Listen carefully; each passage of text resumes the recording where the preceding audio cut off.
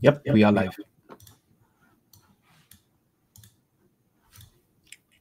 I'll just start posting everywhere.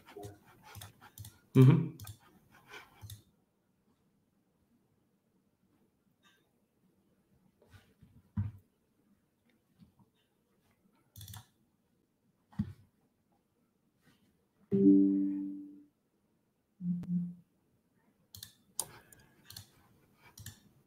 Actually, let me check if the YouTube is live yet.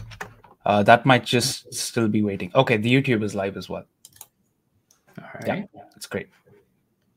So we'll be starting up in about one minute here.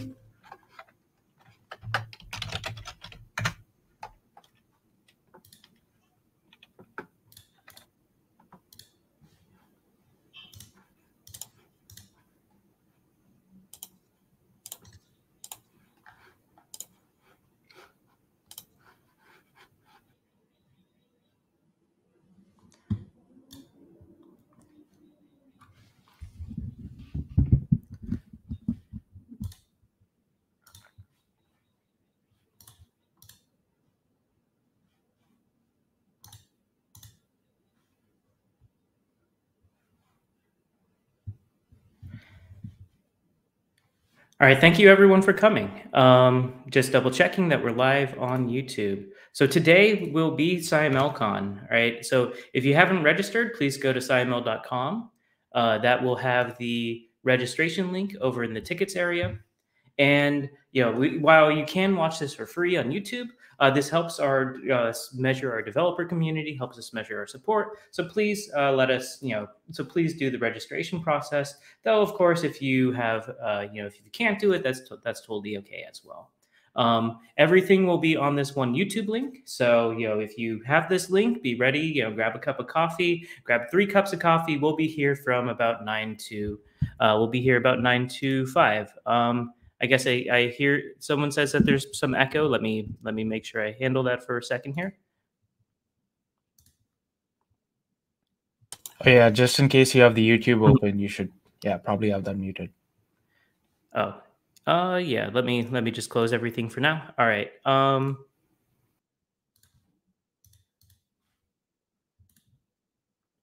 Yeah, so I'll just get started right away then. Um, all right.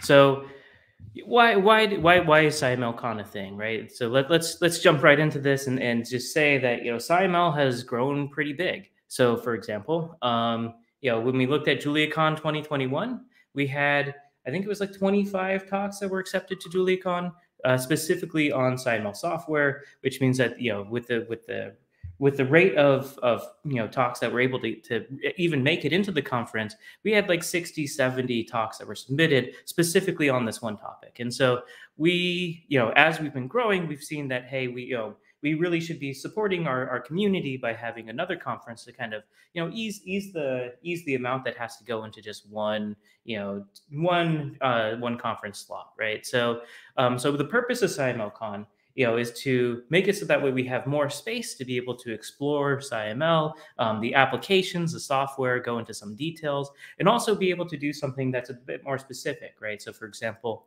uh, Yingbo will be able to go into, you know, the details of modeling toolkit, like some of these very core things um, that is, you know, specific uh, to us. And so, with that, we have a, a schedule that matches um, this. So, you, everyone can go find the schedule on scimlcon.org right? If you click on the schedule tab, you'll be able to find this. Um, you can share around this YouTube link and tell people to join the discussion. We have a Discord channel where all of these discussions are taking place. Um, you can ask questions there. You can ask questions on the Slack in the hashtag SciMLCon channel, or you can ask questions directly on the YouTube channel. So yeah, so so um, uh, I see that there's some some uh, questions about the, the YouTube channel starting. Uh, Ranjan, are, uh, are we good? Yes, we are good. Uh, just asked folks to start refreshing. I think the people who haven't, uh, people are seeing a green screen just refreshed, and their YouTube video was uh, working just fine. Okay, cool. Yeah, YouTube Live uh, has this thing where you have to, you know, if you if you sign in before the, the stream starts, you do need to to restart but yeah, so so we'll be going through some uh, we'll be going through a, a whole lot of different uh, things here, right? So we'll start with some applications, you know, applications to healthcare and climate. Um, we'll be moving into some more details, right? So going into the internals of how the symbolic arrays are handling new packages like structural identifiability packages, um, new differential equation solvers. Uh, we'll have our keynote talk, which will be Andreas Rosler, which will be about numerical methods for stochastic differential equations because you know stochastic differential equations have kind of been the it was the start of SciML and now it's really been infused into a lot of what we're what we're seeing with machine learning right with stochastic differential equations everywhere from you know automated model discovery um, to even things like uh, you know gener- generative adversarial networks are using diffusion models for you know built on stochastic differential equations as well. So we're going to be spanning this space of scientific computing uh, to machine learning and all the ways that these these these disciplines connect today. Um, and at the very end, we will have a farewell and open discussion. Uh, so the the Zoom there will be a Zoom call link that will be shared into the Discord. We invite everyone to just join this discussion, and we'll break out into into breakout rooms, and you know everyone can, can discuss. Which means that if you want to join this this discussion, please make sure that you're in the Discord. Um, so yeah, so every uh, just reiterating again, uh, please register if you have not. So now I'm going to jump into uh, this first talk here, which really this talk is to kind of set the stage for, for the rest of this conference. It's the, the state of SciML, right? What is scientific machine learning and the software ecosystem and how it ha how has it been evolving? What, what have we been seeing? Where, what have we done? Where are we going next, right? This is, this is really what we want to, to showcase. And then before we get into some of these details. So if this talk was in 2016 or 2017, uh, we would start, we would have the entire talk be about differential equations and differential equations.jl, right? And so our early claim to fame was really, you know, hey, there, there are things that we can do in the modern differential equation space that can be done to um, you know, improve performance, right? And it wasn't just improve performance over Python, MATLAB, and R, right? Those, those are those were the targets that you know kind of got a, a large core of, of, users. But what really got the developer community and you know even the numerical methods developer community uh, interested was that we were able to start besting even some of the best in class, you know, Fortran and C libraries. Um, and that was done through multiple through of methods right? Uh, one one set of things was all the numeric, you know, in, advancing the numerical space. So things like new new, uh, new linear solvers, uh, new computations of very core components like BLAS components, but mixing that with new differential equation solvers or new iterations on differential equation solvers that were kind of not, you know, that were kind of lost to time. So I think that one nice uh, one nice uh, case here was Rodas 4, right? So higher order Rosenbrock methods, they require really they require really good Jacobian approximations in order to compute at the higher orders that they expect. And so for a long time, because finite differences was used for the, the Jacobians, they were not very stable for, for low orders, even though, or for high accuracy, even though that's where they're most efficient. But when you start to combine that with automatic differentiation, that combination really changes the game, right? And so th this this combination of features has really brought differential equations together. Is new features, new algorithms, and new computational details that really came together. Um, and if this was 2017, right, I would give a whole talk just all about this topic. But we've really gone past this. So you know, so this year, for example, uh, we we have really gone uh, through this whole vertical area, so that way, you know, we we we're, we're even core things like uh, the linear solvers, right? Everyone really re relies on things like BLAS and MKL. Well, these days we have our own tools that are written in Julia because in large swaths of, of the, you know, in large swaths of ODEs, these new tools are outperforming on modern CPUs. And so this gives us a whole range of, of places where we've been doing the research is, you know, the linear solve, the nonlinear solve, the ODE solve, all the way to Gillespie, and basically everything up. Um, and, and so uh, where how we got to this, right? And I think that the, the core fundamental principle, um, the core fundamental principle was really that you know, we took a pro- an approach where we said we will benchmark everything. And so if you go to bench benchmarks.jl, uh, you'll see that there's benchmarks on all sorts of different problems. There's dedicated compute, so that way when anyone po- opens a pull request to change a model or change, you know, or, or update packages, um, it will rerun the benchmarks on this compute and it has GPUs, it has uh, you know parallel CPUs, and so we can just see how everything is working. And by by really using this, you know, using a benchmark based approach, a very empirical approach, we've been able to just grow our performance uh, improvements over over the years.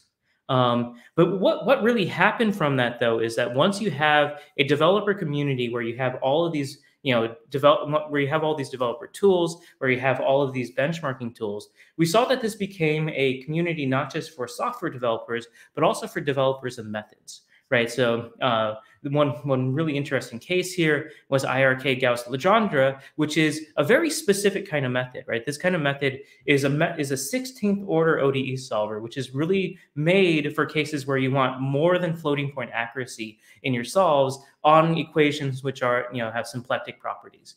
Um, and so where what what happened was, you know, researchers in these kinds of methods came to SciML because this became a place where, hey, we have all these benchmarking tools available. Let's just develop our methods on this interface. And what do you know? Now I can write a whole paper just by showing, you know, adding my methods to the benchmark suite and releasing it out into the wild. And so what we've done is we worked with a lot of these methods developers to get these packages up, to get these packages optimized, and and even more importantly, get them as part of the community so that way they have a maintenance structure. So they would exist and be usable 20 years from now, 30 years from now. So so you know, and it wasn't just a one-off approach. Uh, there's a lot of other cases of this. In fact, our keynote speaker today um, will be talking about stochastic differential equations, and he is and his student recently released a new stochastic differential equation package, which completely changed the efficiency of how we can compute Levy areas, which is a fundamental detail to higher order non-commutative stochastic differential equations. And of course, the, the, the, the speaker will go in, much more detail into this. But, but, but the key idea here is that we've now developed this community where the research happens here. And so, you know, it, within just months, you know, you have these brand new methods, these really core improvements, orders of magnitude improvements entering core packages like stochastic diffeq and becoming the things that users automatically get. So, you know, you've probably been seeing that your performance has been growing on, uh, you know, over time, you know, your performance improvements. And it really hasn't just been, you know, two developers or something. This has been 50, 100 developers in a large community because of these, these developer processes. Um, and you know, there's tons of other examples that I can showcase here. I'm only going to showcase two because otherwise the whole talk will be on this. So if you want yours to be showcased here at SciMLCon, I'll say, you know, please, please uh, sign up to give a talk for the next time.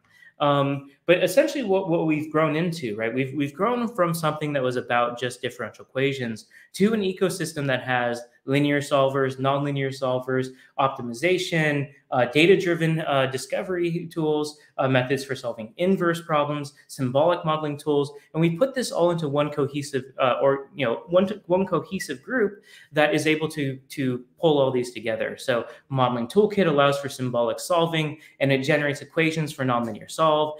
Differential equations.jl also works with modeling toolkit, but if you ask it for a steady state equation, it uses nonlinear solve, right? Um, if you use data-driven diffeq to be able to generate differential equations from data, the differential equations that generates, it shows you them in symbolic form for modeling toolkit, and then you can solve, and then you can simulate them with differential equations, right? All of these tools start to work together to pr promote the research in each aspect because it now you know now users only or developers and researchers only need to focus on one one area in order to get the benefits of all these pieces um, and, and so we, we've seen a lot of nice research come out of this. So, for example, a talk that we'll see later today is about how infinite time neural ODEs can actually be faster to train and faster to use than finite time ODEs, uh, neural ODEs. And that's something that might be, you know, a bit mind-boggling. It comes from an idea about the implicit function theorem, um, and I won't go into too much detail because this is exactly one of the talks that we'll have later today at at,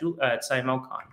Um, now, and what, what's really evolved from here is that in order to get these models and get these methods out to more people, we've been developing a lot of front ends for specific applications. So here, for example, is catalyst.jl, which gives a reaction network syntax. So that way, a very chemical reaction syntax can be shown and, and used by users. And this right here, right, is, is not just, you know, this in, in Unicode or something, right? This right here is runnable code. This right here is runnable code that will simulate these, these chemical reactions, either with stochastic equations or in the uh, deterministic form with ODEs.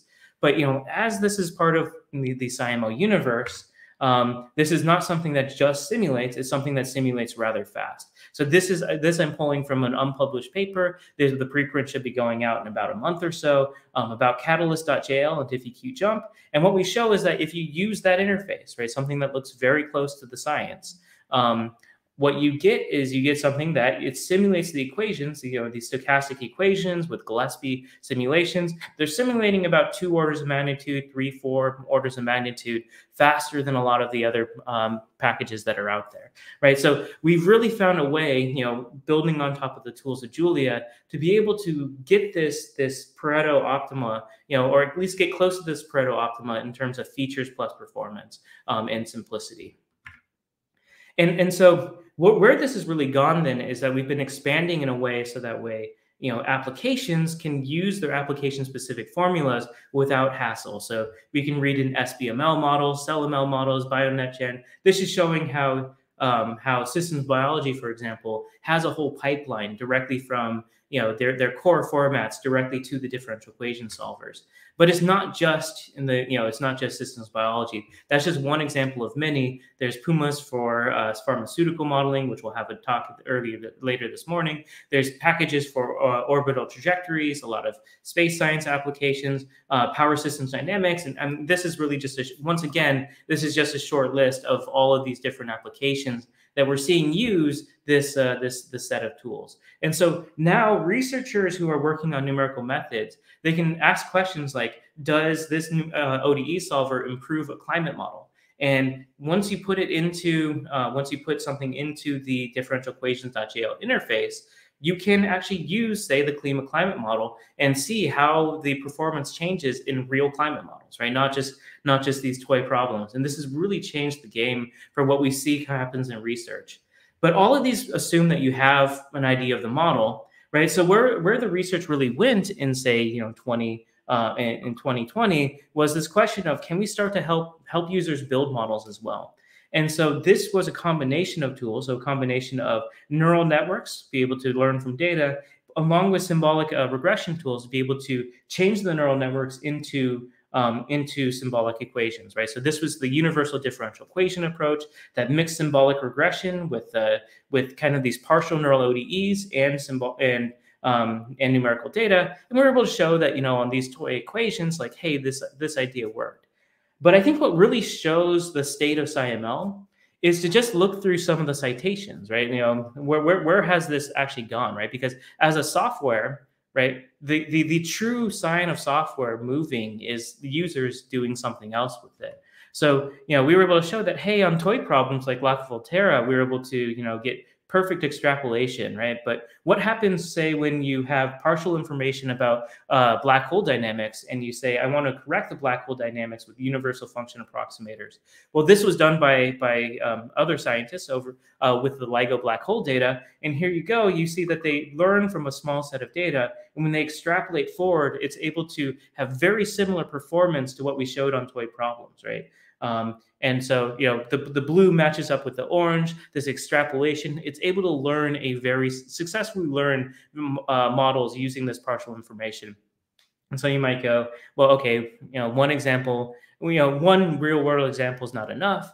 And if, I mean, we're, we're to the point now where the SciML organization is, is mature enough that we can just kind of go through uh, a bunch here. So let me, let me just kind of walk through some right? So uh, we'll have a speaker later today, which we'll be talking about deep NLME, which is a case where uh, you cannot directly do something like symbolic regression. You cannot directly do some of these methods. But by training a neural network inside of a nonlinear mixed effects model, you can then pull the neural network out and learn symbolic terms and make it so that way you can learn models that will that will be predictive of how um, of how uh, patients will change with respect to different dosing. So pharmacology was another domain you know, where where this ended up working out. but you know, is it pharmacology and black hole dynamics? No. Uh, well, what about um, earthquake safe buildings, right? So here, once again, uh, you had partial information model and it, it learns from a small set of data. And when you extrapolate that into the future, it learns a, a correct enough model to be able to, you know, extrapolate. So, okay, now building design, uh, are, what, what else ha have, we been successful in?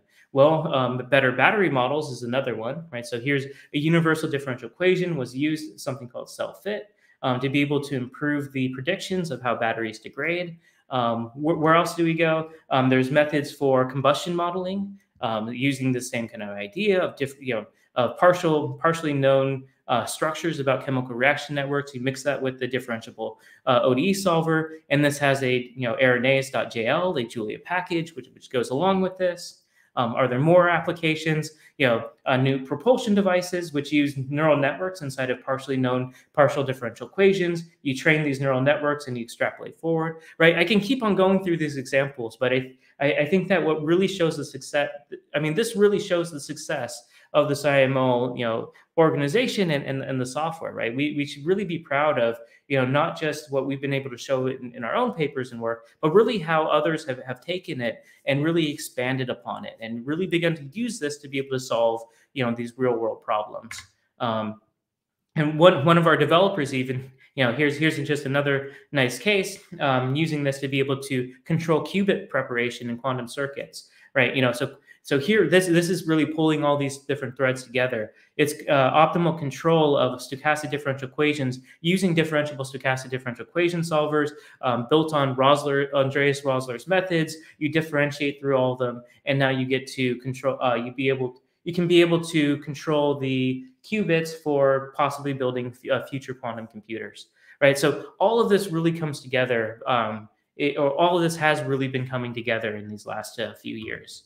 Um, yeah, and and as as I said, you know, I can just keep on going through examples. So let, let's let's really get to this last part here, right? So you know, we we've mentioned where SciML has has gone, right? So it started as you know, hey, we're differential equation solvers and we're fast. But it's really moved to being this whole ecosystem where, you know, you can define a PDE and it uses ODE tools and you can use symbolic modeling tools, a modeling toolkit and symbolics.jl.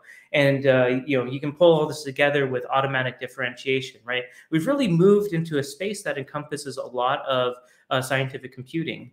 But, um, but but where where do we really need to go next right uh, i think that there's there's a lot of things that i could mention uh, let me just i'm going to highlight these three right so there's also going to be talks on improving the symbolic tooling nonlinear optimal control right new, using machine learning to generate new uh, solvers but i think that i want to focus on uh, some next steps that I think can really pull in some of the community, really pull in some new developers. And this is places like uh, PDE interfaces, um, unified documentation, and modeling standard libraries. So, you know, what what what are some things that you should expect to see, you know, some major growth in in the next year or so? So, um, so right. So when we look at the the current state of, of PDEs, right, um, what where we're really trying to go to is an interface where you can define a PDE symbolically and be able to solve it with many different methods. Um, and really, the first method that we had out there was these physics informed neural networks, right? Where you can define this symbolically. So you say, hey, this is the second derivative with respect to x, second derivative with respect to y. And so uh, the Laplace equation is, well, you just write it out, right? This is how it'd be written someone in, in a book. You give it the, the boundary conditions. You say, this is my PDE system. And now here's what I, what I want to do is I want to discretize it with respect to a physics informed neural network and solve it, right? Um, but that's one type of discretization, right? You're, so discretization in this sense is saying, I want to change a PDE system into some numerical problem uh, in which I can then numerically solve to get a solution. When you use physics informed neural networks, that discretization is to a, a nonlinear optimization problem. And when you solve the optimization, you get the weights of a neural network that gives you a PDE solution. And so this interface though can be used with a lot of different uh, PDEs. So for example, you know, when we when we can keep exactly the same setup, but can say, hey, you know, here's um, MOL finite difference. So here's method of lines.jl doing a finite difference discretization on the same PDE input, um, then and then solving this using the differential equation solvers, right? So instead, in this case, it's generating an ODE using the finite difference method, but giving you the same kind of output.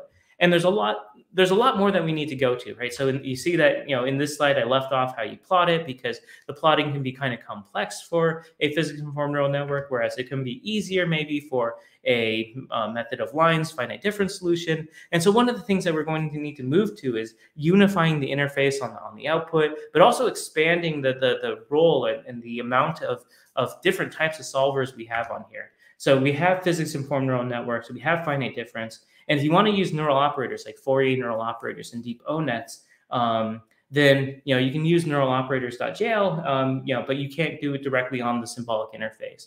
But we also need to do finite volume, finite element, pseudospectral, and there's so many tools in the Julia ecosystem that we can build off of to be able to really make a really robust, you know, and really strong uh, symbolic modeling interface. And so this is going to be one of the large projects we'll be working on over the next few years to really make it so that way it's a really right one, solve and solve anywhere kind of PDE ecosystem. Um, and now, why why why is that important? Like, why why not just let someone use use a different package from their physics informed neural networks from and, and use a different package for finite difference and be okay with it? I think that what what really is driving me to, to this is that it will accelerate the science of scientific machine learning right? So one of the things that we saw when you know when physics informed neural networks and such were coming out was that we can benchmark, say, between uh, you know solving an inverse problem between you know physics informed neural networks and universal differential equations. And if you spend the time to do it, you can find like, oh, hey, on the Lorenz equation example from the DeepXDE paper, you know. Uh, it takes 300 seconds with the physics informed neural network and uh, 0.03 seconds with the with the with you know DiffEqFlux, and therefore for this kind of ODE problem, it would be better to use DiffEqFlux. But you know, do not extrapolate that out because as you go to different PDEs or different equations, different workflows, right, the relative performance between methods can change. And so, in order to really build a a wide spanning um, you know view of how you know, wh- when are methods optimal and what should we be using? We really need it to be much easier. You know, not having to use two programming languages and everything. We need to make it easy to be able to switch between them, um, switch between different methods. I think one story that really follows from this is uh, if you take a look, for example, at this paper on uh, on deep nets, you'll find that they they mentioned that you know uh, that you know oh, the, their methods were able to solve the, a lot of ODEs and PDEs at a fraction of computational cost uh, with respect to classical solvers, right? And so, you know, a lot of these things are driving forward. You know, like we should be using deep ONets everywhere. Um, and so, you know, if you take a the, take the paper from here, or if, if, you take the equations from here, this is the speed on the Robertson equation, showing that a deep ONet was able to vastly outperform a numerical solver.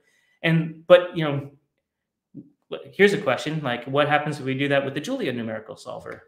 Um, and you can see that if we, you know, uh, comparing a deep ONet, which was on a Tesla V1 uh, V100 GPU, right? I compared it to this uh, little this little you know laptop with a little uh, CPU, and um, we were able to get about seven thousand times faster than the deep ONet um, using this, right? So and really what I, I, really what I want to highlight here is not that oh hey here's a here's a case where you know where we overturned a result or something. What what I think is really important is that it's really hard to optimize classical numerical solvers, right? It's much easier to optimize something with a machine learning framework. And so without giving researchers a tool that makes it easy to have an optimal form of both, we cannot uh, really push forward this field. And so really where I think that, that this kind of PD interface will, will be helpful is making it easy to get a very optimized example with you know the classical methods and the scientific machine learning methods to really figure out where each type of method does best. And I, I think that you know the current state of things is not good for researchers. I wouldn't say that the researcher made any mistake here.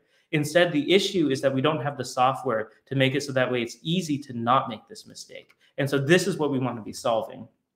Um, and you know, I can we can do a whole talk on how this the same thing applies to the results in the Fourier neural operator paper and such, right? This this is something that that's very pervasive. And so uh, I'm, I'm going, I'm almost near the end of my time here. So I want to mention just a few other thrusts. One of the things that we, that happens then when we, as we've grown this ecosystem is that we have this huge documentation of, of very different methods, right?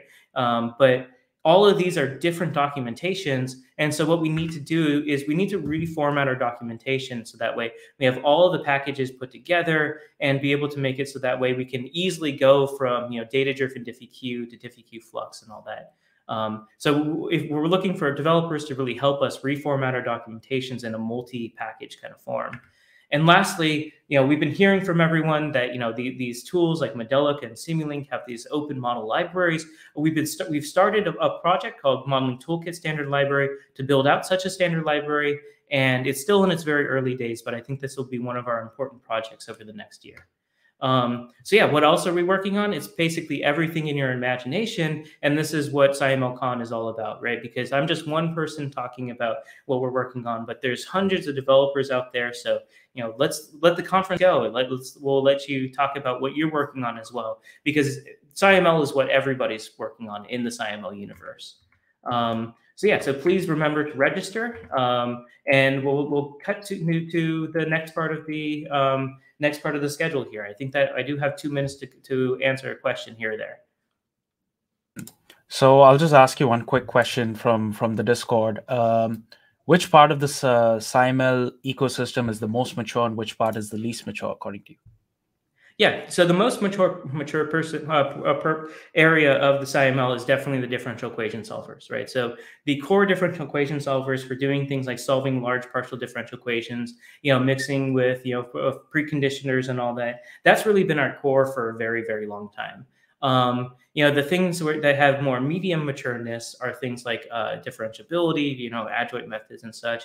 We, there's a lot that is there. There's a lot that, that people are using and everything. So I wouldn't say, you know, it's it's fairly mature, but it's there are still a lot of things that we want to be working on, right? So um, there's still more performance that we can pull out of it, et cetera.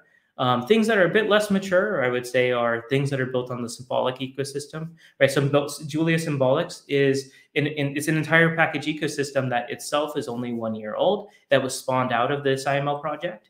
Um, so symbolics and modeling toolkit, right? These are some major areas that will be that are we are working on going forward. You can see that it has many different talks in here, like you know, internals of modeling toolkit, symbolic array, structural identifiability. This all uses uh, the symbolic tooling, but it's still very it's very early in uh, in its day. So um, I would say that the symbolics and, and modeling toolkit is the least uh, the least mature of the areas, but it's probably getting the most development effort.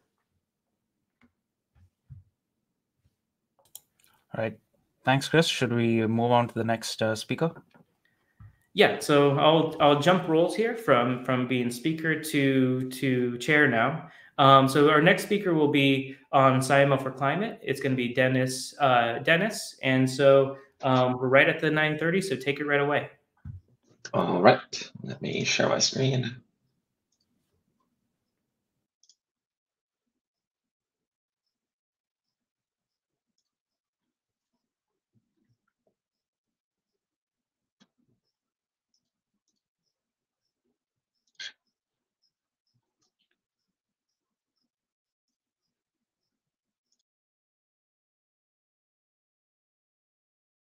Well, looks like we lost Dennis.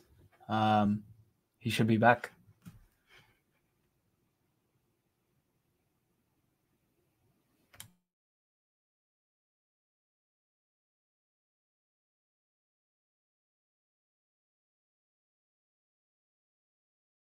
Yeah, so I just went through some of the Discord questions. Let me answer one of them uh, while I'm here. Yeah, so has there been, you know, a benchmark test comparing Julia's SciML to Python's JAX?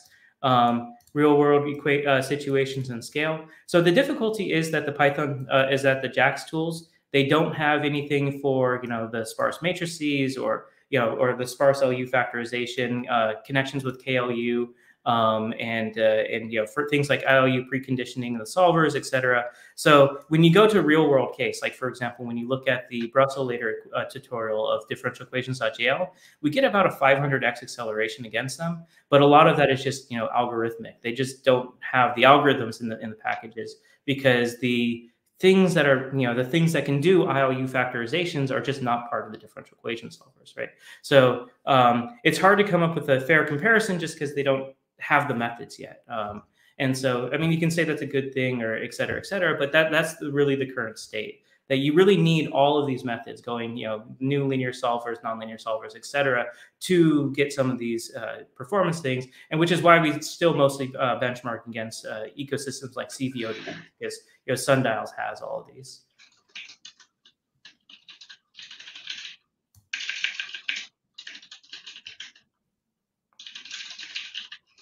Yeah, Dennis, uh, um, you got this? Yeah, I'll, I'll go ahead and share. Sorry about that. Cut out for a second.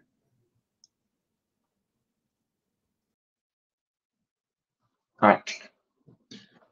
Uh, so, uh, my name is Dennis. Or sorry, can everyone see my slides? Yeah. Okay.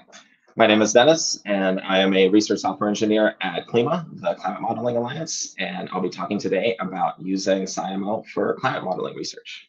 So, let's jump right in. A brief overview of what I'm going to be talking about. We'll start off with an introduction. What is CliMA? What are our goals? Then I'm going to move on to this package that we've been working on for the past year or so, which is ClimaCore.jl. I'm going to give a bit of mathematical background for this package and then go through the API that we've been developing. And then I'm going to talk about how we've been working with OrdinaryDiffEq's IMEX ODE solvers, uh, the HEVI splitting uh, strategy for solving our uh, differential equations in a more stable way, and how we've been computing Jacobians and what future work we're planning in terms of computing Jacobians more efficiently and more automatically, and generally future work uh, for cleanup. So we're a coalition of scientists, engineers, and mathematicians from Caltech, MIT, the Naval Postgraduate School, and the JPL. And we're using Julia to build an Earth system model that can learn from different data sources and generate climate predictions with quantified uncertainties. Here's a general uh, overview of what we're planning. We're going to represent all major physical processes on Earth that have large scale effects, uh, including advection of air through the atmosphere and sea ice and the effects of biophysics and so on. Uh, there will still be processes that we cannot resolve at the resolutions that our grids are going to have. And we are going to model those processes using subgrid scale parameterizations. Uh, in order to calibrate the parameterizations, we're going to use high resolution uh, simulations of small domains. These are called large eddy simulations. Um, and the calibrated parameters are then going to be fed into large uh, global circulation models, GCMs, uh, which have a coarser resolution, but can be used to then in turn tune the boundary conditions for our LES simulations. So some more technical goals of the CliMA project. We're trying to create an open source code base that is easy to understand and can be uh, extended by a wide range of users, be it uh, domain experts who've been doing climate science for many years and new people who are just interested in the field. Uh, we want simulations that can run on both CPUs and GPUs, and we want to support a very wide range of different coordinate systems for our simulations. Uh, so the final simulations, both LES and GCM, are going to run in 3D, uh, but for the purposes of testing, we also want to be able to run in one and two dimensions. We want to use both Euclidean and spherical domains, uh, with Euclidean corresponding to our LES simulations and spherical corresponding to our global GCM simulations. Uh, we also want coordinates that follow terrain. So for example, the bottom of the atmosphere, uh, coordinate z equals zero, uh, should always run along with the surface of the earth, going up when mountains go up and so on. Um, and we also want vertical grid stretching. So because uh, processes high up in the atmosphere uh, happen over larger scales and processes closer to the ground, uh, we want to stretch grids in the vertical direction. Um, and then we also want a wide range of different discretizations over the domains that we're working on. So for example, we want finite difference uh, discretizations, which is sort of the simplest case where you store the values of your state at a discrete set of points, and you can determine derivatives by taking finite differences of those values. And then we also want a set of different spectral element discretizations, like continuous Galerkin and discontinuous Galerkin, uh, where spectral element means that we're uh, decomposing our state into some a sum a, a, linear combination of polynomials and storing the coefficients of those polynomials. Um, and we generally want to be able to try out a very large number of different model formulations. Which variables do we use? How do we make those variables interact with each other? Uh, and we want to be able to very easily swap out different formulations and different integration schemes in order to determine what works best and what's most numerically stable. So it's very experimental work, and we're trying to come up with ways that make it easy for scientists to determine what works best. So moving on to ClimaCore, a bit of mathematical background. So at every point in the domain uh, x, we have some state at time t, uh, denoted by y of x and t. Uh, so as an example, for a simple dry atmosphere, uh, the state could involve the density rho and the potential temperature theta and the wind velocity at every point u. Instead of theta, we could use, for example, uh, energy E or energy density rho E. Um, and then a set of conservation laws gives us an expression for the tendency of the state, so how it evolves over time. And in this case, I've written out the, the tendencies for each of the three variables. It's advection plus source terms, essentially. And when the domain is discretized, we represent uh, the state of our system with a state vector. So for the finite difference case, this is going to be the state at every single location of our finite difference discretization. For spectral element, this will be the coefficients of the um, of the polynomials in every element. And when we do this discretization, differential operators can then be expressed as matrices that act on y of t. And we're going to come back to that when we talk about uh, the Jacobian uh, computation. So because we want to be able to run our models on arbitrary domains, we use generalized coordinate systems. So here's a very brief rundown of what it means to use generalized coordinates. So in the 3D case, suppose we have three variables, psi1, psi2, and psi3, which represent our three special coordinates. Um, each of these corresponds to a basis vector, which tells you which direction x, your current position, is changing when you vary each of the three generalized coordinates. And then we also have a metric tensor, which is the set of all inner products of these basis vectors. And here's an example for uh, spherical polar coordinates, uh, lambda phi r, which stands for latitude, longitude, and distance from center of the sphere. Uh, a vector can be expressed in several different ways. We can have the contravariant components, which are uh, the values that you, or the, the coefficients of the basis vectors that you sum over to get the vector itself. You can also express it in covariant form by contracting the contravariant components with the metric tensor, and you can also get the Cartesian components, uh, again, through the metric tensor. And all differential operators are expressed as some combination of basis vectors and derivatives with respect to generalized coordinates and the metric tensor. I won't go through the details of this, it's not super important, because the whole point of ClimaCore is that it allows us to essentially sweep all these generalized coordinates under the rug. We want to be able to write code that uh, is the same regardless of which domain that we're working on, which makes it a lot easier to program and debug our models. Uh, so on the whole, ClimaCore is a suite of tools that allows you to specify three things. Uh, discretized domain, a state on that domain, and then a tendency uh, of that state. So I'm going to start off with how we describe discretized domains. Uh, we call these objects spaces, uh, which, and we construct them by using a series of lower level objects, uh, with the lowest level one being a domain, which just says uh, a region, which specifies a region of space and the boundary of that region. So is that region periodic? Uh, if it's not periodic, what are the names of its uh, various boundaries? Um, and then once we have a domain, we can specify a mesh, which tells us how to break up the domain into a set of discrete elements.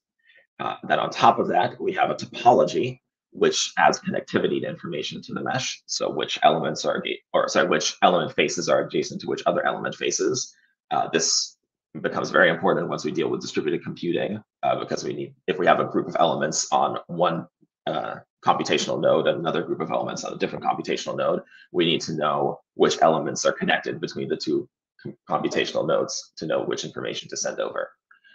Uh, and then finally, once we have a topology, we wrap that in a space object, which stores, which, which is kind of a pre-computed cache of all useful numerical data related to a topology. So it stores the coordinate of every point, it stores the Jacobian determinant, the metric tensor, and so on.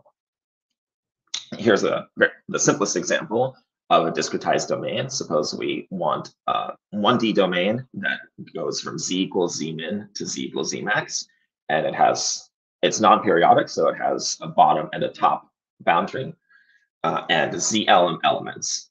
And so this is how we would specify that. First, we give the domain, then the mesh, then the topology, and finally the space. Here's a bit more complex example. So now we want a rectangular two-dimensional domain with a spectral element discretization with polynomial order and poly. Uh, and this time the, the domain is periodic in both directions. So we can specify periodic equals true rather than assigning boundary names. And this is what the code for that would look like. So now moving on to what we can actually store on top of a discretized space. uh, we call these objects fields, which are a combination of a space and a set of values. These values are stored in a flexible data structure called a data layout, which allows us to experiment with different memory layouts. So for example, do we want the uh, first dimension of the way in which we're storing our data to be the horizontal uh, element or the vertical element or the spectral element in or the spectral element node within an element. And so we can experiment with all these different layouts. And in turn, that allows us to experiment with different threading model threading models for parallelization. Uh, and the values that we can store inside of a data layout can be arbitrary data structures as long as they're representable by a single base type. Uh, the most common base type we've been using so far is float64, but you can also go further and store a field whose base type is dual numbers. And this can be useful for doing automatic differentiation, uh, forward mode automatic differentiation. So here's a, a, kind of random example of a field that we can create. Uh, so this is a, a field that we're allocating that stores a name tuple where the first value A is a float64 and the second value B is a covariant vector with two float 64s inside of it. And so by passing in one of the two spaces we defined earlier, we can define a field over uh, that space that stores this particular type of value everywhere. Uh, and fields also define some helpful overloads like sum, which computes the integral of a field, and norm, which computes the p-norm of a field. Uh, and one thing to note is that a field is an array-like object, so its space acts like the axes of the array, and the data layout acts like the array itself. And this can be very useful for broadcasting, which we uh, extend through operators. So Julia's broadcasting already works for any array-like object. Uh, a broadcasted function gets applied element-wise to all of its inputs, uh, and any scalar values that appear in broadcast expressions are treated like array-like objects, all of whose elements are the same value. And multiple broadcast multiple functions that appear within a broadcast uh, are fused together. So we create this new function-like object or pseudo function that we can add to broadcasting. It takes one or more fields as inputs and outputs another field. It can't be used outside of broadcast expressions. Uh, its, um, its behavior is undefined. Uh, but when it's used inside of a broadcast, it gets fused with other operators and with ordinary functions. Unlike regular functions, operators are non-local, so they don't necessarily act element-wise. The value of a single point in the output could depend on the values at multiple points in the input fields. Uh, for example, when you're computing a derivative of a field at a single point, you need to know the values of the field at the nearby points. Uh, and also the input and output fields of a, operator don't necessarily have to have the same space. So you could also do more advanced things with operators like remapping from one discretized space onto another discretized space. Um, all of our differential operators are implemented, sorry, all of our differential operations are implemented uh, through operators. And to give an example, going back to one of our earlier slides where I said that the tendency of density can be expressed as the negative divergence of density times velocity. Here is a direct translation of that into code using the divergence operator. So on top of fields, we have this highest level data structure called the field vector, which contains one or more fields, not necessarily on the same discretized space. And this field vector provides a simple view into the underlying data layouts of those uh, fields that it wraps. And it's fully compatible with OrdinaryDiffEq. Uh, you can broadcast over a field vector, and that's equivalent to broadcasting over each of its underlying data layouts. And you can also use standard functions like copy, deep copy, fill, um, and so on. Uh, so everything that gets run internally by OrdinaryDiffEq is defined for field vectors. So to run a simulation using any of OrdinaryDiffEq's explicit solvers, we just need to specify two things. Uh, a field vector y, which denotes the initial state of our system, and a tendency function, which takes in the field vector y and sets another field vector, which denotes the time derivative of y. And this is always implemented as a series of broadcasts over the different fields in y, uh, typically using various differential operators. So now moving on to why we can't just stick with explicit solvers. The states of our models. Hi, Dennis. Sorry to interrupt, but you have three minutes left. Uh, just wanted to point that out. Um, it, it would be nice if we'd get a question as well, but I just wanted you to be aware that you have three minutes uh, left okay. on your talk. Sure. Thanks. So uh, I'll skip the details of why exactly we need to, uh, why exactly we have very skewed meshes, but suffices to say we have extremely skewed meshes uh, with much smaller spacing in the vertical direction and then in the horizontal direction. And that means that if we just use explicit solvers, we'll be very highly limited by the uh, distance in the vertical direction. So we need to treat the vertical direction implicitly. To do that, we split our tendency into two pieces, an implicit and an explicit piece, uh, with the implicit piece only including operators that act in the vertical direction. Um, and the Jacobian for a finite difference discretization is uh, much simpler than the Jacobian for uh, spectral element discretization, uh, which is why we end up using finite difference in the vertical uh, and spectral element in the horizontal. We do still stick with spectral element in the horizontal because it's more numerically stable with explicit solvers. Uh, here is the, the previous example with the tendency of density rewritten now using uh, HEVI splitting, horizontally explicit, vertically implicit. And so the first line of DTD row of the DTD row broadcast computes the vertical component using just vertical momentum W, and then the two other pieces, the vertical component using the horizontal velocity and the horizontal component are computed separately in the explicit tendency. So the structure of our Jacobian uh, looks like this, where every column is completely independent because again, the implicit tendency only uses vertical uh, operators. So no column affects any other column uh, in terms of the final tendency. Um, and within each block of the Jacobian, so within every single column Jacobian, uh, we can uh, write it out like this, where we have the derivative of the tendency of each of the fields inside of the field vector with respect to each of the other fields. Uh, in order to simplify the computation, we do uh, set a lot of these blocks to zero, which allows us to reduce the size of the Jacobian when we invert it. And oh, let's see yeah, so the, the Jacobian in each, uh, sorry, each block of this column Jacobian is a banded matrix, and we have mechanisms for uh, writing out the uh, the definition, sorry, for computing each banded matrix, again, using uh, broadcasts through this extended broadcast functionality. So we have this operator to stencil function, which converts any finite difference operator to an operator that then generates a block of the Jacobian. And so it becomes very simple to directly differentiate our code. This is my last slide. Yeah, for sure. So yeah, more complicated uh, tendencies result in more complicated blocks of the Jacobian because derivatives sort of scale exponentially. Um, and as we add more and more variables and interactions between these variables, it becomes increasingly harder to write out the different blocks of the Jacobian. So we've been looking into automating away the process of computing the Jacobian for our implicit tendencies. And now, OrdinaryDiffEq does come with a suite of tools designed for this, uh, but they're not particularly well suited for our problem because, first of all, the sparsity pattern of Jacobian uh, depends on the memory layout that we're using, and we want to play around with many different memory layouts. And also, these utilities for automatically computing Jacobians are really meant for arrays. And because we're using fields rather than arrays, this results in some inefficiencies. For example, there's no easy way to parallelize this computation across different columns. And so we're working on using field broad on further sending field broadcasts in order to completely automate the process of computing the Jacobian. And hopefully that will be ready within several months. And sorry. Yeah. So thank you very much. Um, because we're a bit over time here, uh, we invite the speaker to answer these questions on um, on YouTube and Discourse, right? So keep keep the chat going. Then we'll move directly to our next speaker, which will be Nicholas Korsbo, who will be talking about um, essentially uh, who will be talking about understanding heterogeneous health outcomes with SciML and Pumas. So take it away.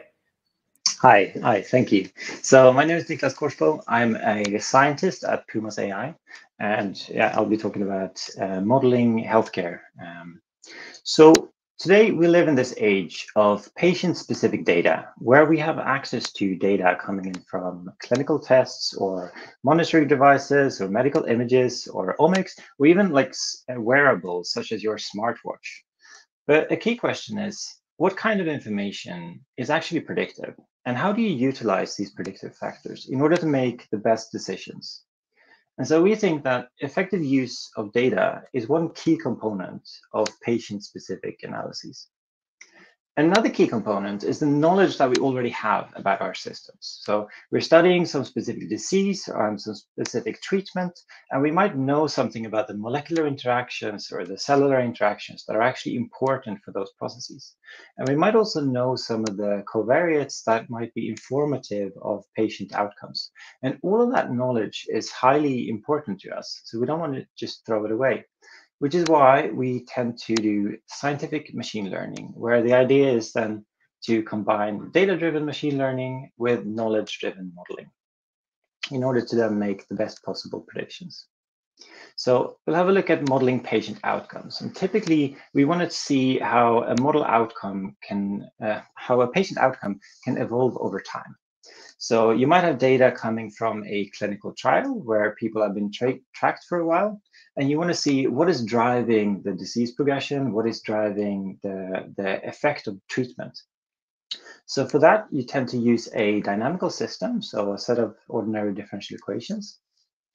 And now looking at the data, it seems as if we have a bit of noise in here, right? So we're going to add an error model to account for that noise as well.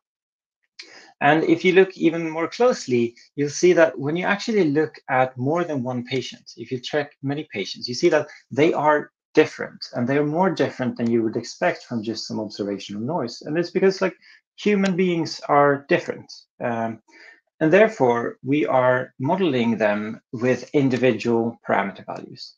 And so these individual parameter values, they're coming from uh, some typical values that is shared amongst the entire population that we're modeling.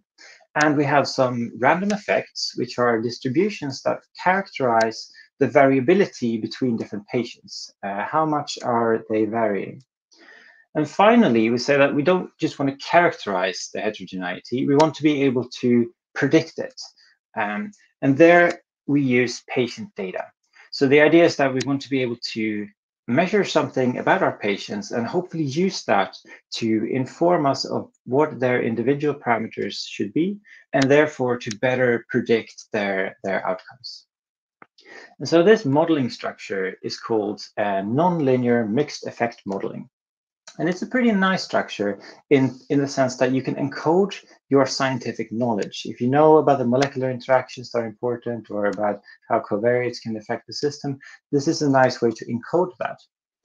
But there is sometimes some problems in knowing what to do, how to create such a model. And this is where we're turning to machine learning. So first, just what is a, a neural network? The neural network is an information processing mechanism it's loosely based on the ideas of a neuron, where every neuron takes a bunch of inputs, it processes that input, and it provides an output. You stitch a bunch of these neurons together in a network, and you get something that's quite good at processing information. And for us, it's important that mathematically, most neural networks are just functions. So neural networks are actually usable anywhere where you would use a function. And we use functions all over the place. And also, neural networks are universal approximators, meaning that if they're large enough, then they can approximate any mathematical function. And the functional form that they end up approximating is tuned by its parameters. And that parameter tuning can be linked to, for example, observed patient outcomes. And this gives us a way to use data to automatically discover functional relationships that might exist in our model. So coming back to the NLME structure, so what if you now have some input data that you just don't know what to do with? So you might have some some uh, data from blood tests or genomics, or you might have some images, and it's not at all trivial to figure out how to use that information. And this is where we are turning to something that we call deep NLME, where the idea is that we want to augment the model with neural networks such that they can automatically discover how to process that information in order to turn it into something useful. And thereby allowing us to explain why some people's fare well and some people's don't uh, for different treatments. And not only that, um, but we also might have trouble defining our dynamical systems. That's quite common that you don't quite know what uh, what to model. And so again, if you're uncertain about something, you can just stick a neural network straight in there and have it uh, capture the interactions that you might be missing. So with this, we're hoping that we can create uh, good models to make good predictions. Uh, and this should all work because the neural networks, their functions, we have automatic differentiation in both the NLME structure as well as the neural networks. So we should be able to just train everything in, in concert, right? So now we'll have a look at accounting for patient heterogeneity. So here we did a synthetic analysis where we generate a or define a data generating model. We generate some synthetic data, and in that data, you can hide some pieces of information or you can have some noise. And then you use that data to fit a, a deep NLME model. And now, because we've used synthetic data, we know the ground truth. So we can evaluate success, which is something that is uh, a rare ability if you're working with real data where you have no idea what the true answer is. So does it work? So here I'm showing you uh, some synthetic data, and this is test data. So the model has never seen this before. We have access to the ground truth. So this is a population prediction from the data generating model. And here a population prediction means that we're not using the random effects. This is a real prediction, but it's from the true model. So the prediction is pretty good. Uh, we can have a look at a population average, which is a population prediction that doesn't use any of the patient data. So here the prediction is the same for every patient. Um, and this is something that we want to improve upon, right? And then finally, we have a look at the deep NLME prediction. So this is a prediction coming only from baseline values. So this is information we had at time zero. We're using that information to predict a full time course. And we see that we can uh, match the, the results of the true model quite nicely. So here we have it for uh, four virtual patients, but virtual patients are cheap. So we can have a look at thousands more. And we see that the deep NLME prediction matches the truth uh, really quite nicely.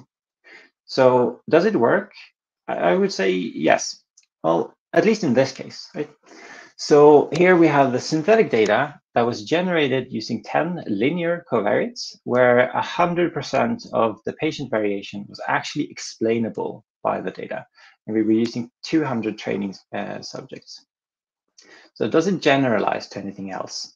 So we can have a look at bigger data. So here we're using a thousand covariates instead, and that seems to be perfectly all right. We can have a look at different dynamical systems. So here the and the data we generated is coming from a different dynamical model. And this approach is quite agnostic to that, so it works fine.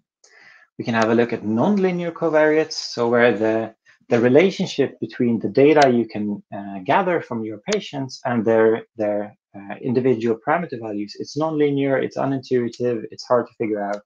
But neural networks are quite good at capturing such things. So we're doing well here too. And then finally, we can have a look at imperfect covariates or data where you uh, where only a small fraction of the patient variation is actually explainable within the data that you have. This is a common case. And here we see that the deep LNME prediction, it doesn't perfectly hit the data points here. But you wouldn't quite expect it to because it doesn't have enough information. And indeed, if you look at the true model, if you give that the same data and it uses the data in the correct way, then you see that the, the, the true model has predictions that are the same as the deep NLME model. So this indicates that the deep NLME uh, model has accurately identified how to utilize the data that it has. It doesn't overfit, it doesn't underfit, it uses the data that we have access to. So after we've done this, we can ask ourselves, what were the relevant prognostic factors? Uh, and one key question would be, what data is worth collecting in the future? So here we can ask ourselves, um, how much does each of the covariates help explain patient variability? And we can do thresholding here and say that if they're not important enough, we can stop sampling them. And this is important if we want to go from a, a, clinical trial setting where a lot of resources is dedicated to each patient into a hospital setting where you might not want to collect all of that in, all of that data. Furthermore, we could ask ourselves what information or what relationships did the neural network actually discover? And so here we're looking at using symbolic identification from DataDrivenDiffEq um, in order to figure out what the neural network ended up approximating such that we can make the models interpretable. and so that we can map it back towards biology again and formulate new scientific hypotheses that we can actually test and sanity check. So next, we'll have a look at automatic identification of uh, dynamics. And so in this slide, we're going to assume that we have no prior knowledge, really. Uh, we want to identify both the prognostic factors um, as well as the entire dynamical system, all from the data. So we try that. And again, we see that, yeah, this just works. It works. Um, so what we did here was to have a fully data-driven and fully automatic model identification. And what's more, this took me about 15 minutes to run. Uh, and I say run, I mean fit, not just simulate, but to fit this. So that could be compared to the weeks and months that you might spend as a modeler trying to figure out how, how um, what your dynamics are. So once you have a fitted model, you can start making predictions uh, of it.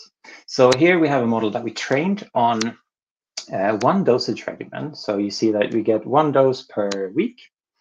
And now you can ask yourself, what if we change the dosage regimen? So I'm going to um, double the frequency of the dosing, but just take half the dose each time.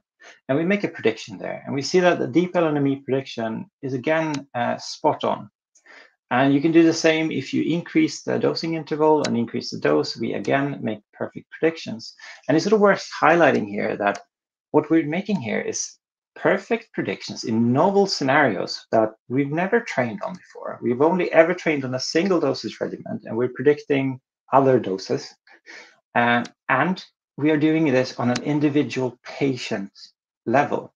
And if you can do that, right, if you can make predictions for an individual patient based only on their baseline data, on what you can gather at time zero, now you can start really optimizing dose to them, right? Now you can start computationally optimizing their dosage regimens and how to treat them in order to achieve the best healthcare outcomes. So in summary, with deep LNME, we can accurately account for patient heterogeneity. We can uh, identify partial or even entire dynamical system. And with that, we hope to make uh, effective de novo model identification possible, as well as effective augmentation of pre-existing model where you already have a lot of information and you just want to see if you can squeeze a little bit of extra power out of your modeling.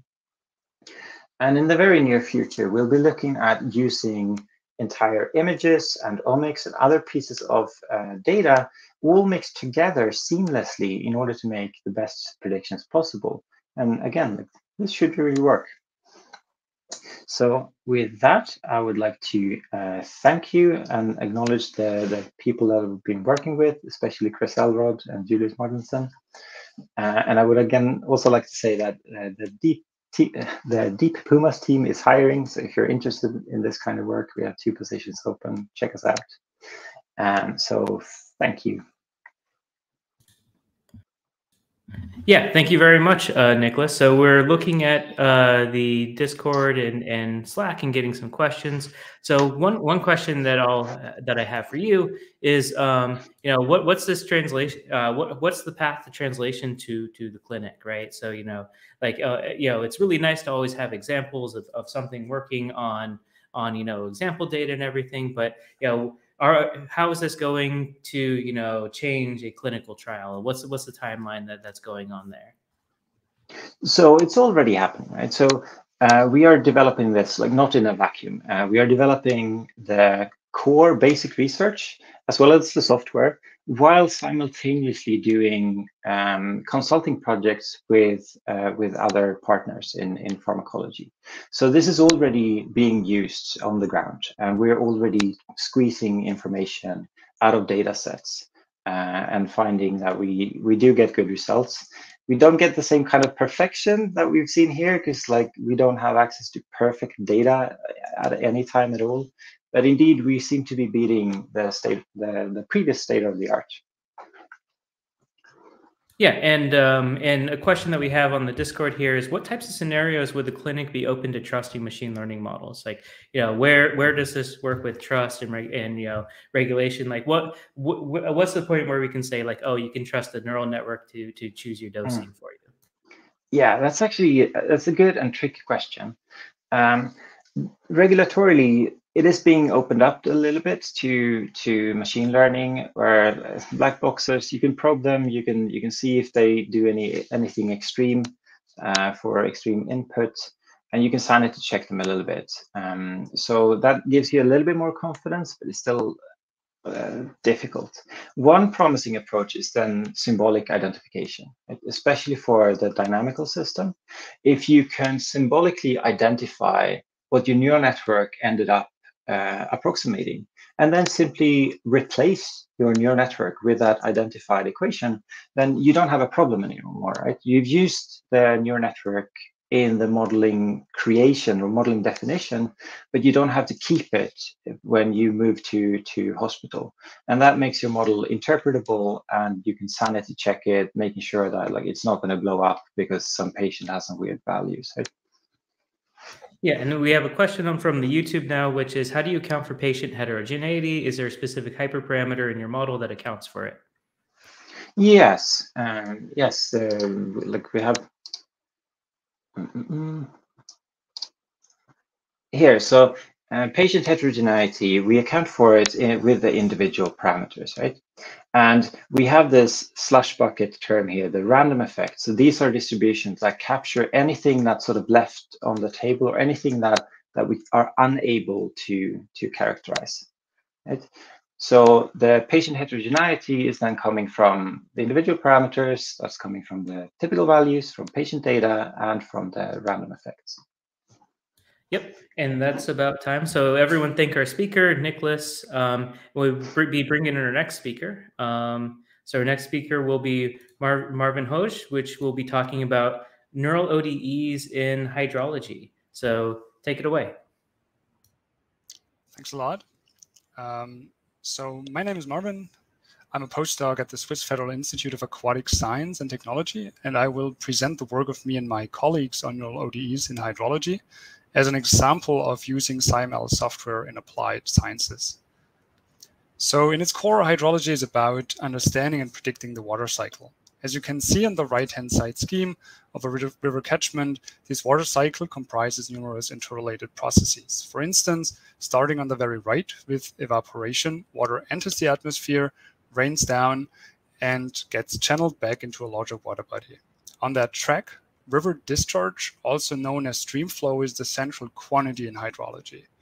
Knowing about stream flow behavior is particularly important at the extremes of the water cycle during droughts or floods. Therefore, one major objective in hydrologic modeling is to predict and forecast the stream flow over time. As you can see in this example discharge time series for some random catchment, the blue model prediction matches the dots that represent discharge observations pretty well. The other major objective is to understand the processes within the system and to extrapolate them. That means to learn traceable relations or to transfer knowledge from one catchment to another.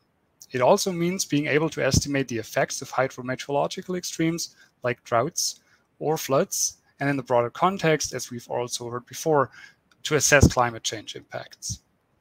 Traditionally, this is done with so-called conceptual models, often also called bucket models. These are based on the mass balance between inputs and outputs of the catchment and are formulated as ODEs.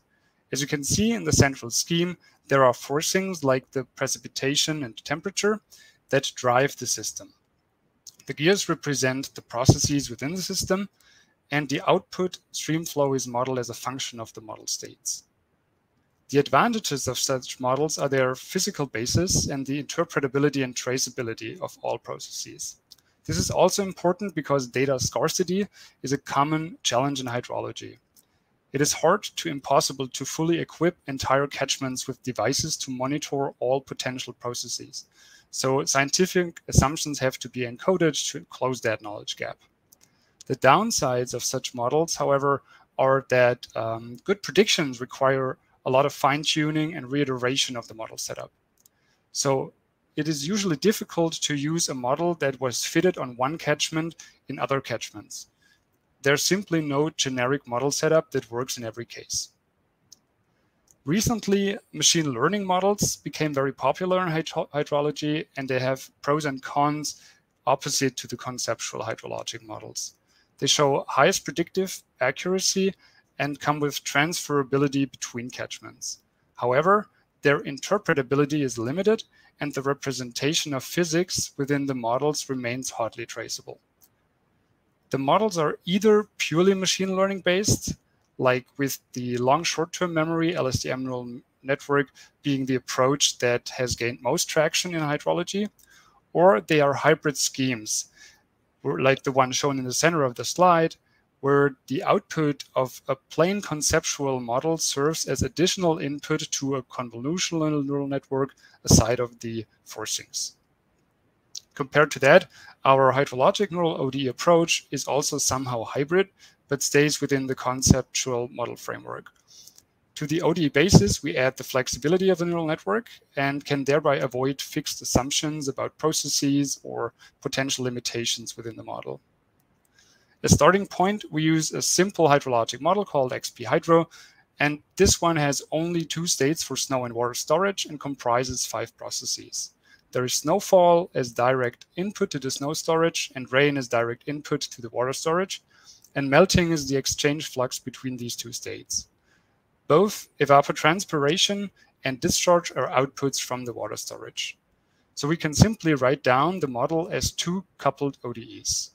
Note that there are much more sophisticated models with more states and processes, but as said, there is no general model setup. In the plain conceptual model, each process is described by a fixed process equation, as shown here for discharge, for example. In the original EXP-Hydro model, discharge depends solely on the water storage, uh, some variables, um, and so some parameters and some additional relation for peak flow. This holds similarly for all other processes, with ET or melting being also dependent on temperature, for example. In our approach, we replaced the terms of the right-hand side of the ODEs by feed-forward neural networks, or one in that case. Each of the five output nodes is assigned one specific process. The neural network has four inputs, which are the two external forcings, temperature and precipitation, and the internal model states of water and snow. This way, it is possible that the network also learns interrelations of the variables and their mutual impact on the processes. And this is what the model core in Julia looks like. First, we interpolate the external variables to make them time continuous, this is also not typical with machine learning methods in hydrology because the other shown approaches operate on discrete, discrete time steps. Then there's the neural network, which with its four inputs. In the following lines, the output nodes are then put together to represent the processes in the ODEs using some transformations and activation functions. And I want to highlight here that this approach also allows to specifically take in physical variables exactly at the place where you want them to be. Here we take the length of day, L day, only as a factor to the ET term, as you can see in the bottom line center. This is a fixed physical value for a certain latitude and time, and it regulates transpiration of water by plants. So we also only want to have it act on this term and not as other input to the network. We applied this generic model setup to 569 catchments for which we have daily data of stream flow, precipitation, temperature, and so on. The data is from the so-called CAMELS data set that covers several hundreds of catchments all over the United States. And as shown on the right-hand side, you can see the distribution of mean daily discharge. For each catchment, we trained our model on 20 years of daily data and then evaluated the performance on the next 10 years. Therefore, we used uh, three criteria to measure accuracy in different flow regimes. First, we used the so-called Nash-Sutcliffe efficiency to assess overall flow and or flow prediction performance. And this one is based on squared residuals and has the optimal value one.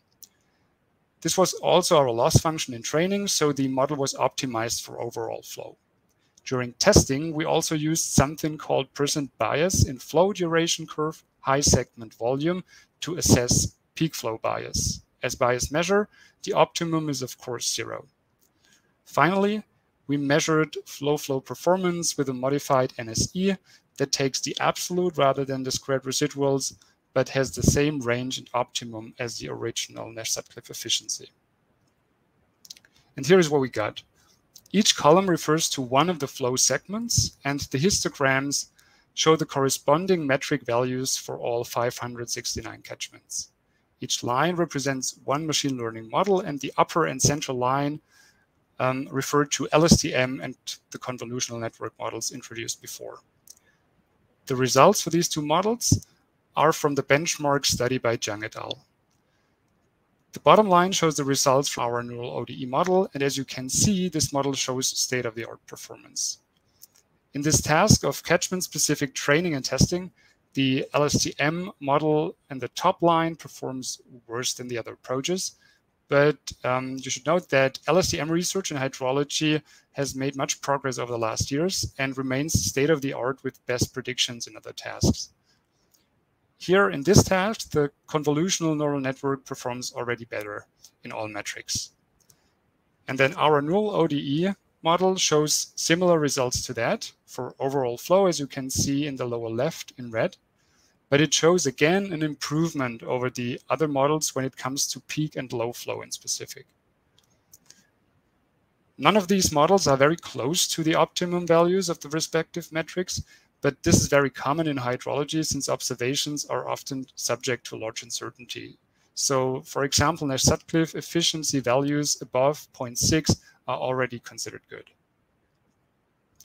This improvement of the neural ODE approach is even more significant when compared to the original plain conceptual model, where you can easily see that the neural ODE model outperforms it in every aspect.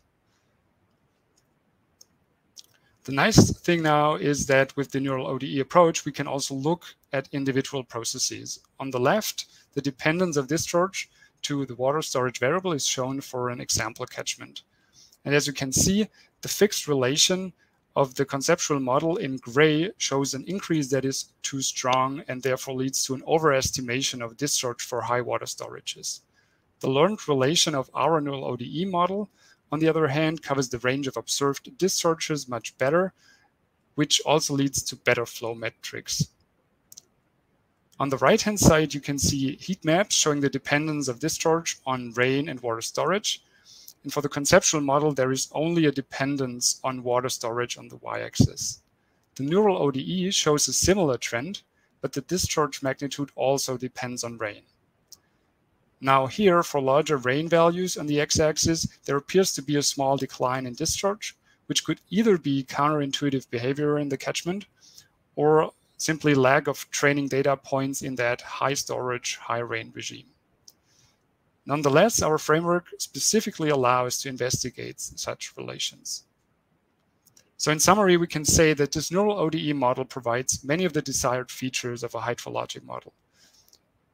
It keeps the ease of interpretability and traceable physics, and it provides state-of-the-art predictive performance, and that even as continuous time solution, which as said is not given for other machine learning approaches in hydrology. And finally, the generic model setup is highly transferable between catchments. So we think that the neural ODEs therefore have a high potential in hydrology. They provide a new level of conceptual modeling because processes do not have to be hard-coded, but could be learned by neural networks. Of course, they can be kept fixed if desired, and this allows all kinds of combinations of variations.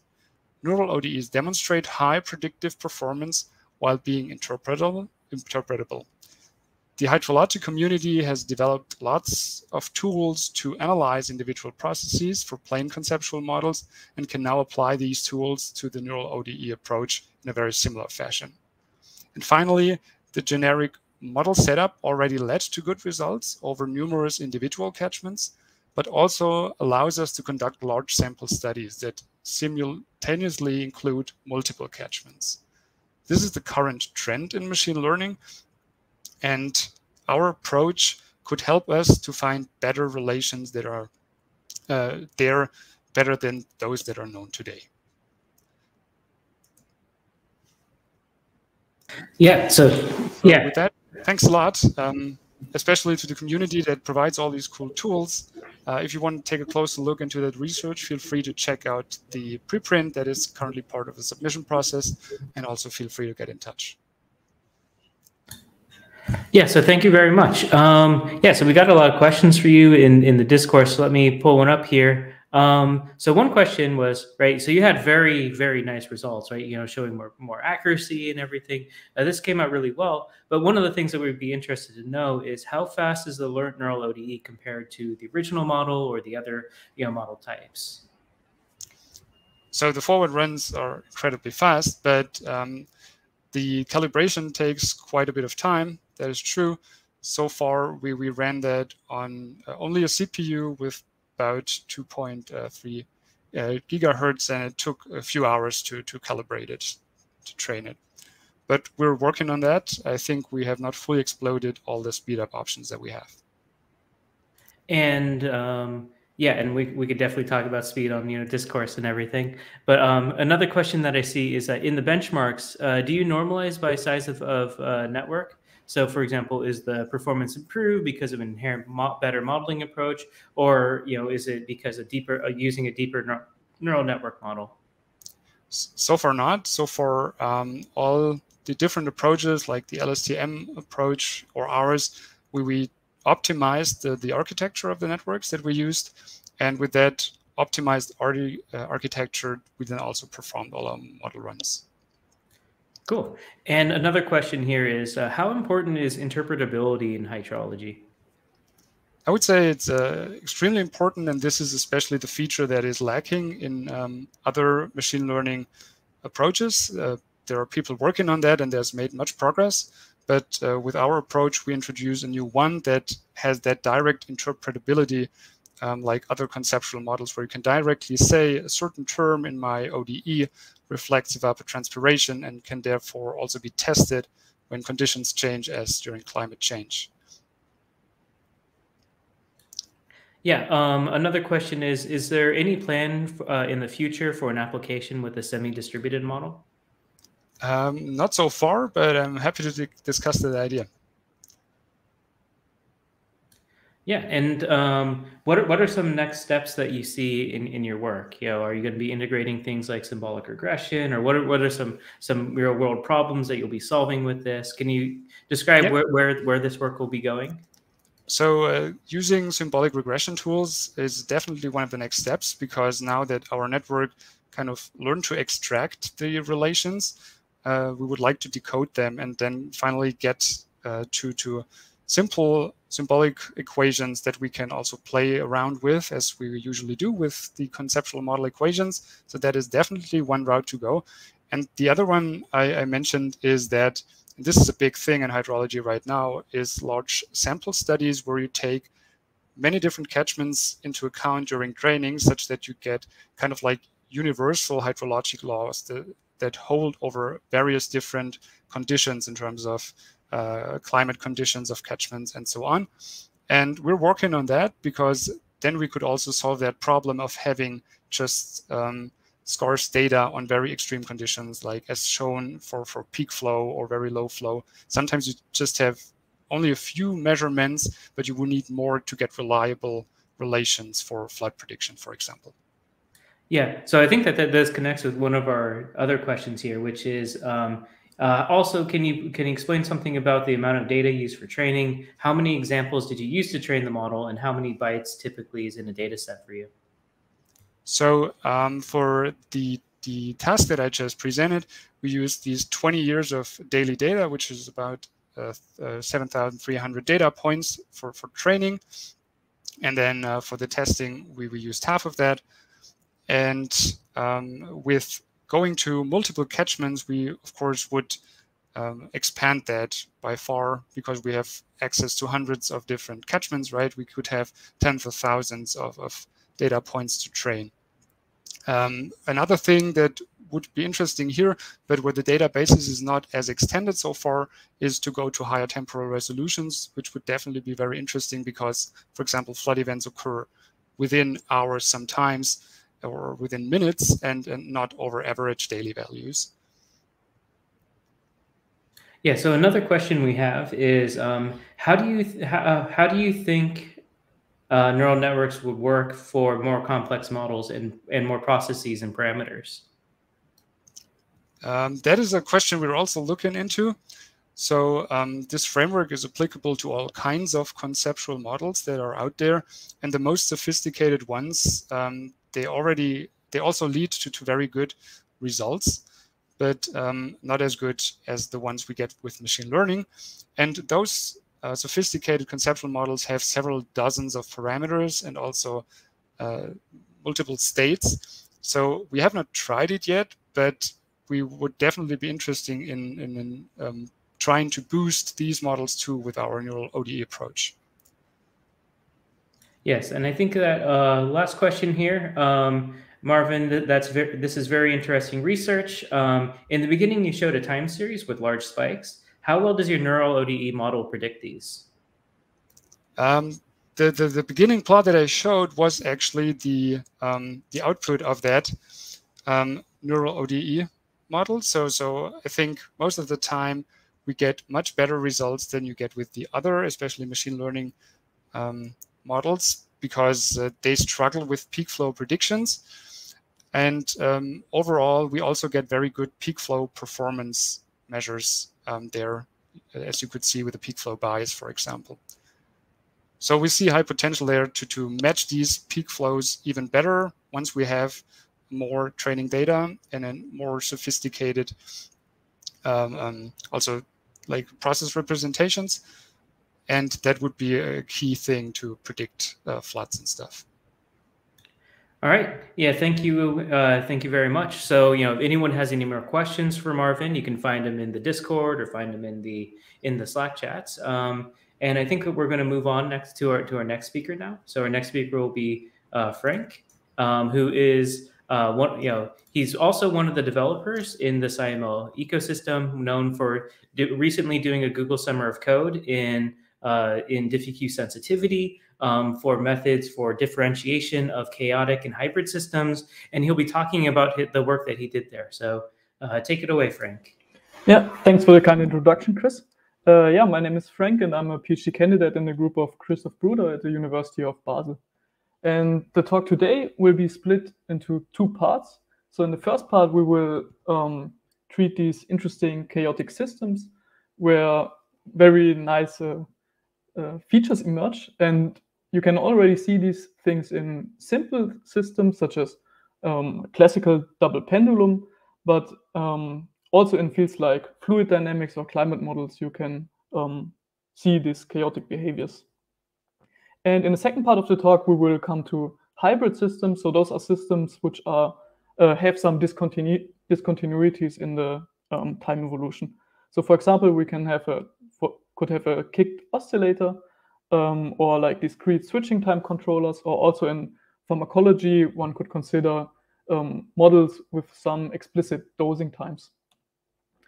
And just to recap for what ordinary differential equations and sensitivities are, um, an ODE can be written as this initial value problem where we have um, the ODE function that contains some parameters theta and y would be the state of the differential equation.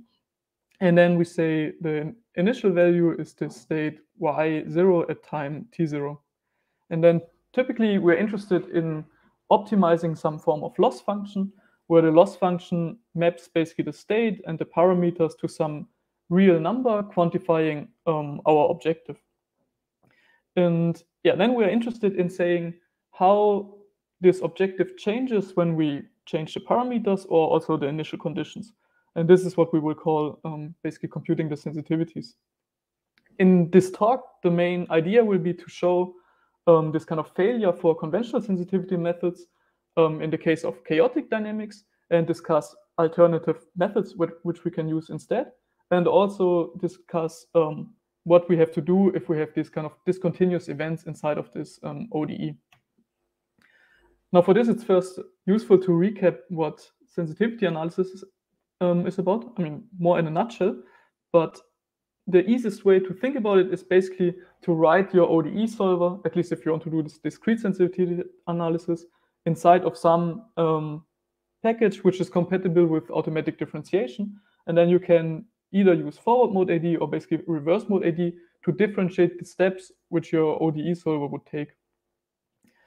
Um, there's another approach to sensitivity analysis, and this is basically to derive explicitly the kind of equations which would um, compute the sensitivities for you. And so this is like if you differentiate the ODE respect to the parameters, you end up with these so-called forward sensitivity equations. And very similarly, but a bit more involved is maybe the computation of continuous adjoint sensitivities, where you also derive basically a set of ordinary differential equations which allow you to compute the sensitivities respect to the initial state and the uh, parameters.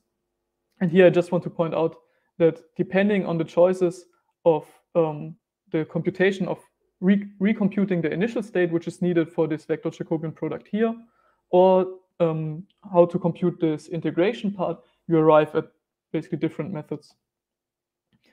Now let's um, see um, or basically introduce what chaotic behavior is about.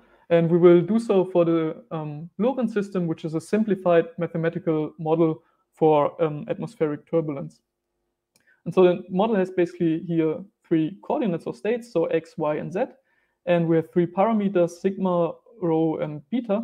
And for the rest, here you can think that we fix um, sigma and beta and just look at the variation with respect to this parameter rho. Now, one of the fun features is that if we start at some initial condition here and we solve this Lorenz system forwards in time, and we do so by um, doing this two times with different floating point accuracies. So one times we solve it with float 32 and once with float 64. Then we will see that at the beginning of this time trajectories, the two solutions basically agree. But then after some time, some of these oscillations, we see that the trajectories diverge. And this is a very common feature. We could at first maybe think that this is just due to the use of a specific solver, but you can actually also check that even if you use a very high order integrator with very small tolerances, and you just um, include a small perturbation to the tolerance, you will um, you solve it two times, once with this uh, small tolerance and one with the same tolerance, basically, but just a floating point perturbation. You will also get this kind of picture where the trajectories basically diverge after some time. And a bit more thoroughly, you can use tools from uncertainty quantification, where you basically map this kind of ODE system to some stochastic differential equation. Then you solve an ensemble of the from the stochastic differential equations over time. And what you would see here is basically the z coordinate of the Lorenz system as a function of time. And for well, for some initial time, all of those um, trajectories from the ensemble will basically um, follow the same kind of trajectory. But then after some after this characteristic time, which we call the Lyapunov time, we will see that basically the um, solution after the time is random on, on this attractor. So we can't predict then the future anymore. In more popular media, this would be called the, the butterfly effect, simply indicating that like a small uncertainty in the initial condition would propagate to a very large change um, in the long-term future. So we simply can't predict the outcome um, precisely after a long time.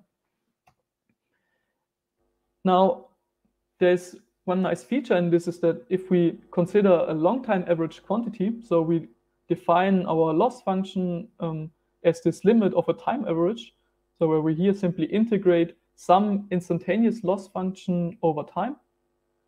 And in addition, let's assume um, ergodicity, which simply means that this long time average quantity shouldn't change as a function of the initial condition. So each initial condition um, should yield the same long time average quantity, such that it only depends on the specific choice of parameters. Then for the Lorenz system, we can, for example, check that if we solve the system forwards in time and plot here the, this um, z coordinate as a function of the time, then it has these strong oscillations. And the time average would here be, for example, this red line. And we can repeat this average computation for different values of the parameter rho. And it turns out that this actually has a kind of very smooth behavior. And if we start at this plot a bit uh, longer, then we will actually see that the slope of this objective respect to the parameter rho, so the derivative will actually be um, close to one. So we might think that we should be able in principle to just do sensitivity analysis on this objective and estimate this slope. However, if we now apply these kind of con conventional sensitivity methods like automatic differentiation or also just doing finite differencing, we see that these sensitivities are several magnitudes of, um, of order wrong. So we see here either a way too small value or like a way too large value. And in fact, it can be shown that this, um, yeah, this explosion of the sensitivity can be linked to the this kind of Lyapunov time, or differently speaking, to the Lyapunov exponent. And so basically, the Lyapunov exponent would be uh, would indicate how strongly these kind of sensitivity tools um, diverge. Then the maybe most intuitive solution to still compute sensitivities by these con conventional sensitivity analysis methods would be to basically um, try to average these um, largely fluctuating values or diver diverging values even over an ensemble of trajectories. And this is the so-called ensemble method. But it turns out that this actually does not always work. So in general, the kind of derivative of the average which we want to compute is not the average of the derivatives. And because these kind of these tangent solutions, which we would compute by automatic differentiation, are not bounded but really diverge with this Lyapunov exponent, we actually can't interchange the limits.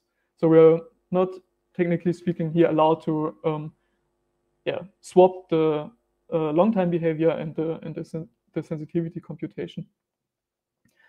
So the important question which you should ask at this point is, so the trajectories, though they diverge, and I mean, the position on their tractor is essentially random, you still see that they kind of have the same behavior, right? So um, they're not going completely crazy, but the both trajectories actually still lie on the attractor. And actually this um, fact is guaranteed by the shadowing lemma, or a bit more specifically, we can state the shadowing lemma as saying that um, there are actually initial conditions, so small perturbation to your system, um, which follow the true trajectory or the first numerical computed one. So not all of these trajectories will diverge, but there will be like a shadowing direction, like a, a direction or a, an, another solution that follows closely um, the first numerical solution. And the general idea is then, since this solution exists, it can be used to basically distill the kind of long time effect, which we just saw. So the effect that shifting rho basically increases the z coordinate, so it shifts the attractor up and down from the two effects which are combined in the in the first place. So we have this um, chaotic butterfly kind of effect and this shift of the attractor. And by finding um, this shadowing direction, we can basically just distill this long time effect. And the main idea is to replace the initial value problem then by an optimization problem which simply tries to bound the norm of this um, diverging trajectory. And in fact, it turns out that this is then a well-conditioned um, problem. And since we bound the, can bound the norm by um, L2 norm, it's a least squares problem. Um, yeah, this method actually is then guaranteed to converge as a function of the square root of the time um, if we have if the system is ergodic and if it's hyperbolic. However, the, the kind of this most easiest still method for these shadowing techniques um, still scales rather poorly with respect to the number of states and time steps. And so it's um, numerically rather expensive to do. Um, more sophisticated methods then actually build on the same intuition. So you still first solve a numerical tra tra trajectory forwards, which is your reference trajectory, and then you find this kind of shadowing directory direction following the, well, the first one. But instead of scaling with the number of states, you can show that you can do something more efficient and derive a scaling behavior with respect to the um, number of positive, positive Lyapunov exponents. And yeah, applying these systems in the SciML ecosystem will then basically um, boil down to just switching the sense_alg argument in the solver. And you will see that then these kind of expected sensitivities of around um, 1.0 will be returned. Yeah, now we come to the basically second part of, of the talk, um, where we investigate hybrid systems um, that are yeah, these systems which have a discontinuity in, in the time evolution. So as an example, we can consider a kicked harmonic oscillator where, um, yeah, which is written in a general form here for harmonic oscillator that can be written as a state and a velocity. And yeah, we basically assume that we have kicks to the velocity at some fixed time points. And so you see here that then in um, this picture of um, time evolution, you simply have then kicks here um, leading to this kind of discontinu um, discontinuous time evolution. And this is the one of the most easiest form for actually having this kind of event um, inside of the trajectories. And in general, we can have either explicit events, so ones as here above, where the condition that the event happens just depends on the time. So for example, on a regular time grid, or we can have implicit events where the condition that the event happens does not only depend on time, but also on the current state of the system. And the main part in this second part will be that we now basically implement a correction term such that you can model these hybrid systems or and compute derivatives within the continuous adjoint sensitivity methods. Um, as an example, we can consider a bouncing ball where we have this set of differential equations and some um, initial conditions for the initial height and the initial velocity. And we will essentially let the ball drop. And then um, after some time, um, which is the event, is basically happening when the ball reaches the ground. So at, at z equal to zero. And the effect of this event will be that, well, the position essentially stays the same instantaneously, but the velocity of the ball will flip. And essentially, if it's an inelastic bounce, then we will have here a, a damping factor. Since this is a rather easy system, we can um, solve for this time trajectory analytically. And yeah, the solution is given as this form, just depending. So the event time will depend on the initial velocity and the um, initial height uh, uh and this gravitational constant. Now you can ask, well, is this bouncing ball actually now this first form of an explicit event that just depends on time? Because I mean, we can just solve it. Or is it an implicit event which depends on the state? Because, well, we say something like z should equal, be equal to zero when it hits the ground. And indeed, once we have solved and it and basically insert the numerical values for the time evolution, in a forward simulation, we would not see any difference here for these fixed initial conditions. So the here trajectory for the z coordinate and the velocity as a function of time would look the same basically here for both of these callbacks. However, now, if we really um, go forward and treat the bouncing ball as this explicit event, event note that um, the impact time essentially is fixed. So different configurations for the um, initial conditions or the parameters will necessarily lead to some to a different impact time. So the ball could in principle bounce before it actually hits the ground. And the analytical solution for um, the trajectory um, looks like this way. Essentially, I just inserted here the, the specific value um, of this event time um, computed from the numerical values we assumed. And sensitivity analysis would tell us now, for example, how the height of the ball at the final time would change if we slightly perturb the initial height. And we see here that we can basically read off here that the sensitivity would be one in this case of modeling the ball with an explicit event. Now note that when we do the full modeling with the kind of explicit, implicit event, where we say that the ball hits the ground when the z coordinate is zero, um, in the kind of trajectory of the of the ball, um, it would hit it actually then here in this example later, and so it's really important that the kind um, that this impact time changes um, as a function of the state. And so the full analytic solution looks then actually like this. And if we take the derivative of this solution now with respect to the initial state, we actually get a different value of the sensitivity, um, yeah, in this case. So it's indicating that we really have to include um, this modeling of the implicit events, and we cannot, um, and explicit events in particular, ignore the, these kind of relevant changes in the in the event time. the general idea is a bit um, lengthy to describe, but um, essentially for explicit events, since they are easy enough, you can just insert the correction term between um, individual solves of your continuous adjoint sensitivity methods. But for implicit events, you have to consider your solver as some function which outputs not only your state, but in addition the event time. Hi, sorry, uh, sorry, to interrupt, but you have two minutes left. Uh, just thought I'd remind you. Oh yeah, okay. It's a last slide, basically.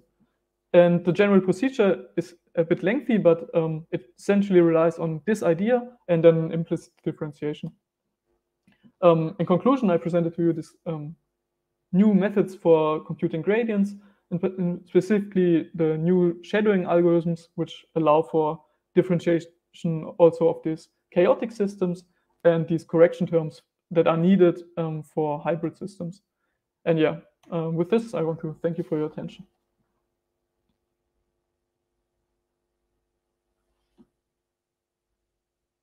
Yeah, so thank you very much. Um, we do have a question here from the, from the YouTube. Can you please elaborate on higher order derivatives? What is the roadmap to make the uh, the output of the AD function uh, differentiable?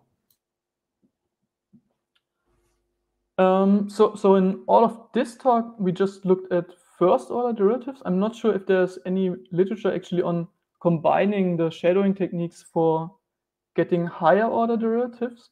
In general, in the in the sensitivity packages, we basically just do something like a backward over forward, and I think in principle it should work. Yeah,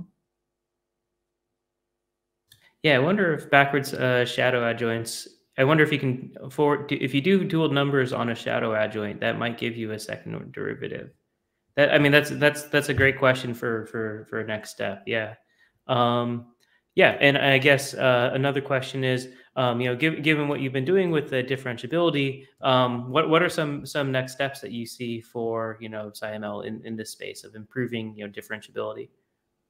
Oh yeah, that's also a nice one. So so I really think um, it's just a start on all of these techniques. So we have not too many use cases yet implemented. So basically, it's literally on the Lorenz oscillator yet, and really on relying on the bouncing ball. So it would be nice to have more example for people coming from, I don't know, engineering, having their switching time controllers also being implemented in these kind of frameworks. And we see what kind of extra um, yeah, tools we have to add basically, or um, how to modify the, the tools here. So it's like, I think it will be driven by interesting applications basically to, um, yeah, to see what's going on. One example from my own field would be differentiating of these quantum trajectories um, where you basically have an event depending on the state of your quantum system, um, yeah, at a, at a given time. Yeah, so thank you very much. Um, so uh, with this, we we are at 1050, so this will bring us to our break. We'll, we'll be taking a 20 minute break on, uh, or a 10 minute break, and then we'll come back at 11 a.m. Uh, Eastern uh, Standard Time uh, with our keynote from Andreas Rößler. So thank you very much, everyone. Um, keep the questions coming. And remember that we have this discussion also going on in the discourse in, in the Slack.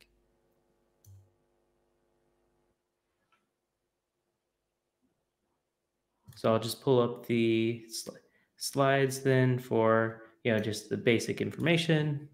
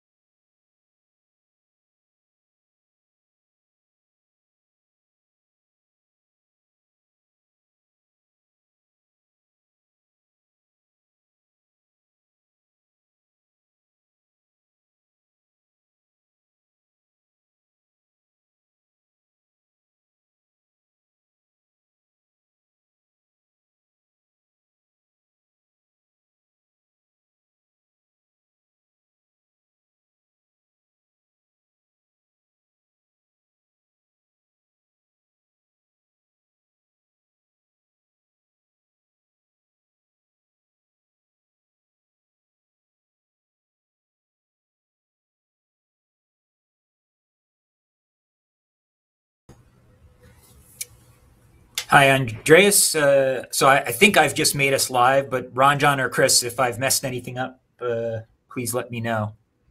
Hi, Sam. nice to meet you. All, yeah, uh, start in a couple of minutes. I mean, yeah. it's it's live in any case. So okay, perfect. Nice to meet you, Andreas. Sorry, I'm not super familiar with this platform. I was trying to figure out how to communicate with you. yeah, the same to me. Hope everything works fine. Finally. Um, yeah, but it's great to meet you, and I'm I'm very much looking forward to your talk. I'm gonna start introducing you one minute in like a minute, just so you can start your talk right on time, and we give you maximal time to talk to everybody. Mm-hmm. Okay, I think it will be more mathematical talk, so a little bit different to the talks before. Not so much applications, that's, but that's good for me. So.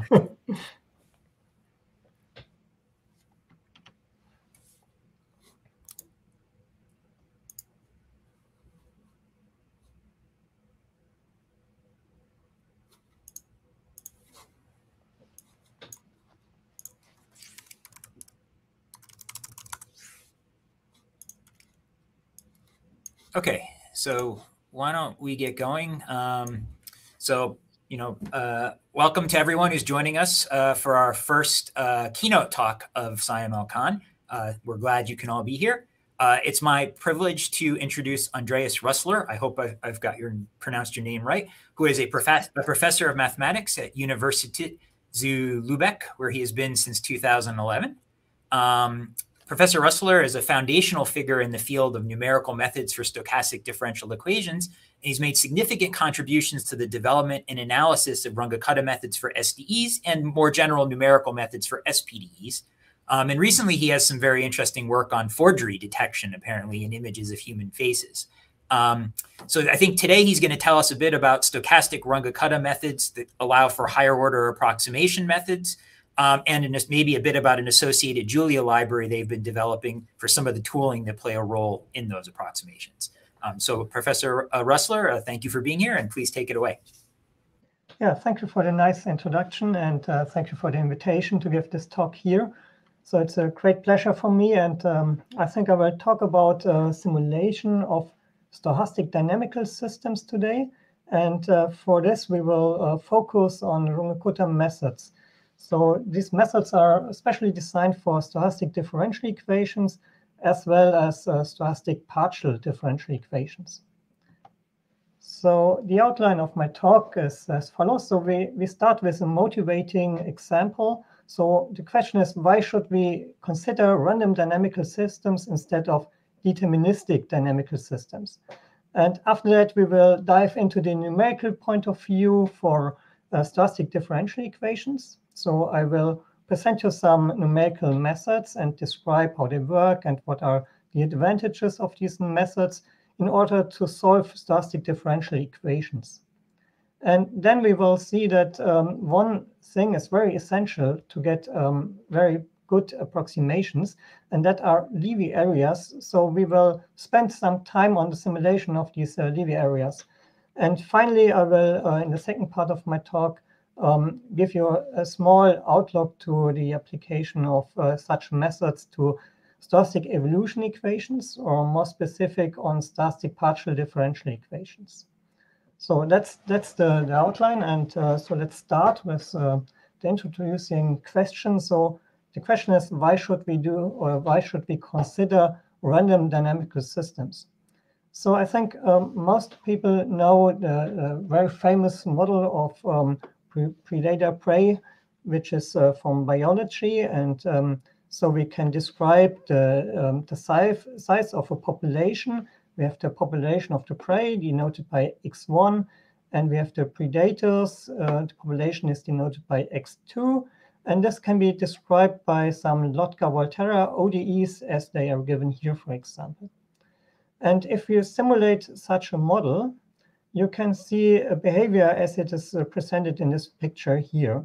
So this looks very, very deterministic, very, um, we are repeating. Uh, so we have uh, uh, something that is that is a little bit boring, a biologist would say maybe. So this is, if you compare this with real data, this will not be the case that you see such a um, periodic behavior, let's say.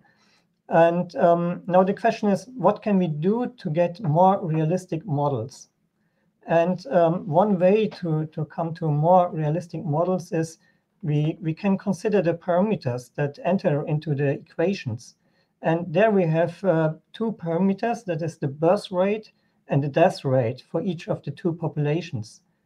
And if we um, would introduce some uncertainty on these parameters, which change from time to time, then we can add some noise term to this model, which captures the uncertainty that's in, the, in these parameters. So if we add some noise to these two equations, and we if we simulate now this, these two equations, then we get a realization which can look like this in the second picture here. And this looks much more realistic uh, to real data. And um, so it, it makes sense to consider some uncertainty that we don't know exactly. So we model this by, by some distribution. And uh, so the noise comes into the play.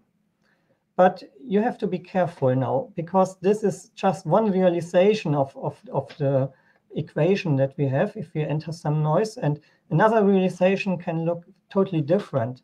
And um, why should we simulate such realizations now? Now we are interested in questions on probabilities. What is the probability, for example, that the population size is larger than a certain value or gets below some, some limit or something like this. So if we simulate a lot of these realizations, different realizations, then we can get some information about the uh, probability distribution, about the probability that something special happens. And here we can see another realization uh, on the left figure. And then something very interesting can happen in a stochastic model that cannot happen in a deterministic model. So what we can observe in, in the last figure on the um, right-hand side is that uh, the population dies out. So this is a situation that can happen in a stochastic model. And um, we are interested in, in, in the probability that such an um, event occurs. What is the probability that the population dies out, for example? And this can be um, calculated with a stochastic model where we incorporate the uncertainty and the parameters. But this cannot be done with a deterministic model. So I think this is a, a good reason to uh, start to consider uh, models where we have uncertainty um, um, incorporated by some noise. And the question is now, how does the uh, noise look like such that we can um, get a reasonable model. So we start with a with an arbitrary ordinary differential equation, which is a model for many things. And now we can think about how to add some noise to this uh, differential equation. And um, if the noise term, or if, for example, the parameters in the last model are randomized or uncertain, and um, if we assume that this uncertainty changes from time to time, then we have to add a, a random process. So something that uh, depends on the time as well. And the most um, common process, or most uh, widely used process is a Brownian motion, or called also Wiener process. And um, this is a very nice process because this occurs um, very natural if you start with a discrete time model and uh, go to the limit for, for a continuous time model. And then you, by a central limit uh, theorem argument, you naturally um, end up with a, with a, a, normal or Gaussian distribution, which is a key feature of the Brownian motion. So for those who are not familiar with the Brownian motion, just a definition here. So these are uh, four um, characteristics which describe a Brownian motion. And the most important one is that we have a continuous, in, in time, continuous process, and the increments of the Brownian motion are normally distributed and independent whenever the, the time intervals do not overlap. So we have stationary increments that are independent. Um, here we can see a simulation of a realization of a Brownian motion. On the left-hand side, a, a one-dimensional Brownian motion. Um, and on the right-hand side, we can see a three-dimensional Brownian motion.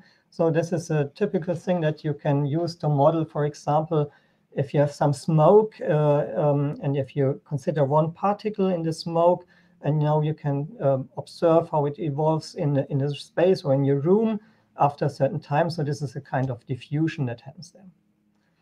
Okay, and if you if you use a, a Brownian motion or Wiener process in order to, to model the noise term, then you come to stochastic differential equations. So there are many applications. Um, in principle, you can use any ODE um, model and add some noise to get a stochastic model. And uh, most um, or some some very um, um, popular models are um, the Lotka-Volterra equations that we have just seen. Then we have the SIR model, which is uh, for epidemic diseases like COVID-19. it is used in, in uh, computational neuroscience for circuit simulation, and there's a big field in, in mathematical finance where you want to um, calculate some option prices. And there are many more uh, applications, of course. So now uh, have a closer look to the um, theory behind uh, stochastic differential equations. So what we have, or what we start with, is a probability space. Uh, we have a filtration, which fulfill the usual um, conditions, and we consider a m-dimensional um, Wiener process, or also Brownian motion called. And then we need some drift and diffusion functions. So A is a drift function, which uh, gives us the, the, the, mean direction in uh, locally, so to say. And, and then we have this diffusion function Bj. Um, so these diffusions um, control the intensity, intensity, intensivity of the noise component. And um, then we can um, consider a stochastic differential equation as it is given here. So this is written down as a differential form, but um, if you want to give sense to it in a mathematical sense, then you should consider uh, integral equations. So this can be written as an integral equation, but usually this is a shorthand notation that we use for differential equations. So we have the, the drift part, which comes from the ODE, let's say, and then we have these diffusion terms, Bj, um, which are driven by independent Brownian motions, Wj. And of course, we have an initial condition. This can also be a random variable, but um, can also be deterministic. So here in this talk, we, for simplicity, um, stick on some standard assumptions. So we assume that um, drift and diffusion functions are globally Lipschitz and uh, satisfy linear growth conditions. So this uh, assures that um, we have the existence and uniqueness of some solutions. Okay, this, these assumptions can, can be weakened, but for simplicity, we, we take these assumptions now here. So what we are interested in is uh, the approximation of, uh, of single trajectories. So we want to um, fix some, some small omega, and then we want to um, approximate one realization of our stochastic differential equation. Um, this is different to, to the point of view when we talk about weak approximation, where we want to approximate some distributional characteristics, for example, the, the expectation or the variance, something like this. So uh, if we have a look at the picture here, we can see um, 10 different realizations of a solution of a stochastic differential equations. And of course, we could also consider this, this red curve here, which is the, the mean, the expectation of the solution evolving over time.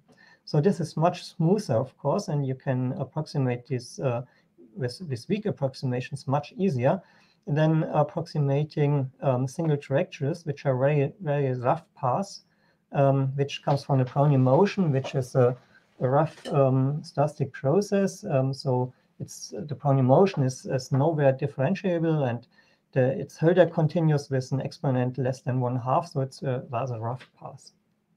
So this is why we get only low, um, or we can expect only low um, orders of convergence if we want to approximate these trajectories.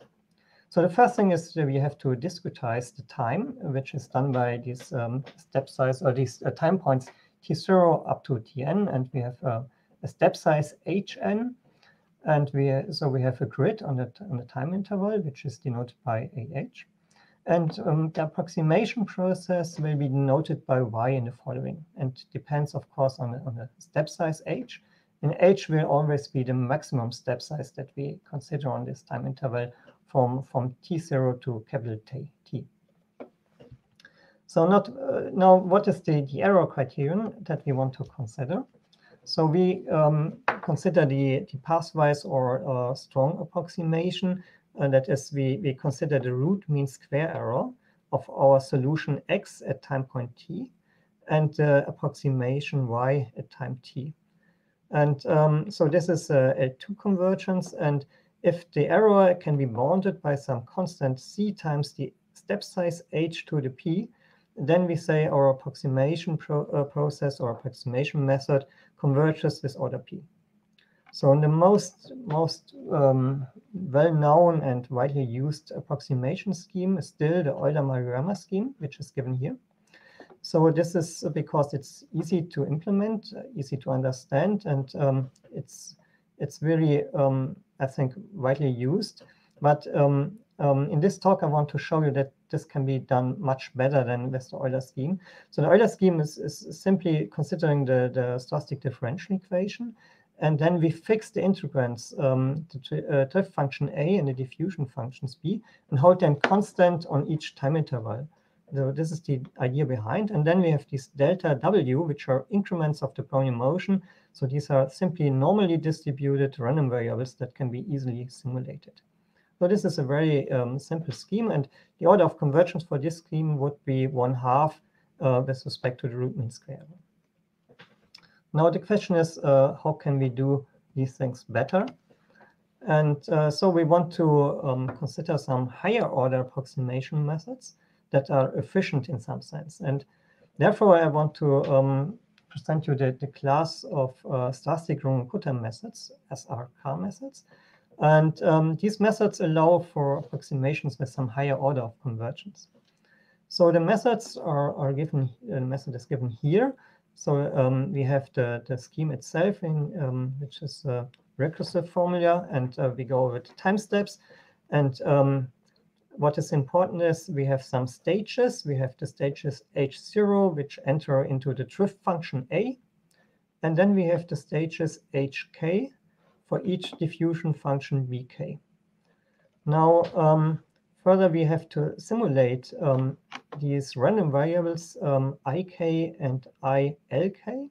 So these are ik are increments of the Wiener process which are normally distributed, so they can be easily simulated. But uh, the random variables ilk are iterated uh, stochastic integrals, and these are hard to approximate. So I will come back to this point later on in talk. So such a, a stochastic Runge-Kutta method is, um, is somehow defined by its coefficients. And the coefficients in the scheme are the weights alpha i, and uh, the coefficients which are in the stage values, which are a0 and a1. So these are the, the blue coefficients which correspond to the drift function a somehow, um, scaled by the step size h. And then we have uh, further coefficients, uh, beta 1, beta 2, um, and B0, B1, which correspond to the diffusion function and to the stochastic part of the method. So um, these coefficients uh, can be summarized. Uh, we can write the, the weights alpha, beta 1, beta 2 in some vectors, and we can write the coefficients A and B in some matrices. And then we can um, put them together in a so-called Butcher tableau, as is as it is given here. So we can summarize all coefficients in such a tableau. And then, yeah, we have to think about um, choosing nice coefficients such that we can have a, a high order of convergence. Yeah, and we can calculate order conditions for such a scheme, which are given here. I don't want to go too much in detail, such just telling you that you can solve these equations to calculate some coefficients for the scheme. And um, then you can guarantee that you have a order one um, um, um uh, a strong order one approximation scheme. And the proof can be done by Collatz-Rulizzi theory. So now we, we put in some coefficients such that we have an order one scheme as it is given here now. And we can see that we need three stages now. So we have um, h1, which is equal to yn, so I didn't write it down again. And we have these h2, h3 stages for the diffusion function b. And then we can uh, uh, think about the computational effort of such a scheme and compare it with well-known schemes. So the computational complexity um, is um, considered as the number of function evaluations that we have to uh, calculate in each step. And if we compare this Runge-Kutta method with some well-known schemes like the Runge-Kutta method proposed in the famous book by Kloeden and Platen, or with the Milstein scheme, which is well known, which is the Taylor scheme, then we can see that the computational effort for a d-dimensional system of SDEs, um, if we consider the evaluation of, of the diffusion function, then we have m squared times d. Um, and for the Milstein scheme, we have d squared times m evaluations. And for our Runge-Kutta method, we were able to um, break it down to a linear dependency on the parameters m and d. So d is the size of the system. We have a d-dimensional system of uh, SDEs, and m is the number of Brownian motions, of independent Brownian motions driving the system. So here we get a reduction, and um, this is very significant if you consider large dimensional systems. So the savings are immense if you have um, high dimensional systems that you want to simulate. So these Runge-Kutta methods are very efficient um, due to the design of the stage values. But we have to keep in mind that we, um, for all of these methods, all over order one methods, we have always to simulate the iterated stochastic integrals. And this is another question which is uh, very important for the implementation. So that is now the, the next question. Uh, why are Levy areas are essential for um, higher order approximation methods? And um, yeah, such a iterated stochastic integral as it is given here can, can be split into two parts. So the first part is, is the first summand on the right-hand side here, which can be easily simulated. We only need the increments of the of the Wiener process, process which are, are normally distributed random variables. And then we have these, um, these terms A, ij, which are the so-called Levy areas. And the problem is now that uh, we don't know the distribution of the Levy area. So we can't simulate it exactly. And um, so we have to, to think about an approximation of these Levy areas. And um, yeah, many people have been thinking about this problem. And um, starting in 1988 um, by Milstein and then Kloeden, Platen, Wright, they proposed a, a, algorithm which is based on a Fourier series expansion of this term. And um, however, the drawback is that the computational complexity um, is if C is the computational um, cost, so it depends on C to the minus one half. So this is not very interesting to use these methods because then you can also use a, a, a Euler-Maruyama scheme directly, which has the same computational effort for the same error. So this is not makes not much sense, sense to uh, uh use such an approximation method. And then in, in 2001, um, it was Rydén and Wiktorsson came up with a new method. And here for the first time, they, they improved um, the computational complexity to c to the minus 1. And from this point on, it, it was possible to apply such higher order methods, um, like the Milstein scheme or Runge-Kutta methods, uh, because now they, they can be better than the Euler-Maruyama scheme. And however, in the starting, um, this was only possible for two-dimensional Wiener processes, and then uh, Wiktorsson um, presented an algorithm in 2001, which also works for general high-dimensional Wiener processes. And um, this has been generalized. There's uh, some other works here, and has been generalized in uh, cooperation with Claudine Leonhard, uh, where we um, generalized this for the SPDE setting, for the infinite dimensional setting, and um, very recently, together with Jan Honchorvius, we um, were able to improve this algorithm by Wiktorsson. Um, it's the same order of convergence, but a better constant, so we can save a, a computational effort. And that's what I want to talk about next. And um, therefore, we we start with the idea behind this. So as I said before, we have a, we consider a Fourier series expansion of a so-called Brownian bridge. And if we consider this Fourier um, series expansion, we get a representation of the Levy area as it is given here. And the Fourier coefficients are the A and the B random variables, which are simply normally distributed independent and can be easily simulated. So we can put this into a matrix form, which is A of H, and uh, vectorize everything. Then we get the expression given here. And now the idea is to truncate this series for an approximation. So we can truncate this after p summands, and then we have some remainder terms, R1, R2. And um, the idea is now to approximate also these remainder terms in a suitable way. So the first term, AP, can be simulated directly. This is the finite sum. And the remainder terms have to be approximated in order to get a better approximation order.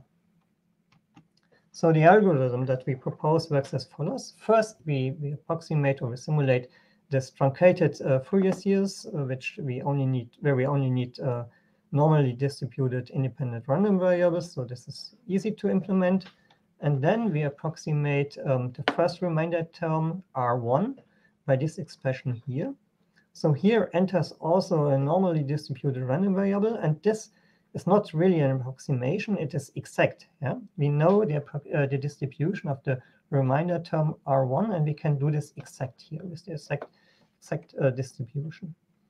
And then the second remainder term R2 is uh, approximated because this is only conditionally Gaussian distributed. And um, making this, um, so the idea is, is uh, the same as by Wiktorsson, who uh, proposed this idea first in his seminal paper 2001. And um, we, we just modified this idea a little bit um, to improve the, the algorithm. And here we, we use also a standard uh, Gaussian random variable, which is uh, which we have to simulate, can be easily done. And then we have to um, approximate this remainder term R2 by this expression here.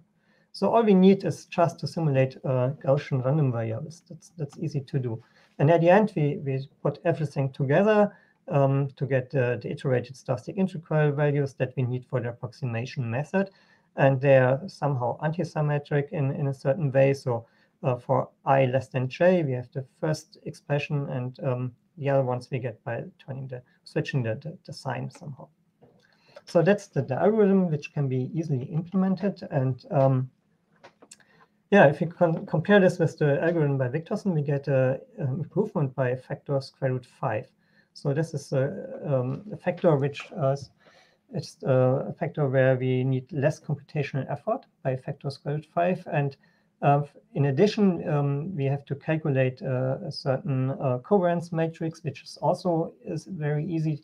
In our algorithm, it's just a diagonal matrix. It's an identity matrix, whereas by Wiktorsson, we, we need to uh, calculate the square root of such a um, general um, covariance matrix, which is also uh, costly computational.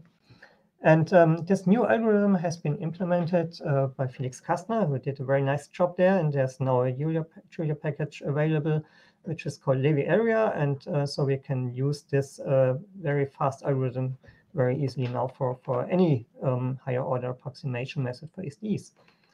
And um, yeah, if you consider the computation cost of this algorithm and put this together with an order one approximation method, um, then you can consider the error versus the computational effort, which is that what we are interested in. And this uh, gives us uh, the so-called effective order of convergence. And this is not uh, anymore one as it was for the for the scheme itself. Uh, so order one with respect to step size. But if we consider error versus computational effort, then due to the simulation of the iterated stochastic integrals, which is very costly, the order drops down to 2 over 3 for such uh, for any order 1 method. But this is still more than one half uh, that we can expect for the Euler-Maruyama scheme. So it makes sense to use these higher order methods. That's the, the crucial point of my talk. You, you should um, apply order one methods, but you have to keep in mind that you have spent a lot of uh, work in the simulation of the iterated integrals. But anyway, at the end, you get an order two over three, which is more than one half for the Euler-Maruyama method. Considering some uh, numerical examples, just uh, uh want to go fast through it. So this is a system of, of some SDEs, uh, two, two-dimensional system and a four-dimensional Brownian motion driving this SDE, and it's a non-commutative uh, case. And uh, what we can see here for the simulation results is uh, on the left-hand side, we consider error versus step size. So we can perfectly see order one half for the Euler method and order one for the Milstein method and the Runge-Kutta methods, but this is not what we should look for we should look on the right-hand side where we have the error versus the computational effort. And this is what we are interested in because we want to consider error versus computation time. And there we can see the improvements of the stochastic Runge-Kutta methods compared to the Milstein scheme and to the um, Runge-Kutta method um, that has been proposed in, in recent literature by Kloeden-Platen. So we, we get a reduction of the computation effort by a factor. So this is a shift of the curve um, to the left-hand side. And the blue line here is the result of the Runge-Kutta method, and the red line here is what uh, we get by the Runge-Kutta method by Kloeden and Platen. And if we increase the dimension of the system, so if we consider another example, which is a linear stochastic differential equation here, so we can increase easily the dimension, and we have an, an explicit representation of the solution, which is given here. So we compared with a with the exact solution. We don't need a numerical sim, uh, simulated solution as a reference solution. Then we get um, improvement on, on the right-hand side, error versus computational effort. And here we're saying we can see how the, the improvement increases as the dimension grows. Now for dimension 10, we, we can see uh, a very better res results uh, of the Runge-Kutta method compared to the Milstein scheme and compared to the Runge-Kutta method by Kloeden-Platen. Um, so the blue line is, is the best um, scheme here in this example with, um, with the smallest computational effort.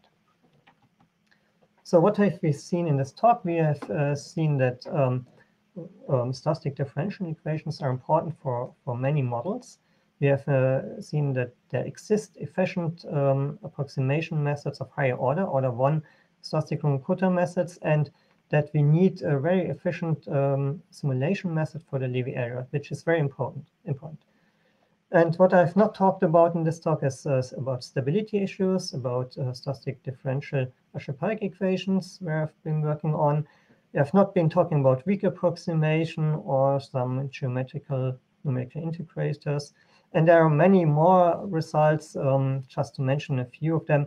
Multi-level Monte Carlo is very important for weak approximation there's a lot of uh, research going on on non-standard assumptions, um, irregular drift function, and so on.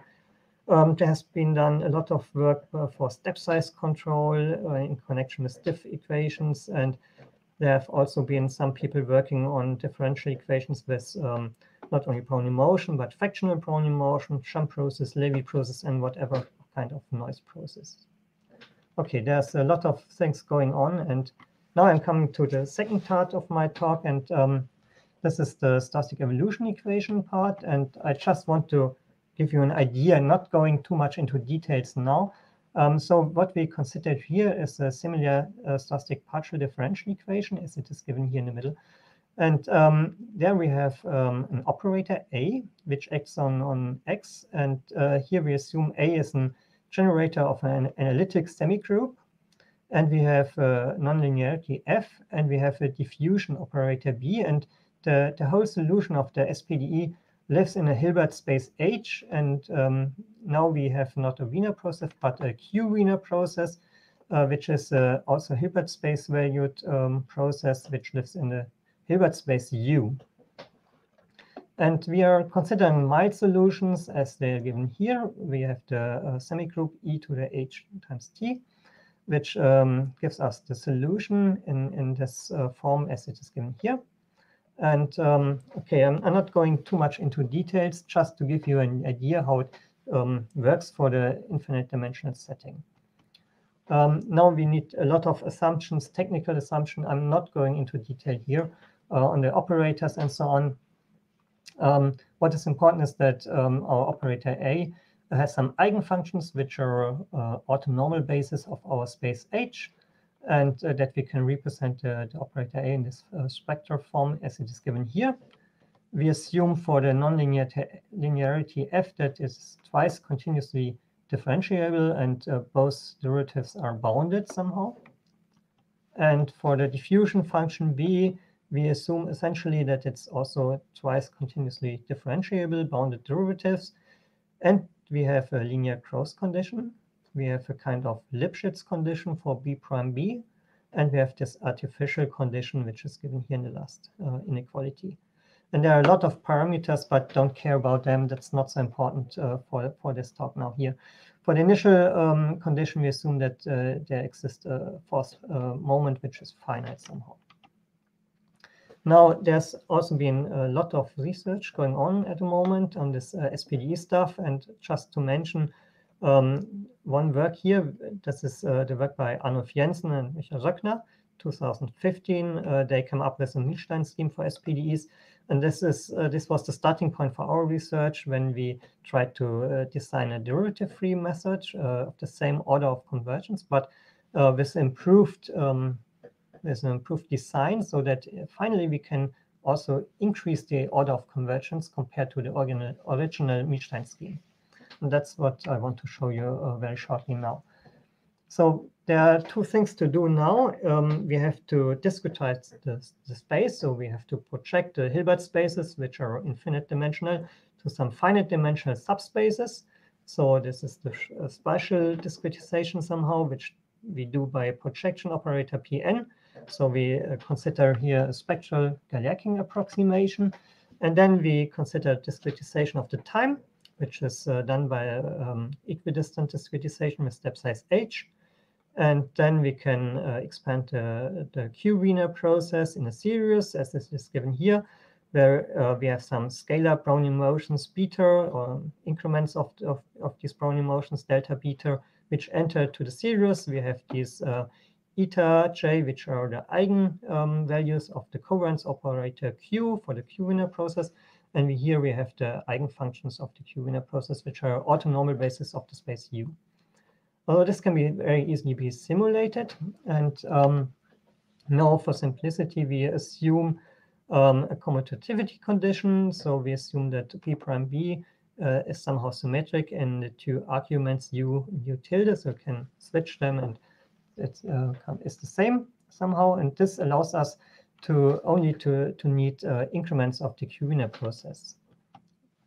And then the derivative-free Milstein scheme can be written down in this form here. So the first part, the first line is essentially um, an exponential Euler scheme. And then the rest of, of this uh, scheme is an approximation of B prime B somehow. And um, the most important thing here is uh, you don't have to go into details here, but the most important thing is that uh, we um, we did this in a, in a very sophisticated way, such that we can reduce the computational effort. I'm uh, running a little bit out of time. Huh? Just just giving you a five minute warning till the next talk. So yeah, okay. Feel free, so, don't rush, but just wanted to let you know. Thank you.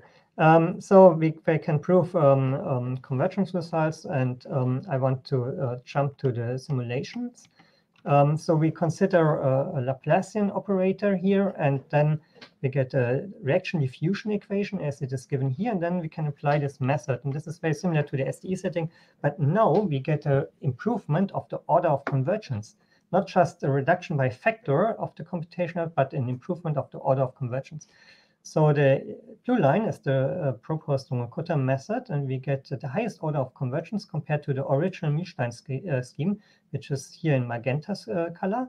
And then we have the result for the exponential Euler method and linear implicit Euler method, green and red line, which are really the same. And we can see we get an improvement of the order of convergence. So this is very interesting. We have a derivative-free method and higher order of convergence.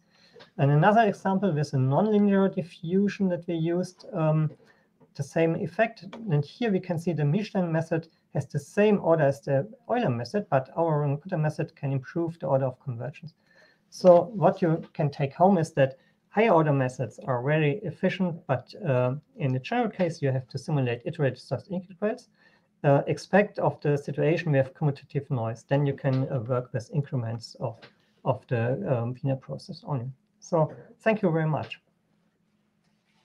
All right. Well, thank you for a really nice talk. Um, we we do have several questions uh, posted on Discord, and um, there were a bunch of questions about uh, multi-level Monte Carlo. Um, and um, so I, I think I might want to turn off the, the, close the YouTube tab. I think there's oh. an echo coming in. There's an echo coming in. Uh -oh. Yeah, on on your on your audio feed. Uh, is there still an echo? Uh, now it's fine. Oh, that's weird. That was a completely different computer that didn't shouldn't have even had the microphone on. Okay. Um, anyways, uh, my apologies to everyone. Um, so uh, I think Chris kind of summarized maybe a, a, bit of the issue, which is could you comment kind of on the trade-off between, say, variance reduction using multi-level Monte Carlo versus you know increasing accuracy ver versus higher order uh, methods? You know, is, is there a lot known about the kind of trade-off between the two and which is going to dominate? Yeah. Um, so the multi-level Monte Carlo method is for more or less for the weak approximation situation where we want to approximate expectation of, of something functionals applied to the solution. And, and these methods are really designed for the for the strong approximation L2 error. So this is a different error criterion. Uh, you can use them for multi-level, but this is not efficient. I would not recommend this. So you should rather use um, uh, very um, specialized methods for multi-level. And um, I think there exists uh, a Milstein method, um, which is based only on increments of the Brownian motion, which is very fine. And uh, we are working on, on a Runge-Kutta method for this, this version. And um, otherwise, you, you can combine strong approximation methods, Euler method for strong with strong approximation properties, together with a weak approximation method on the finest level of the multi-level Monte Carlo. And then you get also very nice results. But uh, these methods I presented today are, are not um, recommended for, for, for weak approximation. It's, it's I, today I only spoke about uh, strong and L2 approximation. Oh, great. Um, I, I, actually had a question um. Um, so I guess uh, one thing I, I wonder about is I do like a lot of simulations of reaction diffusion systems. And so I wonder about, you know, with these kinds of methods, have you investigated or are there adaptations of them to try to be positivity preserving for solutions or to try to recover mm-hmm. stationary distributions? You know, because I assume the convergence results are finite time in general. Um, yeah, you're right. Um, these are very interesting questions, especially for, for the SPDE um, setting. And I have to say, we are only at the beginning, um, or for myself, I have to say, we, we started to to um, prove conversions for these results, uh, for these methods. And uh, we are now working on, on um, methods where we don't need this commutativity condition. And this works also very fine uh, together with the iterated stochastic int integrals. But um, now the next step is to consider stability issues or uh, positivity preserving or whatever you can think about. But um, the first step was for us to, to have a method that converges. And now we, we can think about how to modify these methods such that they have nice properties, as you as you mentioned. And but this is uh, not we are not um, coming along this. Uh, so this is maybe on the plan for the future future, future projects. sure. But yeah, that's that's very important. Okay, great. Well, I think uh, we, we need to move on to keep on schedule, but thank you again for the talk, and I'll, I will okay. give you Thank you very much. um, all right, so I'm going to uh, remove him from the stream uh, and add Yingbo. Oh, oops. Sorry, Yingbo. Add yourself, Yingbo. okay, my sorry, apologies there. All right, so our next speaker is uh, Yingbo Ma, uh, who I'm sure many of you uh, are familiar with his work if you use SciML tooling because he's worked on almost all of it, it seems like. Um, so Yingbo, please tell us about the internals of Modeling Toolkit. Thank you for the intro introduction. Uh, so I'm Yingbo. I'm going to talk to you about uh, the internals of Modeling Toolkit today. Um, so a little bit about me. I'm a research engineer at Julia Computing working on modeling and numerics. Um, and most of this work was done when I was a undergraduate at UMBC. Um, and I had a part-time position while I was in the university. So speaking of modeling, um, the most common formulation is ordinary differential equations, which uh, the derivative of the state is simply equal to uh, a possibly nonlinear relation between uh, the state parameters and time. But there are several drawbacks uh, of ODEs in the context of engineering. So for instance, if we want to simulate circuits, um, we want to express Kirchhoff, uh, Kirchhoff's current law and Kirchhoff's voltage law, uh, but then those are not differential equations. And another limitation, for instance, is that in the setting of multi-body dynamics, uh, when we have constraints on the length of the component, um, we cannot express that in uh, ordinary differential equations easily. So really, in the engineering setting, we want to use ordinary differential equations with explicit constraints. So in other words, differential, differential algebraic equations, uh, which is simply a possibly nonlinear relation between uh, the derivative states, parameters, and time. For instance, the pendulum equations from before are precisely in this form. Uh, and today we are going to use the RC circuit as a model example to show the capability of modeling toolkits and the internals of it.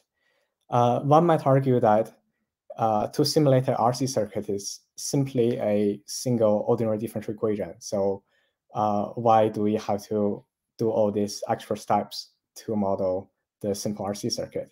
Uh, the point here is that we want to model it in a composable way where we model each physical component individually and connect them later um, as needed and simplify the, uh, the, connected system by a computer instead of by hand. Um, so in here, we are going to build a model for the resistor, the capacitor, and uh, the voltage source. And each simple circuit component is characterized by uh, the current and the voltage. So in here, we first define a connector component, uh, a pin model, where it only has the voltage and the, the current. Uh, the current is annotated as a flow variable, meaning that in each junction, the summation of all the voltage uh, of all the current uh, is zero, and in each junction, all the voltages are equal. So the contact, uh, and then we need to define a ground. Uh, so the concept of ground is often skipped uh, in introductory physics class, where, um, but then it's kind of important in the simulation setting because all the voltage are only defined to be uh, relative. Uh, so if we have a particular solution, then any constant difference in the voltage is also a solution. So to make sure that we have a unique solution, we want to set a component uh, voltage to zero, and that is the ground. Uh, to simplify the modeling process a bit more, we can uh, use the idea of object-oriented programming, where we abstract away intrinsic physical constraints of a whole class of physical components, and then extend the space model uh, by specific equations later. Um, so a abstraction for all the simple um, circuit models with two terminals are simply that uh, the voltage drop of this component is equal to the voltage difference between the positive terminal and the negative terminal. Um, and the current is conserved. So the positive terminal's current plus the negative terminal's uh, terminal's current uh, equals to zero. And the voltage of this whole component is simply the positive terminals uh, voltage. So this is kind of like the boundary conditions of PDEs where uh, where those are the physical constraints. And to fill in the details, uh, we need to expand this um, base model. So for instance, the resistor, to uh, define a resistor is simply a simple uh, circuit uh, component with two terminals. And it has the internal equation that uh, the voltage drop is equal to the current multiplied by its uh, resistance. And the capacitor is a uh, circuit component with two terminals where the derivative of the voltage is equal to uh, the current divided by its capacitance. So this is kind of like the interior conditions of uh, PDEs. Um, to instantiate a the RC circuit, we simply first instantiate all the components, the resistors, capacitors, constant voltage, and the ground, uh, and then simply connect them uh, in a loop. Uh, after instantiating it, we notice that there are only 17 equations uh, and 20 states. To have a balanced model, we want to have the same number of equations as the number of states. Uh, that is because the connect statement might generate more than one equation. So after running the expand connections uh, function, we get a balanced model where we have 20 equations and 20 states. Uh, as we have saw before that um, the RC circuit is characterized by single uh, ordinary differential equation, and now we have 20, 20 equations. Uh, it seems to be extremely costly numerically than what it should be. Uh, this is where the optimization of modeling toolkit comes in. Uh, and our first observation is that all the algebraic equations are linear and uh, con with constant coefficients. Uh, and most of, most of them are homogeneous. So if we have a algorithm that can be run on a uh, linear subsystem with integer coefficients and it's fast and uh, and avoids truncation error, that would be great. And the solution is to use the Bareiss algorithm. The Bareiss algorithm exploits the fact that uh, the determinant of integer valued matrices is also integer. And he proved that uh, this algorithm is always fraction free. And because it's fraction free, we don't have to use costly rational arithmetic. And um, because it's specialized for integers, we don't get any truncation error. So this is ideal for uh, modeling toolkit. So in the implementation of alias elimination inside the modeling toolkit, we first collect all the linear homogeneous equations, and then we apply the Bareiss algorithm to remove the redundant equations and aliases. Uh, removing redundant equations is important because sometimes uh, doing component-based modeling, we can generate uh, degenerate equations where they are they are basically saying the same thing, but um, uh, which may which will make the uh, Jacobian of the model singular. So we definitely want to remove all the redundant equations. Uh, and aliases is um, just simply in the form of a equals to b or b equals to uh, minus b equals to a. Uh, and then those are the lines where those are implemented. So after running the alias elimination, we get seven equations instead of 20 equations. Uh, to optimize the system all the way down to a single ordinary differential equation, uh, we need another process called tearing. So consider this uh, nonlinear system of equations. Uh, if we suppose we already know the variable u5, uh, then we can solve for u1 from variable u5, and then we can solve for u2 from the variable u1 that we got from u5, and then so get the variable u3 from u1 and u2, and get the variable u4 from u2 and u3, and then notice that we get back uh, variable u5 from uh, variable u4 and u1, and then we notice that we assume variable u5 is known, and then we get back a variable u5.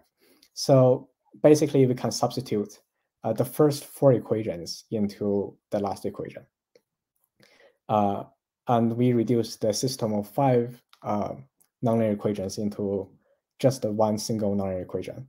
Uh, this makes uh, a single nonlinear equation is much easier for numerical solvers to solve because we if if we want to run Newton iteration, we evaluate the Jacobian matrix and do the LU factorization. If we only have a scalar, then we only have a scalar division instead of computing the LU factorization of a five by five matrix.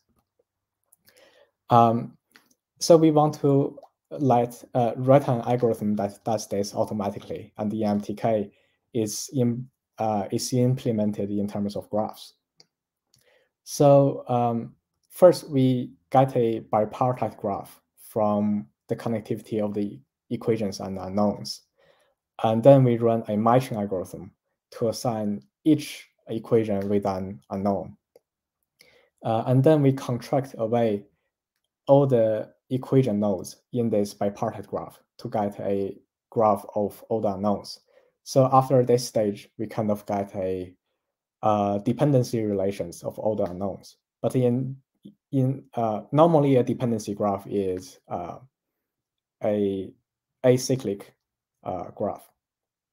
But in here, we might have cycles because inside of assignments, we have nonlinear uh, equations. Um, so the tearing is simply, the, the tearing uh, process is simply to remove all the acyclic subgraphs. So all the part um, that we can solve by simply evaluating some kind of function. And it's implemented in here. Uh, the implementation in modeling Toolkit is greedy and is known to be non-optimal, but it runs in polynomial time. Uh, there is a optimal algorithm proposed by um, by Hav uh, by Harev. Uh, uh, although that algorithm is um, NP hard, so it takes much longer to run that. Maybe we can implement that in the future as an improvement, but uh, the current greedy uh, the greedy approach works pretty well in practice. Uh, so putting everything together, just calling the structural simplify on the RC model, we get uh, one single ODE as expected. That is uh, the voltage source minus the voltage of the capacitor divided by the capacitance uh, multiplied by the resistance. Still, listeners might notice that in here we are calling full equations instead of just calling equations before. that is because we don't compute the substitution after tearing immediately like we have done in here. Because in here, you can notice that we are uh, duplicating a lot of efforts. Uh, so we are evaluating uh, F1 of U, uh, F2 of F1 of U5 twice, right? For instance. So to get efficient lowering into Julia code, we cannot substitute immediately, but um, compute the, the, lowering from uh, all the observed equations. And then uh, instead of doing substitution, we uh, just do assignments. So this is like um, common substitution elimination uh, of this system. And I want to thank all my collaborators, uh, in particular Shashi from MIT, Chris, uh, Keno Varal from Julia Computing, and Chris Laughman from MERL, and people from Modelica community for discussing the algorithms, in particular Hilding and Martin. And since the work, most of the work was done when I was an undergrad at uh, UMBC, I want to thank my undergraduate advisor, Dr. Susadik, for his accommodation. Yeah, so I'm ready for questions. Uh, very nice talk. Um, so we did get a, a, a question, um, looks like from YouTube, saying, this approach looks a lot like uh, Modelica or Modia. Have you considered, uh, or are you cooperating or trying to work with them in any way? Yes, that is from the acknowledgement. but uh, maybe you could say a little more about what you're doing with them. so. Yeah, so we have been talking about uh, better handling uh, array variables inside um, a causal modeling settings. For instance, if we want to model PD discretization inside um, modeling toolkit. Currently, we are uh, expanding um, the array variable in terms of scalar variables. So imagine if you have a 1000 by 1000 PD discretization, that's going to be horrendous, right? Um, because everything is going to look like this. Um, uh, so uh, we are talking about a better algorithm to handle uh, PDs and uh, with boundary conditions in particular. Because, for instance, if you have a Dirichlet boundary condition after running tearing, we are basically removing the Dirichlet boundary condition, right? And we are only simulating the interior. Uh, so we are trying to come up with an algorithm that uh, reduce away the Dirichlet uh, boundary condition, but keep uh, retain the array structure instead of scalarizing everything. Okay. Mm -hmm. oh, cool. Um, all right, we have a, a, question from Discord asking about uh, where things at with regards to defining optimal control problems, especially for closed loop control. Uh, yeah, that is currently being worked on uh, at Julia Computing. Although I don't know much about controls, uh, Fredrik is probably going to talk can can tell you more about uh-huh. uh, the plan of controls inside okay. the toolkit. So I had a question. So I, I, see, you know, you did a lot of uh, updating and refactoring and expansion of the structural simplify kind of code, and you mentioned some components of that today with the aliasing and the tearing. So are you trying to make that more general? Or are you trying to make it work uh, easier to plug into? Because right now it's kind of very internalized, right, to modeling toolkit. Like, it, is there plans for growing that or expanding that in any specific ways beyond the array stuff you just mentioned, I guess?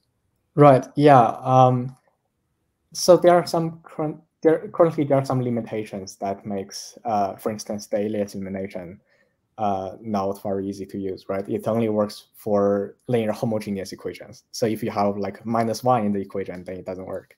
Right.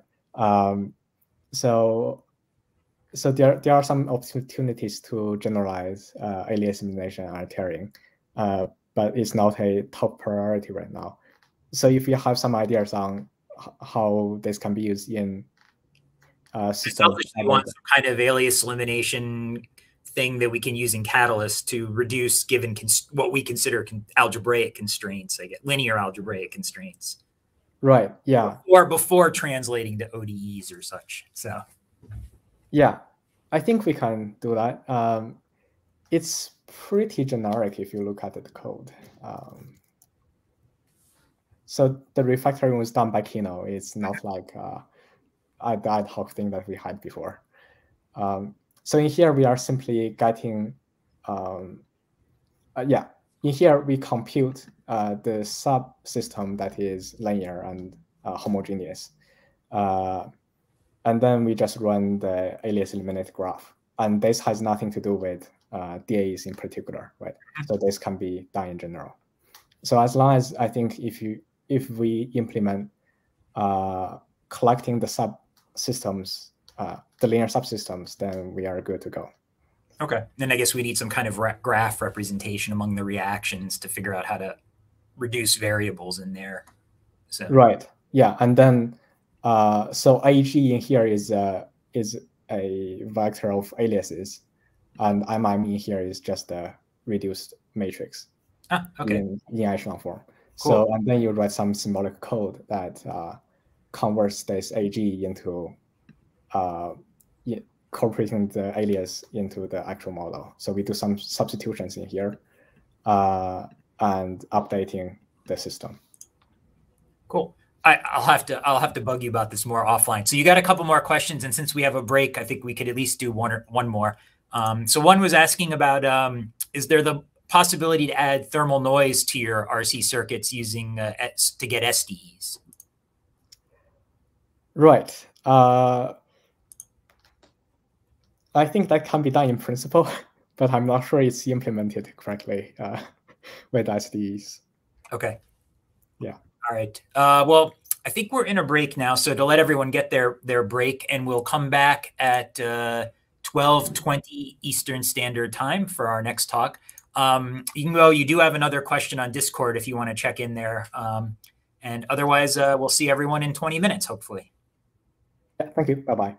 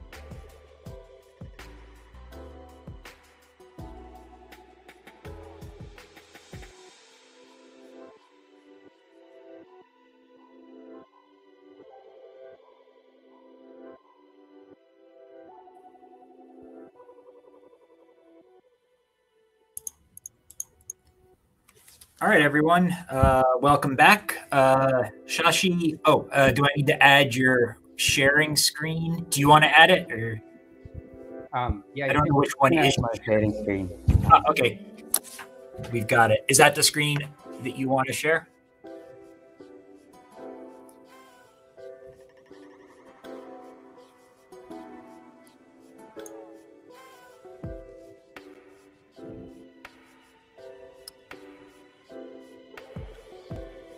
Seems to have gone into spinning wheels for me. I don't know. Is other people seeing that too? Yeah, hold on. Okay, I'll kick this Shashi out then. Yeah. Why don't you uh, take over, Ron?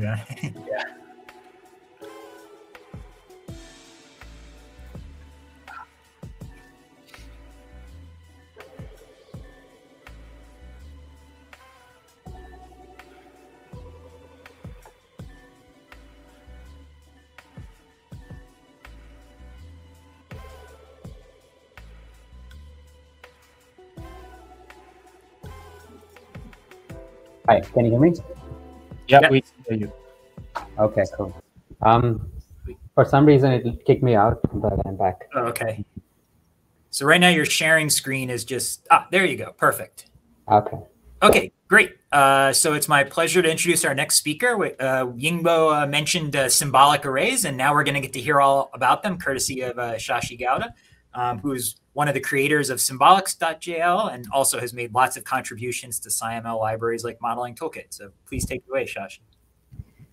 Okay, thank you. Uh, so my name is Shashi Gowda. I am a grad student at the Julia Lab at MIT.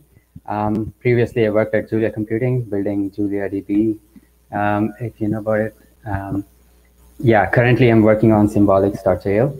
Um, and this talk is going to be about uh, symbolic arrays. And um, uh, to begin with, I will define what symbolic arrays are, what I mean by them. And we will look at like uh, what other computer algebra systems have symbolic arrays and what kind of features they have. And uh, we will also look at symbolics, the new implementation uh, of symbolic arrays in symbolics. Um, and we'll also look at uh, what's like the future direction of array languages in general is going to be um, or is right now. Um, yeah, so let's get started. Um, so what do I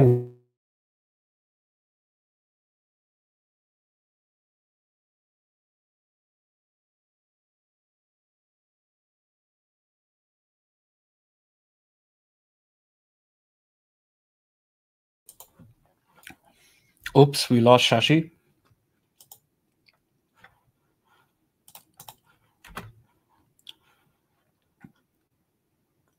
Okay, he's back.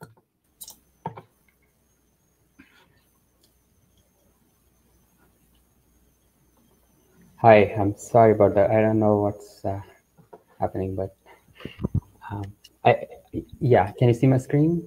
Yeah, now we can see your screen. Okay, great. Uh, hopefully this sticks. Um, let me turn this. Yeah.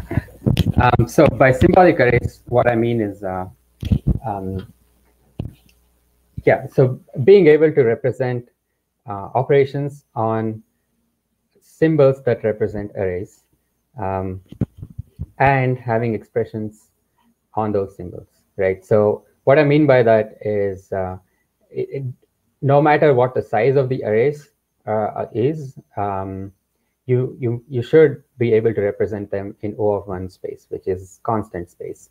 Um, this is uh, obviously different from an array of symbols, which we can do in Julia just using the generic array type. And most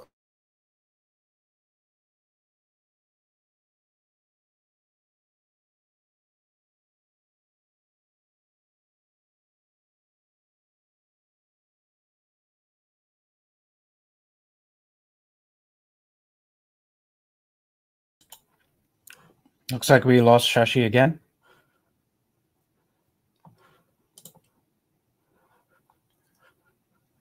Shashi, why didn't you try presenting without a video? That's computer algebra systems have symbolic arrays. Um, and it uh, turns out Maple, SymPy, and SymEngine do not support symbolic arrays in the sense that I described, but they do have array of symbols um, in the sense that they have their own matrix type uh, where you can put symbols in, and they also support the same matrix type is used for uh, numbers as well. Um, yeah, uh, Mathematica has symbolic arrays. You can say that a symbol um, belongs to an array um, class, and uh, all the algebra on that symbol will will be based on that.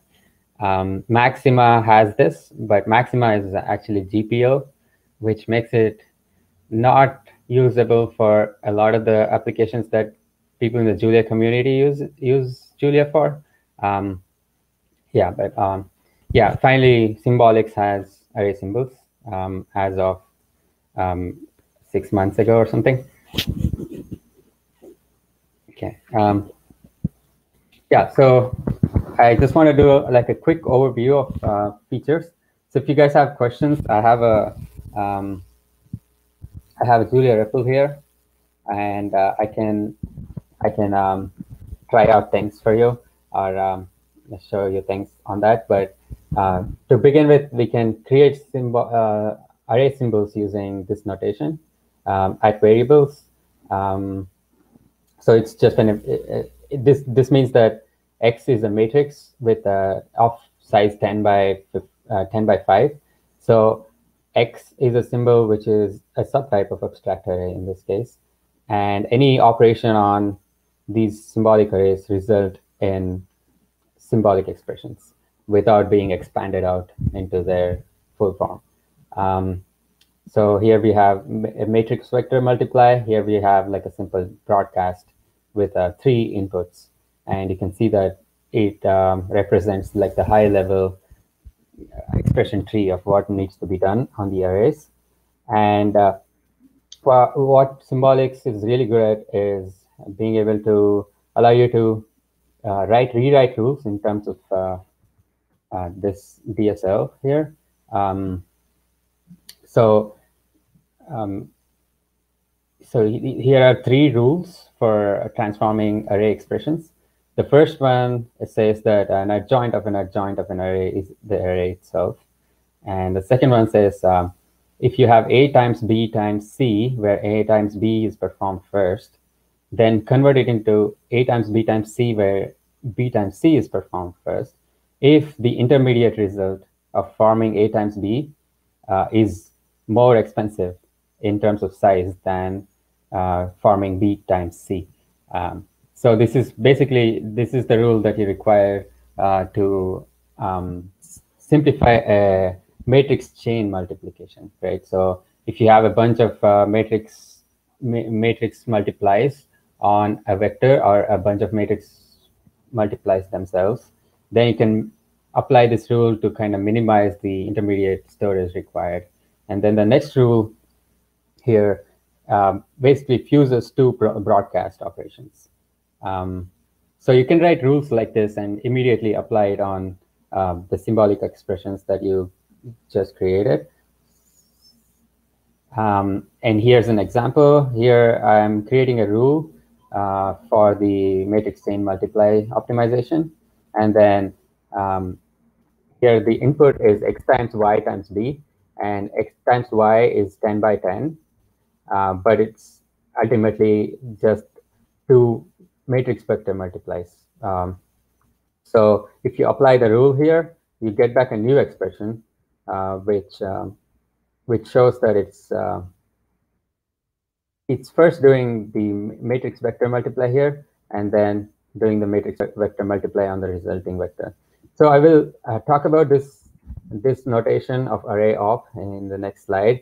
Um, um, yeah, so if you if you uh, enable this uh, flag uh, this flag um, called show array op from symbolics, uh, every time you perform an array operation, you get back uh, a notation. Let me check again, um, uh, which, which says what is the loop going on inside, basically. So this is a variation on what many people call the Einstein summation notation, which basically means that uh, for every i, um, this is how you compute it, right? So it's saying that uh, for every i, take x i comma k and multiply it with y comma k. And since k does not appear on the left-hand side, this also means that uh, the dimension where k is used must be reduced over.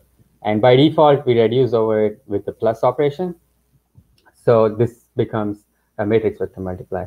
Um, in the second example, we have uh, um, j in the left-hand side, but not i. Um, oh, yeah, sorry. This was supposed to be prod. So here I, uh, I, I, want to use a different reduce function, uh, which is not plus, right? So um, that's also allowed. Yeah, you can have a star as the reduce operation. So in this case, it's doing a product over the first dimension. Um, and that's the array op you get. And yeah, finally, you can nest these things. So for example, this adjoint is written as uh, 1 comma i equals uh, y of y, y of i, uh, which basically turns a uh, column a column vector into a row vector, and then it's doing a couple of broadcasts. Um, uh, and broadcast is in this case it's just a um, it's all yeah in, in this case it's just um, um, doing two loops right um, yeah so as you can see it, it encodes both the high level operation and uh, this loop formulation of the operations that we are doing and it turns out we can represent um, most of Julia's um, standard array uh, library using uh, this notation. So for example, broadcast, reduce over any dimension, um, some of the linear algebra up to BLAS uh, 2 or, uh, or like even BLAS 3 where except the solve operations can be represented in this way. Um, and it also ha has the feature to represent um, indexing. So slicing arrays can also be represented using this array op notation. Uh, so when you do a get index, this is what it internally represents. Uh, here I have a slice of x being up, uh, broadcasted with the sign function. So you can see the internal array op is basically it's a identity uh, operation, but with the index set subset from the entire index set. Um, yeah, so why do we need this tensor notation? It seems like an extra level of complication, but uh, it turns out it makes a lot of things very easy. Uh, so first of all, it encodes the loops. This means we can generate the loops when we want to compile it down to Julia code. Um, secondly, um, it, it allows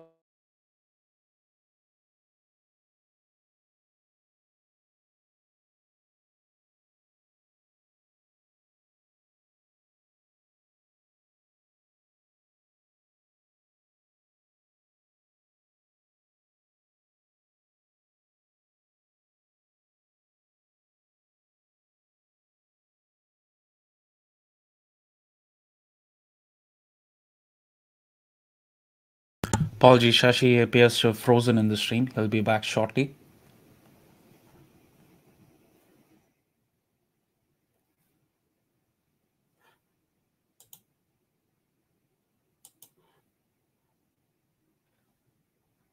And we lost him completely. All right, he should be back.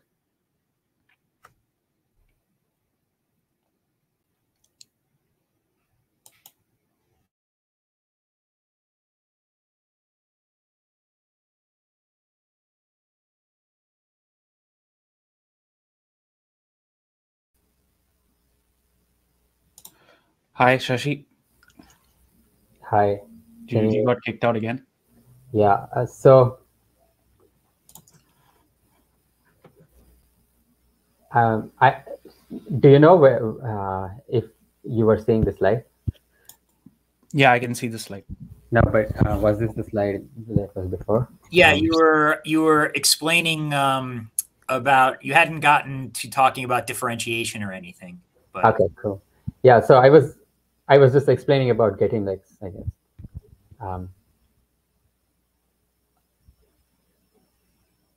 okay, yeah, so I'll just continue from here. So I was uh, saying that um, even get index can be represented using this notation, and we do it in symbolics. Um, so in this case, x there is a slice of x here, and the internal loop contains the uh, ranges of the indices. And this this also makes it easy to uh, have shape propagation and checking going on at all times. Um.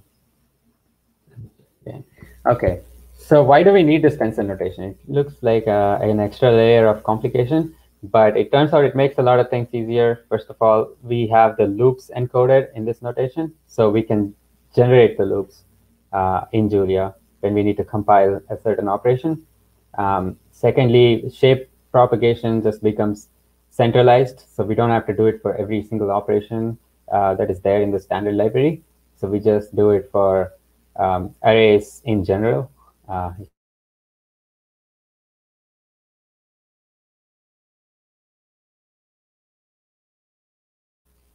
and yeah, differentiation uh, becomes possible. We just have to differentiate the internal um, expressions. And finally, it also makes it possible for us to um, go back and compute a specific element of a um, of the result of an array operation, right? So here I have a x broadcast over x times y, and I'm indexing the first element. So if you do this in the REPL, you just get this uh, lazy uh, expression. And then if you call symbolics.scalarize, it's going to go back and um, take the tensor notation and uh, start applying the indices that you want starting from one, right? And then it's going to say that um, the result of the first element here is going to be uh, the dot product of y with the first row of x and x of that, right? So this becomes possible with the tensor notation. Um, but, uh, yeah, so and then we can compile these uh, expressions to Julia code uh, using this toexpr. There are three ways to do it. So firstly, there is toexpr, which will just give a code fragment. We're using the same names um, for how to do this. And then there's in place expr, which uh, gives a, a for loop and you also need to give like an output array symbol and uh, basically it, it, it, gives some code which fills up the output array symbol with the operation required. So in this case it's a um, it's a matrix vector multiply. So it, it has one loop um, going over all the case and one loop go, going over all the uh, ice um, and filling up each element of the output. Um, so and then finally, we have this build function, uh, which is what Modeling Toolkit uses. So if you give it an array operation and then say x and y are the inputs, it just gives you back uh, um, a function which takes x and y as inputs, uh, a tuple x and y as inputs, and uh, does the operation required. Um, and in this case, it's using like the just the high level representation, not the loops representation.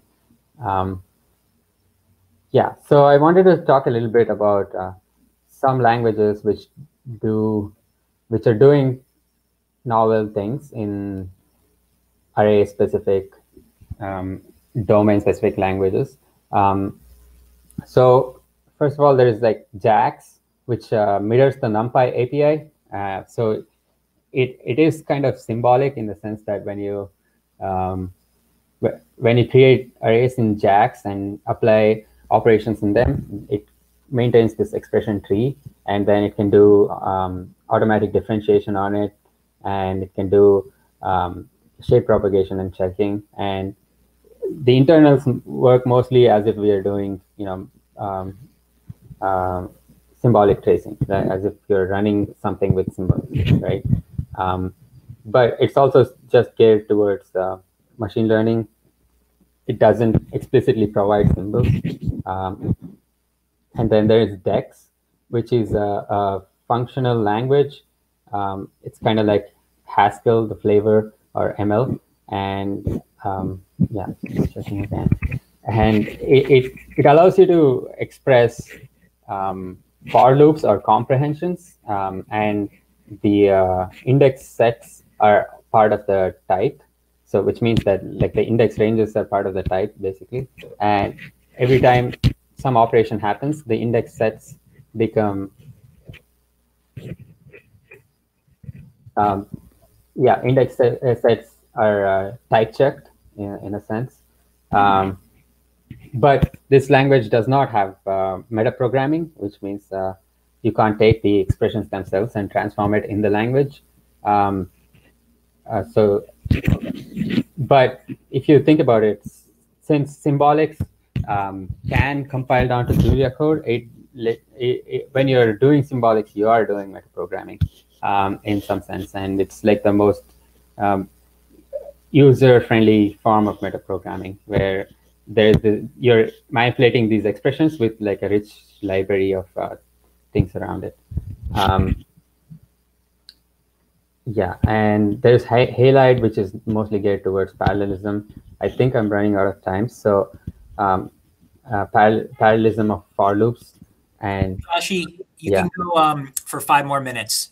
Oh, okay, thank you. Strict there. So yeah, cool, thanks. Um, so yeah, again, Halide is uh, all the features have to be built into the language, um, uh, but uh, I think symbolic arrays let you uh, allow you to have much more flexibility in that sense. Um, so in summary, uh, array symbolics have been around for a while, but like their the attitude towards it from other classes, uh, other computer algebra, algebra systems have been like, you know, this is just another type of symbol. Um, but in symbolics, we take it a step further and we have multiple encodings. And in the sense, we, we also maintain like the for loop representation of any array operation, which allows us to do compilation and optimizations. Um, um, and um, yeah, it, this is super important for the SciML ecosystem because that's like compiling symbolics is what we care about the most. Um, yeah, and it becomes a metaprogramming tool in the end. Um, yeah, so things we are working on in the future uh, includes uh, loop uh, uh, generating the code uh, to be very efficient uh, using loop vectorization and using Chris Elrod in general. Uh, the differentiation of array operations is coming, and we're working on stencils. And uh, I have this project to do like XLA style optimization of flux models. So if anybody here is interested in doing that, then uh, please uh, talk to me after the talk. Um, yeah, I wanted to acknowledge Yingbo Chris and Alan uh, for helping me work on this. Uh, Yingbo has, uh, when I have questions, I always talk to Yingbo and it always clears me up, uh, clears them up. So uh, if you want to use symbolics, I hope you can, uh, you know this already. You can go to juliasymbolics.org and read more about it. Thanks. All right, uh, thank you, Shashi. Um, so why not, since we said we give you five minutes, why don't we we do one question from Discord? Um, and then maybe you can go take a look at the other one uh, that's on there. Um, so the, the first one was uh, asking about your the chain of array multiplications that you showed, yeah. um, saying, can you apply a rule that calculates the optimal array multiplication order using dynamical programming or such? That uh, they didn't think the a simple greedy rule uh, works in general when you have, I guess, a bigger chain. Uh oh seems like Shashi froze on us. Um, okay, so maybe we should just move on to the next talk um, since Shashi is frozen anyways. Um, so, uh, Ranjan, do you want to handle setting it up? Great. Um, okay. All right. Hello. Can you hear me? Yes, I can. Okay. Can you great. see my uh, presentation? I can see your presentation. So Perfect. hopefully everyone else can. Um, all right. So our next speaker is uh, Ilia Ilmer, um, who is a, I believe, a graduate student at City University of New York in computer science, um, and has done a lot of really nice work on structural identifiability tooling in Julia, and is going to give us an introduction to that. So please take it away, Ilia. Thank you for the introduction. Uh, my name is Ilia. Hi, everybody. Um, I am a PhD candidate at the Graduate uh, Center at the City University of New York. And today I will present a quick tutorial on structural identifiability solution in Julia. Um, I, um, my research topic is uh, parameter identifiability algorithms. And um, in this talk, uh, I'll first introduce the uh, identifiability problem. Um, we'll, uh, I will present um, two uh, Julia-based solutions. Um, one of them, namely uh, structural identifiability.jl, is included in SciML framework, uh, SciML infrastructure. infrastructure. Um, uh, the other one, a structural identifiability analyzer, is um, uh, a Julia port from Maple of another uh, identifiability algorithm that's very efficient. So we'll kind of go, we'll go over uh, the differences uh, during the example section. We'll, uh, I will do a quick live coding demo. And then we'll uh, highlight some uh, you know, differences and uh, how one uh, package can complement another um, during the conclusions section. So what is a structural identifiability problem? And well, in general, parameter identifiability deals with situations where um, we are given an ODE model and we would like to know whether we can determine uh, parameters of that model. And um, you know, one way to do it would be to set up an experiment, measure uh, certain variables, certain state values, and then try to manipulate the data to get the uh, value of a parameter. Um, a, a, structural identifiability is a theoretical notion that can answer that question from a symbolic um, ODE system. Um, and uh, such structural identifiability is uh, can be categorized further into global and local. So global identifiability is when a parameter's value can be determined uniquely and uh, uh, we say a parameter is uh, locally identifiable or local identifiability case is when there are finitely many solutions um, to uh, for, for, the current parameter. If neither of those situations occurs, and maybe the parameter has infinitely many values, uh, then we say that such parameter is non-identifiable. Now, there are ways to mitigate this issue. Um, I will mention them, but I don't think I'll have enough time to kind of cover uh, in full details. Um, but we'll definitely talk about what can be done for that case. So let's consider a simple uh, example. Uh, we have a um, the following input structure, and this structure will be preserved for either Julia package, either SIAN or uh, structural identifiability. So we have an ODE, um, of which there could be more than one, but for this example, let's consider a single one. So we've got two parameters and one state variable, and we have an output function. Consider this something that can be measured during uh, the experimental stage. Um, and so if we were to plug this into each of the packages, SIAN, Structural Identifiability Analyzer, would tell us that the initial condition and the parameter B are globally identifiable, while uh, parameter A is only locally identifiable. That does make sense. I mean, measure Y at zero and you get the initial condition. A is seen with a square, so there will be uh, two values uh, that could be that could satisfy um, an equation for A. Um, so finitely many solutions for A and unique solution for B and X. Structural identifiability, on the other hand, will tell us that B is globally and A is locally identifiable and will not provide any information about the states. So this is the first difference that we encounter between the two packages.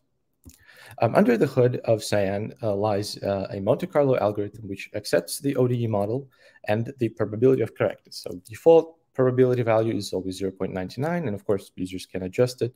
Um, the value will affect the runtime. So the higher probability of correctness, the slower it might become.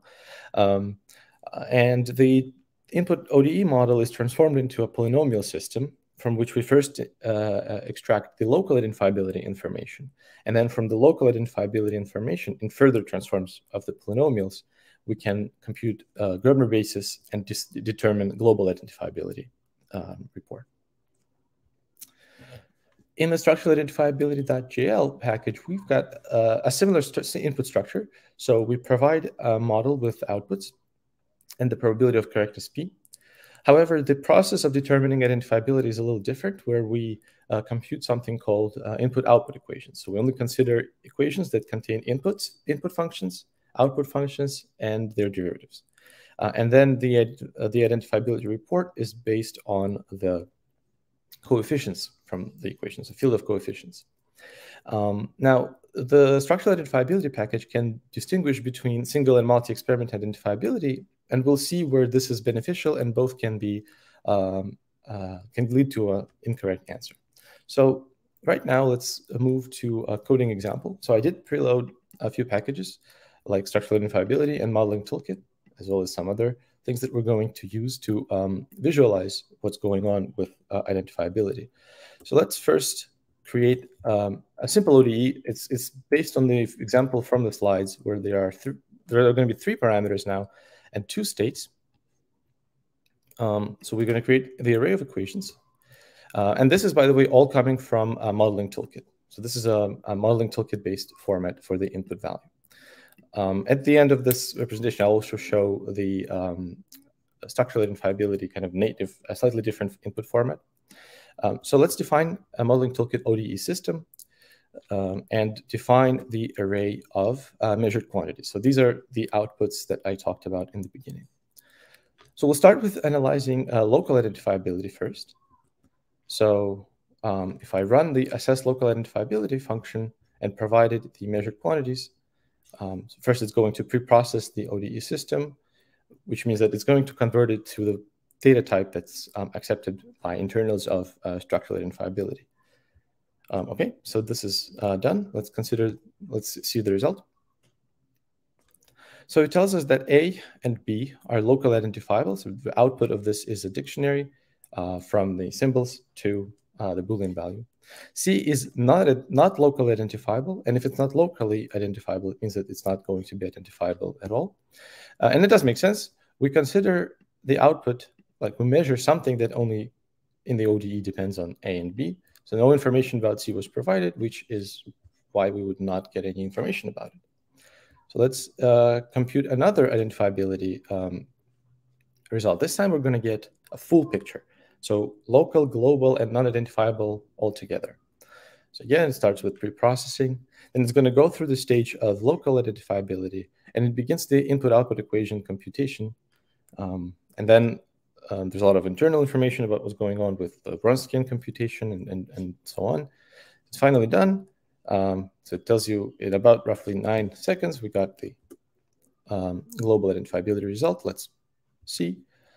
Okay, so as before, let me put the equation up uh, on the screen. So we have uh, A being locally identifiable and B globally identifiable. C is not identifiable, so that result is uh, preserved. Okay, so let's consider a slightly more complicated example. So this uh, model comes from oscillatory behavior in enzymatic uh, control processes paper. Um, let's define the states, parameters, and the equations. So there are four states, and we're going to use a single output. So we're just going to measure the first uh, state. Okay.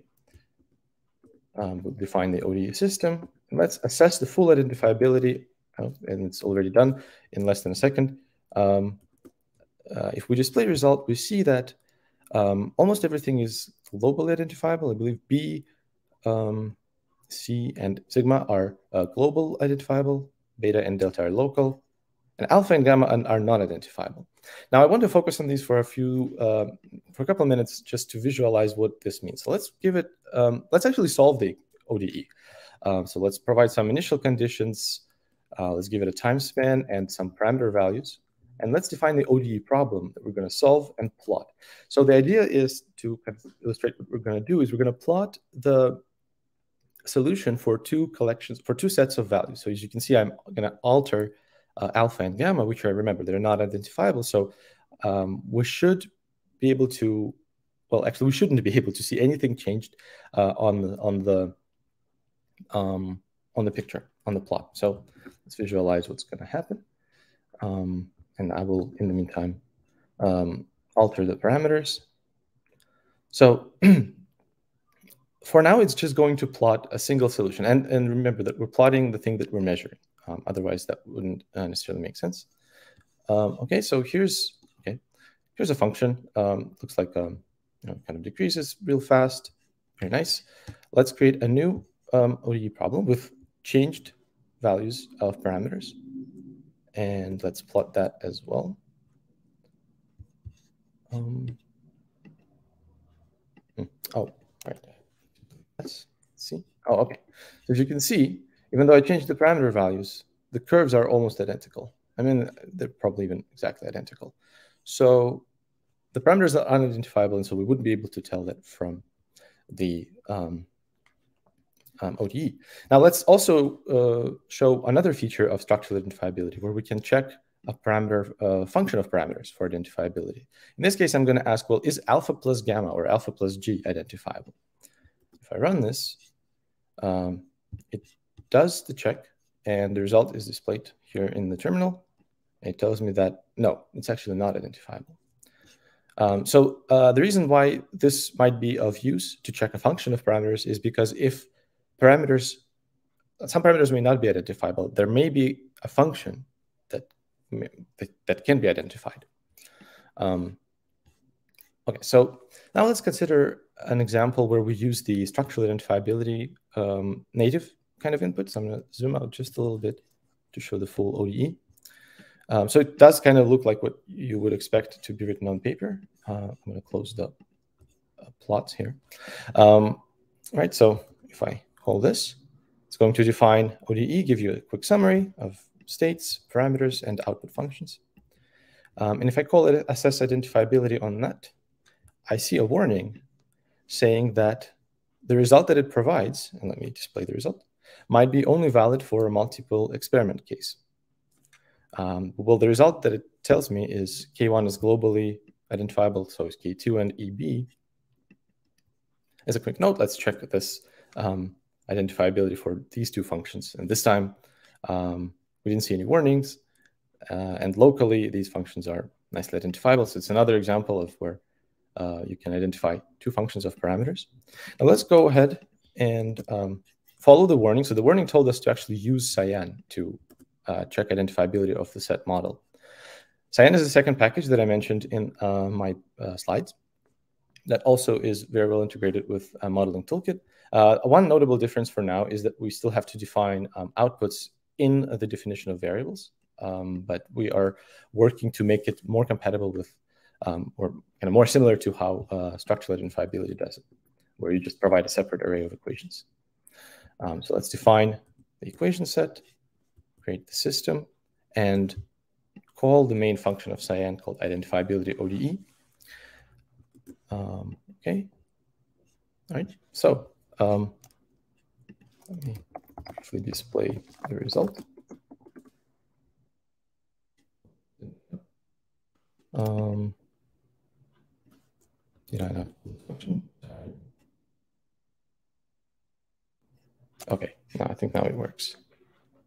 Um, okay, so yeah, um, it starts with a similar process of you know, pre-processing and converting the input from the model toolkit format to the uh, appropriate data type. It does start with the local identifiability report and then proceeds to the global identification report. And um, as you can see, so before structural identifiability told us that these three were global identifiable. But that was only valid for when you perform more than one experiment. Turns out that if you perform a single experiment, you only get identifiability uh, local, but not global. So let's try to mitigate this. So I'm going to define this again. And what I will do is I will generate a replica. In fact, I'm going to consider the input to be two ODEs, but with different initial conditions. So if I do that, and um, okay, so the replicas are generated, I'm going to call my function again. However, I will uh, specify the parameters um, of the model without initial conditions. Well, because if we did check initial conditions, that would be two separate sets, and maybe it would be um, not as interested and as interesting as um, some other things that we're going to see. So now, after performing two experiments, so two copies of the input model, we get the same identifiability result um, as structural identifiability. So that kind of concludes the slide, uh, sorry, the live uh, coding section. And um, to conclude, um, we saw two available solutions for parameter identifiability in ODE models. There isn't one framework that would solve everything, so these kind of complement one another. Um, some may be appropriate for more output functions. Uh, some would be uh, faster when there are fewer outputs and, and more equations, more ODEs. Um, but both can handle quite large systems. We've got a lot of work uh, planned for enhancement of the underlying um, like Gröbner basis computations and integration with more uh, uh, uh, frameworks. Um, we also currently have a Maple-based solution on the web that com combines these algorithms and some more uh, uh, extensions. and we're also building a Julia web-based solution for the um, yeah, for the web. Um, that's all I have. Thank you very much to the organizers. And um, here are some references that I used. Oh. Thank you. Yeah, thank you. Very nice talk. Um, so I think we've got a little time for some questions since you started late. Um, so there were a couple on Discord. So the, the first one was asking, um, uh, can you use this with in combination with a Turing.jl model that you know involves ODEs? Right. Um, I don't think that right now it would be compatible, but it's something certainly we would uh, consider looking into. Um, there, yeah. So it's not right now to be like a, to give a short answer. Not right now, but um, that certainly would be interesting to um, look into more how to make them compatible with uh, ODEs that may be um, coming from Turing.jl. Um, one of the uh, other Discord questions was asking if you could say a little more about the maybe the, the notion or the differences between global and local structure, structural identifiability. Yeah. So so when um, let me actually maybe con consider this example. So uh, uh, the, the biggest difference in between local and global is that um, when you if you were to solve this equation, um, you would actually like maybe if you even if you don't have the value of b, right? If you have x dot equals a squared uh, times x, if you solve it, you can find the value of parameter a, um, but uh, because a is squared in the ODE, you will be able to identify a squared uniquely, but not um, the value of a itself, right? Because whatever a squared might be equal to, maybe actually let me uh, write it down. So if you have, if you identify a squared to be something, then a will have plus minus that value, right? Well, the square root of something. So there are two values. However, a squared is identified uniquely. So that would be global identifiability when there's one solution. And um, a local identifiable parameter is can have more than one, but finitely many solutions. I, I hope that clarifies um, the question. I hope it did. um, okay, I think we got one from the from YouTube. Uh, at least uh, I think that's the source. Uh, asking, uh, can you do identifiability of initial conditions? Yes. So uh, initial conditions are identified by SIAN.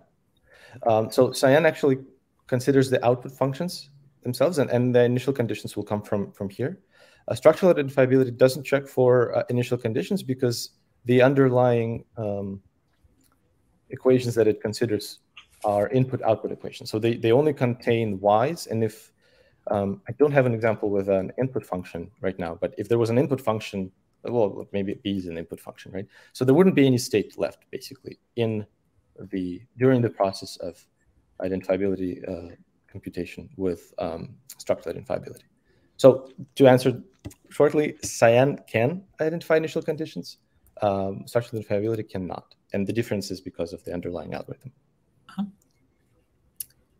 Uh, okay, actually, we just got another in. Um, so can can the parameters be an array, and if so, uh, is identifiability the same for all elements? So I'm not I'm not sure. Maybe you, you know exactly what that's asking. Um, so if right, so I'm uh, if I if I understand the question correctly, let's say you would like to define a parameter uh, q that would go from one to some number. That might currently. Be this type of symbolic definition does is not supported, uh, but we have a we kind of we're working on supporting this uh, and resolving the issue. Um, so if that is what you mean by a parameter array, then it's not supported right now, um, but it will certainly be supported in the future. We'll work on that. Um, yeah. Cool. Um, I think I actually had one question myself, which is uh, um, I don't know the kind of relevant theory or algorithms in this area, but is there much work uh, and kind of known good methods if you have stochastic problems like SDEs, for example, instead of ODEs or uh, jump processes, which is what I simulate a lot. Right. So um, I don't really work with stochastic differential equations. I, I don't think I can answer the question. I believe there are works um, but I don't think I would be. Uh, I don't think I know enough of. of I'm sure. not familiar too well with them uh, to kind of give a solid answer. Um, but that's uh, definitely worth looking into. I believe there are uh, there is research done, but Um, I just personally don't work with stochastic Sure. differential equations. Okay, great. Well, then I um, I guess we'll stop there. It's probably it's about time to start our next talk. And so thank you again for a really nice talk. Thank you very much. All right, and uh, our last speaker of this session is uh, Utkarsh.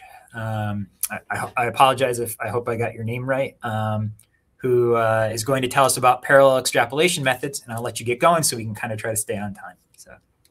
Yeah, sure.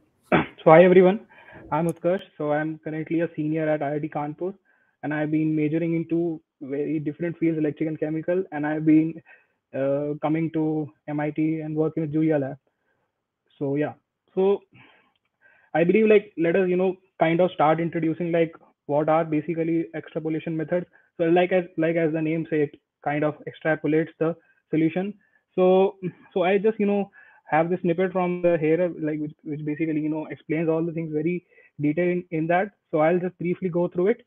Uh, so what extrapolation method does is basically it kind of compute the corresponding step uh, by basically you know choosing a particular subsequence and as you can see that it has a it uh, basically you know extra extrapolates to the ti comma 1 and which basically kind of eliminates the as many terms that which are possible in the a- asymptotic expansion by com- computing the interpolation poly- polynomial. And finally uh, so basically it helps us to you know reach higher orders and it is also a variable step method as well so it kind of operates in both domains. And like so these methods are now part of the OrdinaryDiffEq uh, system so it supports all of the all of the all of the functionalities that we have the linear solve the threading multi-threading as well as some some areas which i would be going to discuss like which was uh, kind of you know explained in the here and uh, so as you can see that these are some of the two methods like uh, which one of them is explicit like which don't uh, which, uh, which are basically used for non-stiff problems. So these are some of the methods that we have. And uh, and another methods are the implicit methods so that is that would be kind of my focus for this talk. And like like we kind of you know identified a domain for domain for these problems and uh, yeah so they are kind they're performing well. But yeah the work is in progress and yeah it could get better.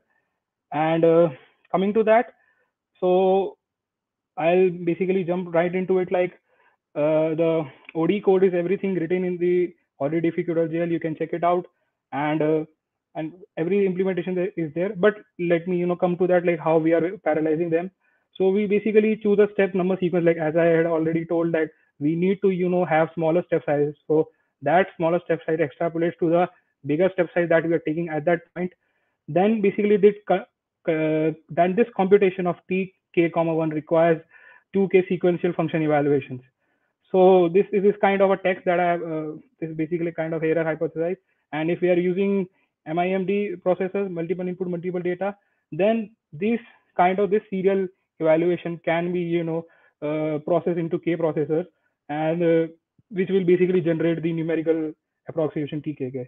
And uh, after that, and so basically this kind of parallelizes our code, and the, the extrapolation that we are kind of the final time, time step that we are following kind of, you know, uh, exposes the multi-threading and parallelism apart from apart from the LU factorization that we would have in the implicit implicit methods. So that, so yeah, that being that, and uh, yeah, I have just you know put a uh, put down uh, put down some code snippet as well. So as you can see that we are uh, so we are calling we are calling the Jacobian 2W on on the on a particular thread and which basically uh, performs a linear solve and uh, and this linear solve kind this linear solve kind of you know computes the compute the step at at that point and then it basically uh, then then this then whole collection of this uh, extra extrapolated variables take place and we finally uh, reach to the uh, reach to the kind of approximation of the method that we are trying to have. So so what is this what is so special about like i mean uh, this is like kind of already been uh, you know discussed in books and as well as these methods are quite popular. So what happened is that when we are using large set of ods so in case of uh, in a stiff ODs, let me be particular to that. So we'll require a, a we'll require a LU factorization that ON cube solve. And what won't happen is that so this is being done by BLAS. So BLAS multi-threading is not so efficient uh, in like let us say like this is kind of a heuristic in uh, less than 100 ODs. So this would require multiple LU factorization that scales like O n cube. So we know that the inverse is kind of you know goes in O n cube. So there would be uh, let us say that there would be there would be a cutoff at that point where it's long, no longer a good idea. I mean there is a as we know there is a overhead in the uh, parallelism that we have. So and also the Jacobian is too small to parallelize in the LU factorization effectively. So it becomes a Ceeler solver for sufficiently small problems. So in that case, like uh, Rodas method would be more serially efficient, but these methods could expose parallelism to be faster on multi-core machines at that point. And uh, so that's why our implicit uh, implicit extrapolation methods come into place. And we know that uh, BLAS is already multi-threading efficiently, so a serial method is already using its all cores. And coming to that, like as I have already uh, already men mentioned, this uh, this is basically it, it is important in uh, quantitative system pharmacology models because these applications use gradient-based optimization on stiff systems of size such that the optimization nature requires the parameter choice to be solved serially. So thus parallelism needs to be exposed from the solver. That's why these extrapolation methods kind of you know work in that in that QSP models domain. And we need to you know also take care about the size that we have. So yeah, coming to that. So now basically it's mostly benchmarks now, and I'll maybe kind of walk through the benchmarks that we have. So this is a Rober problem. Let me come to that first. So the Rober problem is uh, is a stiff problem and it, it is composed of three ODs. So this is generally so this benchmark was you know uh, took upon uh, taken upon on high tolerances, and as you can see that uh, there's implicit Hairer Wanner extrapolation method. So this is basically a midpoint uh, midpoint method which the the each, each small step size is using is being computed by the midpoint rule, and uh, and this is kind of an and this is implicit. So basically, as you can see that it is kind of, you know, uh, uh, kind of performing well and uh, for some tolerances with the Rodas, so which is the best, which is the best solver that uh, that the Rober problem has. So and even even you can see as implicit implicit Euler extrapolation.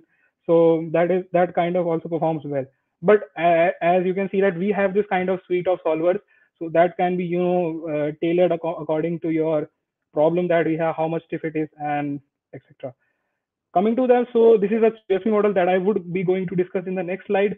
So as you can see that this is was compute on load transfer, and you can see that this completely uh, beats the other solvers that are in this domain, uh, even the Rosenbrock and the TR-BDF which works in the in, in this um, uh, in this method. So so this is the kind of the uh, which basically explains my point. Like this is the kind of the domain of these uh, methods like and, and where the where the users can benefit from them.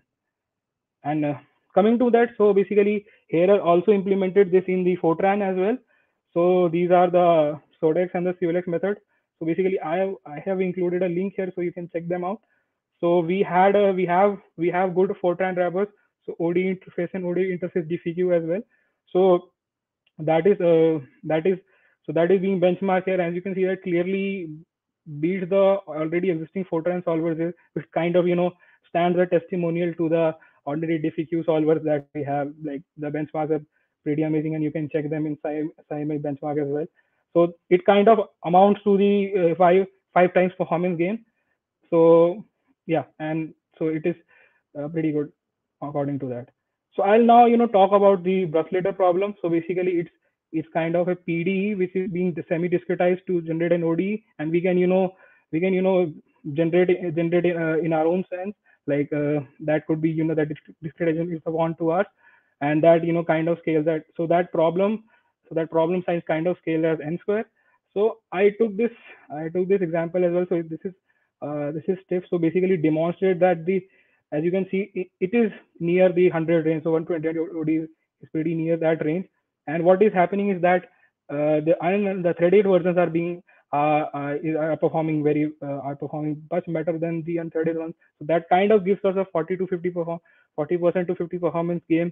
And uh, and uh, coming to that, I mentioned polyester threads there. So yeah, so basically polyester threads are the cheap threading util which is being provided by JuliaSim. So courtesy of Dr. Chris Elrod. So that has been incorporated into them. So the overhead uh, overhead basically in this thread multi-threading is kind of reduced now.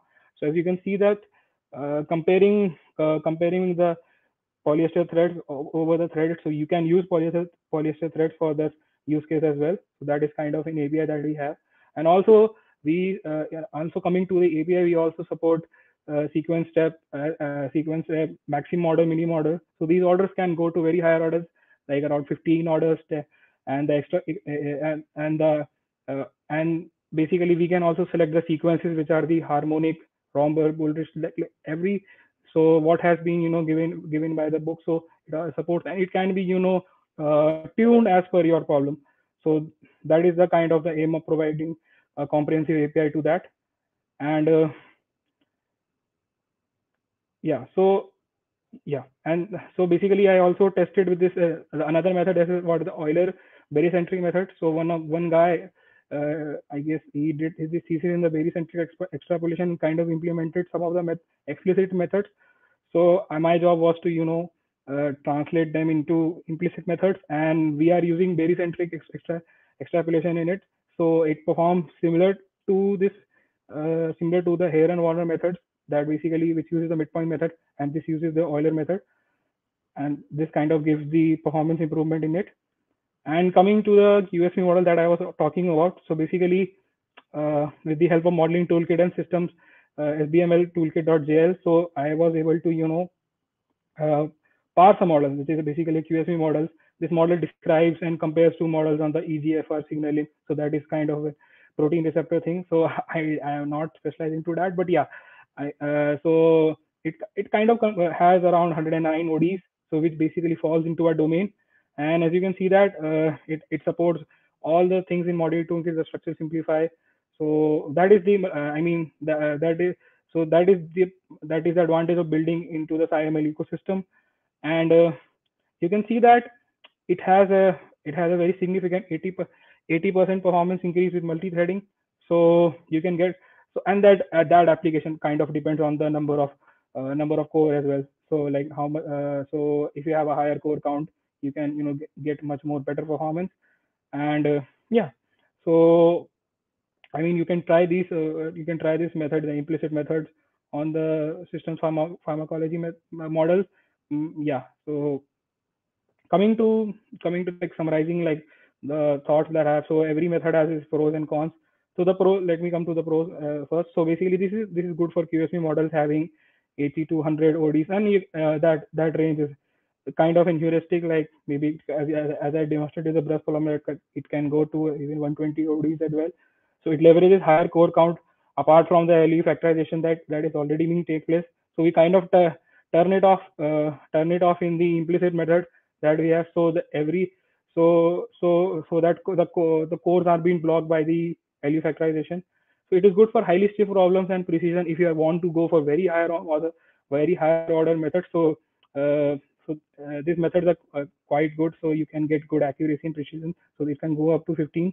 The non-threaded version, like I have also demonstrated in the Rober problem as well, the non-threaded version performs comparable to with common stiff OD method. So that is a, I mean, yeah, it's not bad uh, that it is that it has a very trade-off in the performance.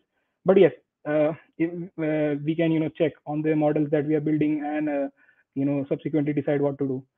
So the con is that like what I feel like the domain is quite restricted. I mean, uh, there are better better stiff methods available for most of the general problems like uh, like from sundial.jl there is the CVODE method which perform very well, and we have an equivalent which is a better method which is the QNDF in the in the uh, in the OrdinaryDiffEq which is which is completely imp implemented in Julia, and there are the RODAS method as well, RODAS 5, RODAS 4. So these are, I mean, in speaking in general sense, like it is uh, it is kind of domain restricted. So this threading overhead becomes significant in, uh, in less than 100 ods so you'll the, the solve will be basically be not you know very good. And it is overcome by so this so this uh, uh this uh, overhead does not scales well with the problem. So we are uh, when we you know go with a very high very high order problem so then it would you know that performance gain would you know be substituted by that so yeah, I mean, and we are working on that. So and uh, and it is it supports the LinearSolve.jl new interface with uh, which IML has. So we can use multiple factorization methods and the preconditions that that are being built upon on that. And yeah, so it's some of the work is in work in progress, and we are trying to get a preprint and a paper out of it. Yeah. So acknowledgements. I I would like to thank all of these people. So which are which would help and the guidance. So this, this is kindly a new venture to me, and yeah, thank you.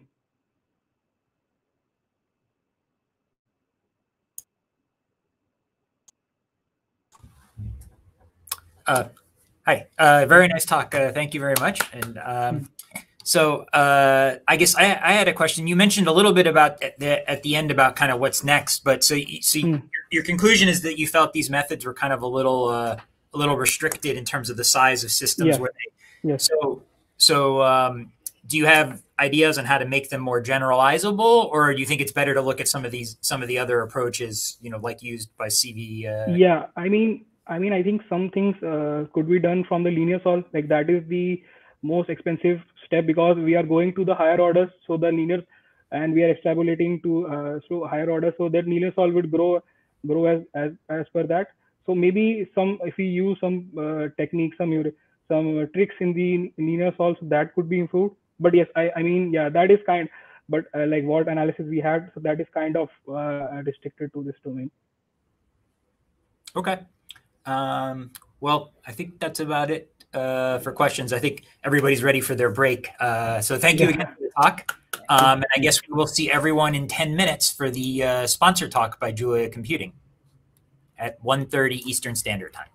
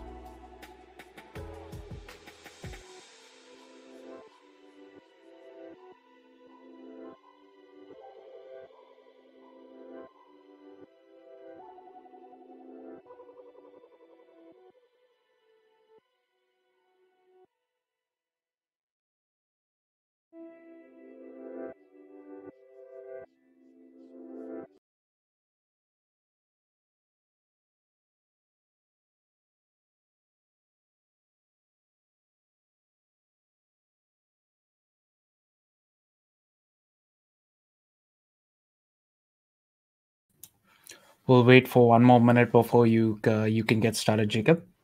Um, but I see you have uh, you've shared your slides as well as your screen separately. So uh, I'm I'm just curious whether you want to put both of those together.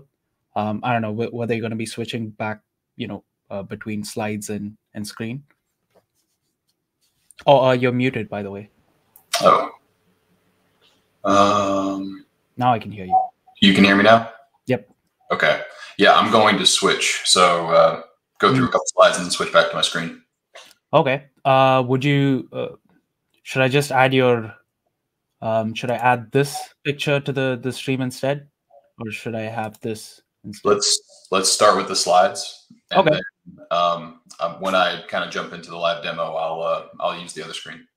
Yeah, for sure. Just just let me know, and I'll and I'll switch it. Absolutely.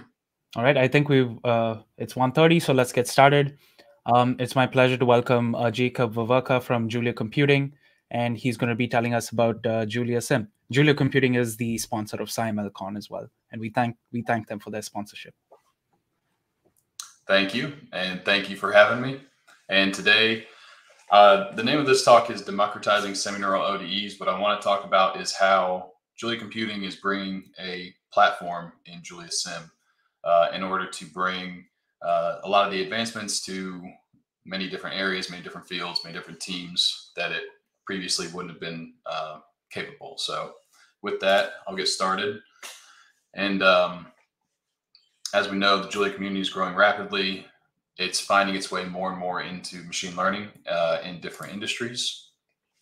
And Julia Computing is built on top of a foundation of JuliaHub which is an enterprise compute platform uh, for distributed compute. It's embarrassingly parallel, it's cost effective, um, and it is all designed around uh, reproducibility and optimized for Julia development in particular. And so the uh, the flagship, the the foundation of, of Julia computing is JuliaHub. And on top of JuliaHub, we have many different tools for different industries. So uh, we are going to be talking about JuliaSim for physical simulations, um, but there are currently other offerings for uh, pharma simulation, for circuit simulation. Um, there's certainly more to come in the future, but today we're going to take a look at JuliaSim in particular. And to start, uh, we're just going to kind of walk through what you might expect if you are in modeling. Uh, especially within industry. Um, engineers are going to in they're going to incorporate modeling into their design process by uh, by leveraging HPC, leveraging compute, and uh, you know modeling the problems. They're going to take these outputs, analyze them, and feed them back into the design. So when this works well, you have data-driven decisions that are driving your design forward, and this works really well when you can experiment quickly and and constantly iterate.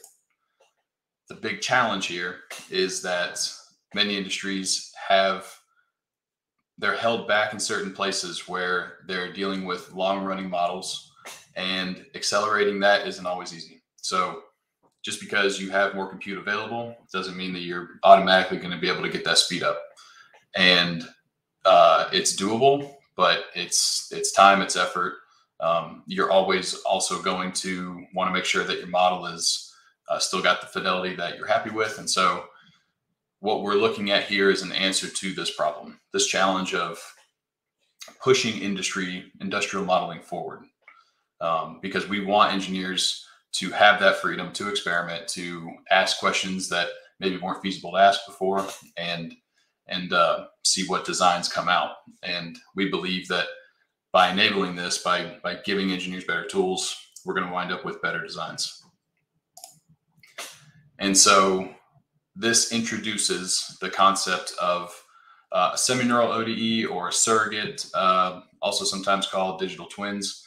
And this is, um, I'm going to talk through this at a high level. This isn't meant at all to be uh, your, um, your, your in-depth explanation, but this is kind of a crash course just on what to expect because um, later on we are going to be kind of uh, fine tuning uh, some of the parameters. And so I just wanted to give a visual representation of, of what's happening.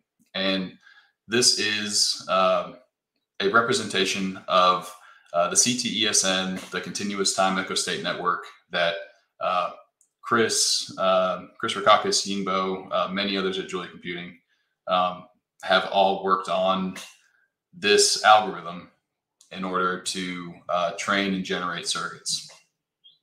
And so you can start with um, you can start with your your solutions. You have some weights going in. Um, the reservoir is something I want you to take note of. That's going to be a particular uh, uh, parameter that we're going to adjust later. And then um, in the middle, in the in the in the purple time series uh, where we integrate, that's where the continuous comes from because we're evolving this uh, differential equation over time, um, and it's it's all fed from these hidden states. And then at the end, uh, we take the output weights um, and have a uh, projection back to the state dimensions. So again, this is um, just kind of a crash course. Take note of, of the reservoir, take note of the input because this is, um, I'm trying to represent how uh, this mental model that you might have if you are uh, using Julia for your modeling. And, um, and then if you have more questions in particular about the CTESN, uh, there's, there's papers and other talks out there that will, that will deep dive that. And so, um, with that kind of out of the way, let's just talk about a general use case where you have a simulation that takes two hours. And two hours one time isn't so bad, but we're we're talking about an instance where this two hours explodes because you wind up having to run the simulation many many times in order to find optimal controls. And so this this two hour simulation must be run 1000 times in this workflow and it's i think it's uh, it's very common depending on uh, what modeling that, that you're engaged in but um, you know the the exact numbers here are what we're going to use walking forward just through this example to kind of share um, why the work that we're doing is is important and, and what kind of platform we're trying to build to to answer this challenge. So that two hour simulation run a thousand times, um, in addition to one final run at the end to uh, kind of test run just to make sure that uh, everything looks good and, and your, it's your validation run winds up being 2002 hours. And this is obviously something that we're trying to improve. So what we propose here with the solution is injecting uh, injecting JuliaSim in the beginning of this process. And so what we want to do is we want to train a surrogate uh, first, uh, right out the gate, train a surrogate. And that's going to be done in order to get a faster model. So instead of running that two hour simulation a thousand times, we wind up with something that can run in a minute. Now, training the surrogate is something that we can kick off in parallel. And again, that's something that JuliaHub uh, the foundation of, of JuliaSim is very, very good at. And so we can leverage JuliaHub to kick off thousands of, of simulations in parallel and really only have about four hours um, of training time in this example. Is and uh, and then you wind up with a one minute simulation which after a thousand runs is about uh, just under two hours uh, one and two thirds hour. And so what we're talking about here is yes, we've cut down time, but aside from just looking at it from pure compute, where we're looking at wall clock time, um, 2000 hours is is days. It's it's you know it's really weeks because you're not an engineer's not just going to be sitting there waiting for the next one to run. You don't always have the ability to just make sure that they run sequentially because you're going to have to uh, you're going to have to step in different places. Um, do some analysis, do some fixes. And so that 2000 hours turns into likely weeks or, or maybe a month, where now when we're able to do these 1000 runs with a one minute simulation, we can take that down to just a couple hours. And so we're still going to do a test run, a validation run at the end of it. Uh, that's our uh, our two hours on the right. But we've taken what could be weeks or months or, or, or a month down to a single working day. And that's the difference in uh, in a in an industrial setting. That's the kind of thing that can really accelerate a team. So um, allow them to ask those questions that maybe previously they didn't have the bandwidth or the time to do because uh, you know their project is on a particular uh, life cycle and you know they got to get their things out the door uh, with the analysis that they're able to do so this is what it can look like by in, injecting JuliaSim at the beginning of this process um, bursting one-time compute getting that surrogate that accelerated model then is going to benefit you uh, throughout every one of those 1000 runs to optimize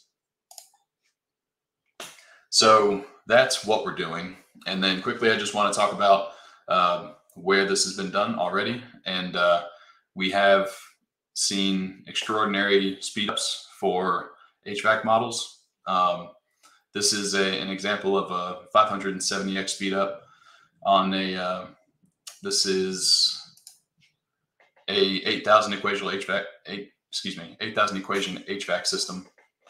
And uh, we've scaled this up even further to 100,000 equations. So when when we did that, we got an 80x speed up, and 80 doesn't sound as good as 570 maybe, but when you take into account what the current tooling is capable of, right now the best you can hope for is is uh, real time compute.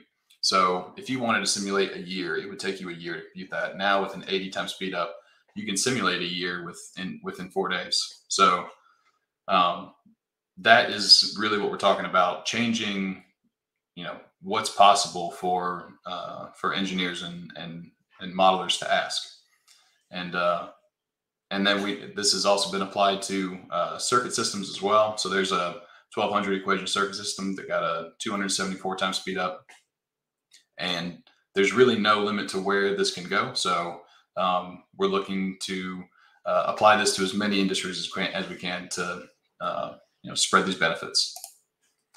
And so uh, what, I, what I'm going to run through really quickly is just an example of this model here that you see of a DCPM motor. And uh, it is just uh, measuring the influence of uh, armature temperature on performance. And uh, just note the model parameters on the bottom right. So we have voltage and we have load. And um, we're going to see how we can train a surrogate uh, over this model with these parameters. Um, and we're again, we're going to be using that CTESN uh, algorithm. And so here, um, if we could switch back to my other screen. Perfect. All right. So from JuliaHub, we have the JuliaSim FMU Accelerator application. And once you launch that up, you can connect to it. And then you're faced with a dashboard and um, I guess let me back up just for a second.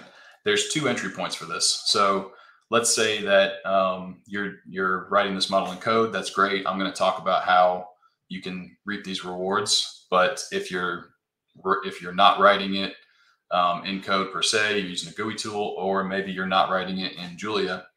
Um, if you can generate an FMU, uh, functional mockup unit, uh, which is uh, available from virtually every modeling tool, then you can take that FMU and upload it here and get an accelerated FMU in return. So I'm going to show you how to do that by clicking new job.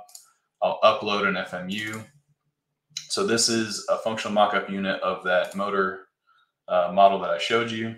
And then we have the ability to uh, adjust some parameters for this uh, surrogate training process. So uh, we are going to use the uh, the algorithm that I shared with you, and then remember that reservoir. So that's the number of, of hidden nodes in here. So we can adjust this to uh, how many we think is gonna is gonna be appropriate for our model. Um, the number of simulations that you want to run. You can tell it uh, the time span to run over from beginning to end and the step. And then you can also enter the parameter space. Now, instead of doing this manually, I'm just going to load a configuration for the sake of time. And we will just take a look down here. So here are the, uh, the load and the voltage parameters that we saw in that model. And we have a lower bound, an upper bound, and a sample point. So if you define these, you're going to define the parameter space that this surrogate gets trained over. And once you're kind of happy with uh, with these training inputs, if you hit start new job, then you're going to be brought back to the dashboard. You can see all your jobs. You can always come back and get the configuration that you used. Uh, you can get the report, which I'll share in a second, and then you can get that uh, accelerated FMU. So the report is something that I won't spend too much time on for the sake of time, but I do just want to point out that our team has done a phenomenal job of how to analyze these models. And uh, what you're seeing here is a really cool way to uh, to subtract some of the noise. So you can see straight away some different colors. You can kind of zoom into where the model's doing poorly, for instance, and uh, see where you want to train this model over or where it's safe to use this model with a high high accuracy. Um, and so I'm gonna I'm gonna leave that there for now, uh, just in the interest of time. And then uh, the only other thing that I wanted to jump to real quick is just show that um, you have the ability to do this in code as well. So if you are modeling Julia, good news, you have all of these uh, configurations and more where uh, you can choose the reservoir size, uh, the algorithm to use, um, the number of simulations, you know, etc. And so this is going to be a very uh, familiar um, syntax and and you know the the same benefits. Um, and so I'm kind of flying through this, but if you could switch back to the slides, I'll just finish up. So thank you. So all of this is um, showing two different ways to start with a model and just uh, JuliaSim and then get back another accelerated model. So this FMU that we've accelerated can be uh, put back into existing tools for whichever you know whichever tools you're using in your workflow. So um, all those different tools that can import export FMUs can can leverage these accelerated models. And then this is all made possible again um, because we have the ability to computationally burst on JuliaHub, and so um, that's the real benefit here is we are bringing not only the the know-how so you know um, instead of requiring in-depth knowledge of the particular area that you model as well as uh, the latest machine learning machine learning techniques as well as you know hpc infrastructure um, this is really simplifying a lot of that we can auto scale to however much compute that you might need for your model um, we can handle all the parallelization.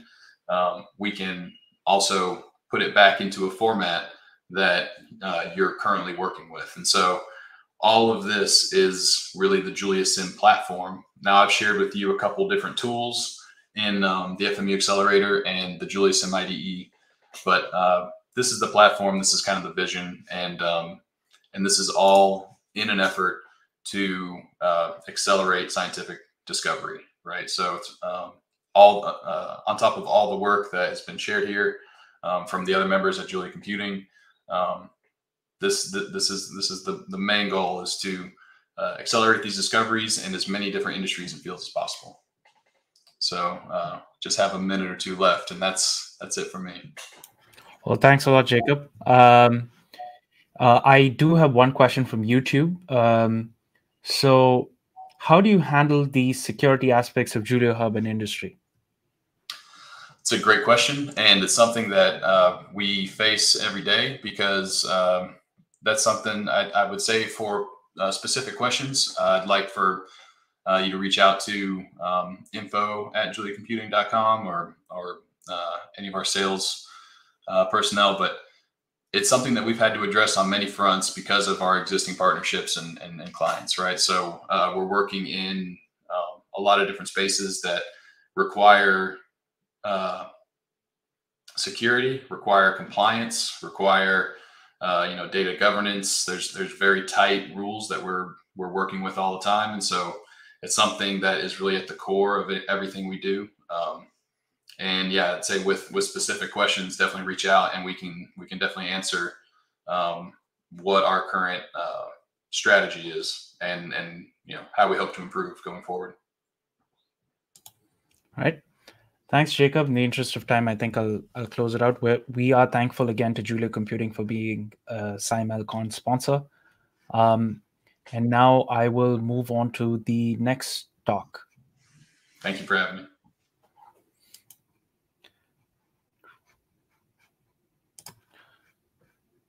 Sandor, could you go ahead and uh, start sharing your screen, please? Mm-hmm. Right. Okay, looks like that's you, you, you can see my screen, right? Can yes, yes, we can see your screen. I just introduce you. Um, uh, now we have uh, Sandor Beregi, who's going to tell us about learning measured bifurcation diagrams with UDEs. Take it away. Okay, thank you very much for the kind introduction. So I'm Sandor Beregi from the University of Bristol, and as said, I'm going to talk about learning measured uh, bifurcation diagram with UDEs, so universal differential equations.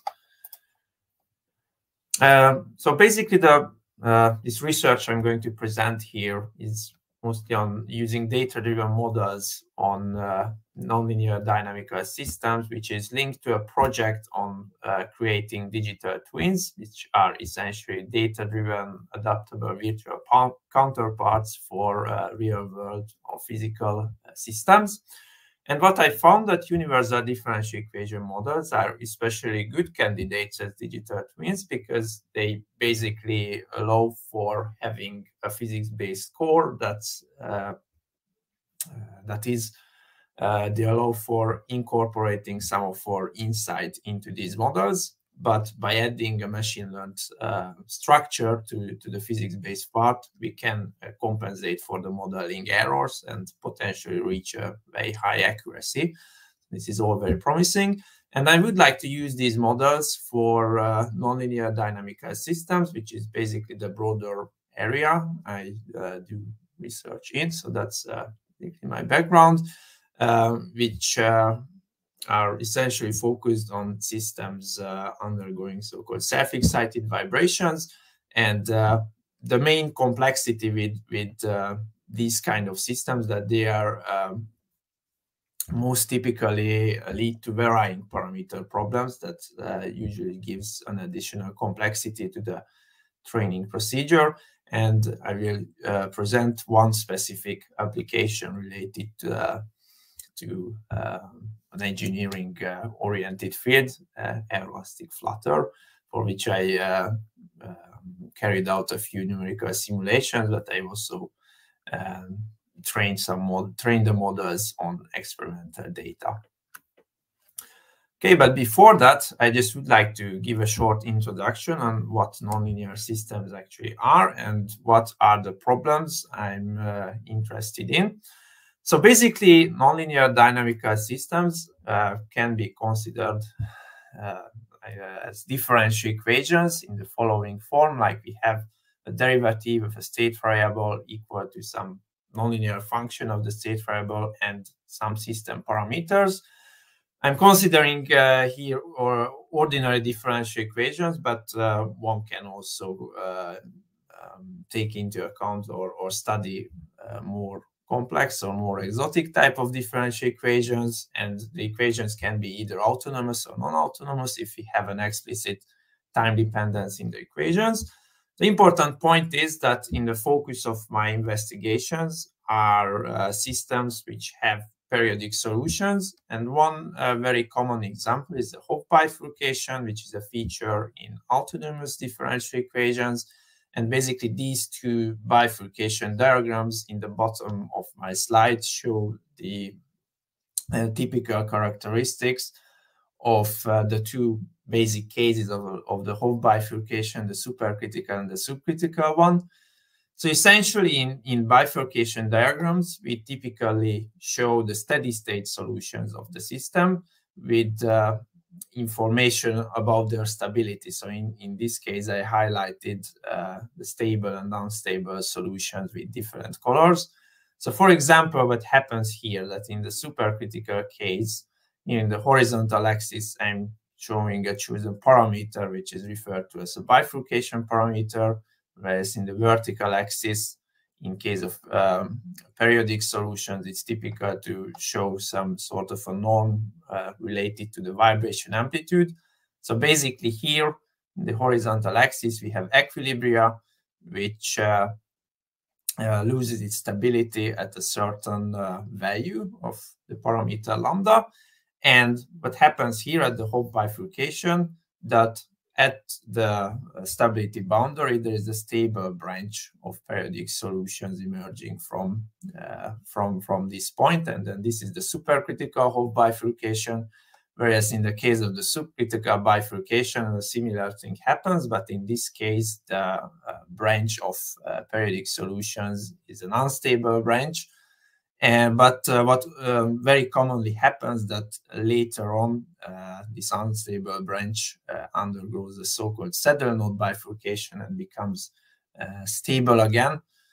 And um, so basically the reason I like these diagrams and why these tell us often more information than like a simple numerical simulation would tell is uh, because using essentially the information of the steady state solutions and their stability, we can also infer what the transient of the system would look like and um, starting with different initial conditions from different regions of the phase uh, space of the system as these uh, arrows basically indicate, we can tell where the where the solution would converge to.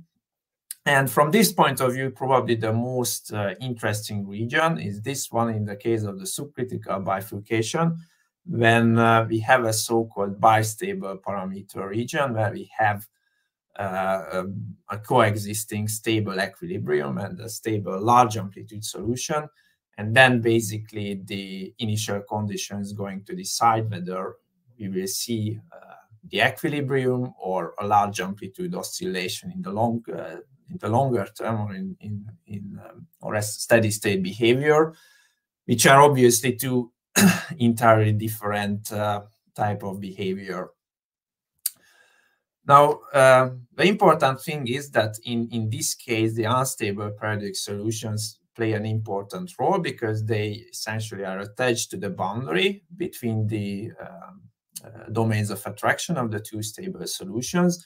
So that's why it's actually also important to characterize this, which uh, can be a bit challenging because this solution never directly appears in experiments since they are unstable, but we have a control-based uh, technique to trace them. So it's actually possible to uh, get information of them in, in, in measurements. So as I mentioned earlier, and, and uh, I hope that uh, I could make this a little bit more clear why these are actually varying parameter problems. And on the other hand, uh, these systems are relevant in several engineering systems. I just uh, wrote a few examples. I hope the is going to start. One is uh, the example I'm going to show some numerical results of is aeroelastic flutter, which is basically the self-excited vibrations of aerofoils in airstream. The other one is another area which uh, I did a lot of uh, research in is shimmy, which is basically the self-excited vibration of uh, rubber tires. Now, as you can see, these uh, vibrations are relevant because they can either cause um, some mild discomfort, but in, in some cases, if, if, if we are unlucky, then they may even lead to, to accidents, which is, which is obviously dangerous. So we would like to avoid them. Okay, so um, after this introduction, I, I would like to move on and introduce uh, the modeling concept I have for these types of systems. So my assumption is that uh, we have an, an, an, experiment or a system we are observing, um, which has these kind of periodic solutions. So for example, a subcritical Hopf bifurcation, as you can see uh, the, in, in this example uh, with the bifurcation diagram. and usually the, the case is uh, with an engineering system that one already has some sort of a knowledge or insight into how the system actually works. Therefore, it's usually possible to uh, come up with a good physics-based model which at least in a qualitative sense describes how the system behaves. But usually the case is that uh, that model is is is never 100% accurate. So there is all there is always going to be some error due to the uh, neglections and simplifications one has to make during the modeling procedure when compared to measurement data. So that's why um, I'm adding a universal approximator to the physics-based part and using a universal differential equation model to reach uh, a higher level of quantitative uh, accuracy when compared to measurement data. So uh, if we take a look at what our model looks like in terms of equations, then uh, from the point of view of an experiment, it, uh, at least to me, it makes sense to uh, divide the system to an accessible and the hidden part. Basically, the accessible part meaning all the state variables and and and everything about the system which we can have, um, uh, which we can measure, and um, but as I said, um, earlier, there, there are always going to be some neglections. So it's it's fairly safe to assume that there is always going to be a hidden uh, part of the dynamics which we cannot model. So essentially, what we do uh, is that um, I consider a physics-based model for the accessible part and try to fine tune it to make it as good as possible, and then add uh, machine learnable machine learnable structure to compensate for the error between the measurement data and the uh, smaller order physics-based model. So basically, the two types of uh, machine learned structures I'm considering for this problem is neural networks, for which I use the DiffEqFlux package in Julia. So in this case, basically the model error and the objective function is calculated from uh, um, the error in the predicted trajectories compared to the measured ones. Whereas in the other case, when I considered Gaussian processes, it was a little bit different because in this case, uh, the model uh, was fitted directly to the right-hand side of the differential equations, which means I had to use acceleration data. On the other hand, Gaussian processes were uh, more useful in the cases when there was some noise in the system, because they are essentially um, um, have a, a, natural way of considering process noise, um, process noise in the model. Okay, so uh, in the following slides, I just would like to going to present uh, my uh, results on the um, model of elastic flutter, starting with the numerical simulations. So in this case, I consider the two plus one degrees of freedom model of Flutter um, as uh, the underlying model of an experiment or the ground truth, if you like, um, where basically um, the two physical degrees of freedom of this aerofoil here, aerofoil here, the heave and the pitch motion, uh, was considered as the accessible part of the model, whereas the model had a non-physical degree of freedom related to the aerodynamic effects, which are considered as a hidden uh, part of the model. So basically what I did is to um, created a two degrees of freedom physics-based model using just the accessible part, the heave and the pitch motion, and added a machine learned structure to compensate uh, for the model error. Now, if uh, I uh, consider the, the simplest possible case uh, when I had a deterministic system, then uh, actually uh, this kind of uh, model with a neural network as a universal approximator turned out to work really well. Um, so as you can see, basically, I was able to train the model to replicate um, uh, what the underlying model does and and what the the measured or or or uh, in this case the simulated uh, periodic solutions uh, were.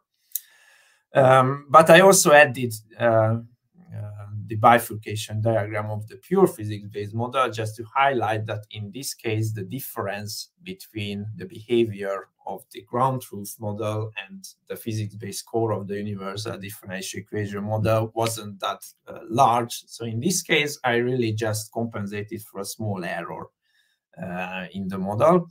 So we can uh, kind of say that, okay, this worked really well, but this was probably not a very realistic example. So I just try to um, uh, increase the complexity a little bit by considering process noise. And in this case, I use Gaussian process as the universal approximator, which still uh, worked quite well. Um, basically, the important conclusion in this case was that quite predictably, the signal to noise ratio was important, um, which uh, unfortunately also kind of limited the amount of noise one could actually consider in the model because uh, uh, the acceleration data was more uh, prone to the um, prone to noise excitation than the trajectories in case um, of the neural network-based models.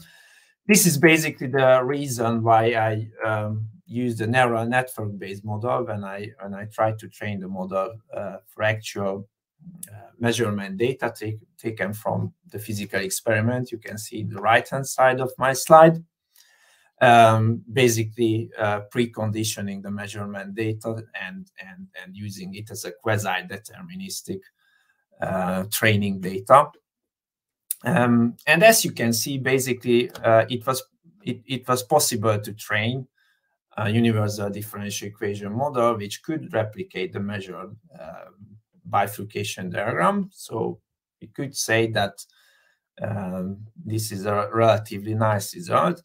Unfortunately, um, we found that uh, that solution was quite sensitive to the initial conditions of uh, the training algorithm. So actually, it, it very often uh, converged to a local minimum instead of a global one. And in this case, as you can see, the characterization of the of, of the system behavior is well, it's suboptimal, as uh, as they say. Uh, so basically, this raised the question, how can we actually improve the robustness of the training procedure? And uh, an, an, obvious thing, or at least it, it, seemed to be obvious to me, that uh, the current training framework or, or the training framework I used previously didn't really utilize the information that we are actually dealing with systems with periodic solutions. It was just a result um, that kind of indirectly uh, was in there, but there was no direct information about this. So what I tried to do that instead of using an initial value problem solver, uh, as is the case with the DiffEqFlux package, I uh, tried to do something similar with a boundary value problem solver. And uh, I can see I don't have too much time, so I just uh, try to show the results and wrap this up quickly. But basically, I have a very simple example of this when uh, I'm using the technique of numerical collocation.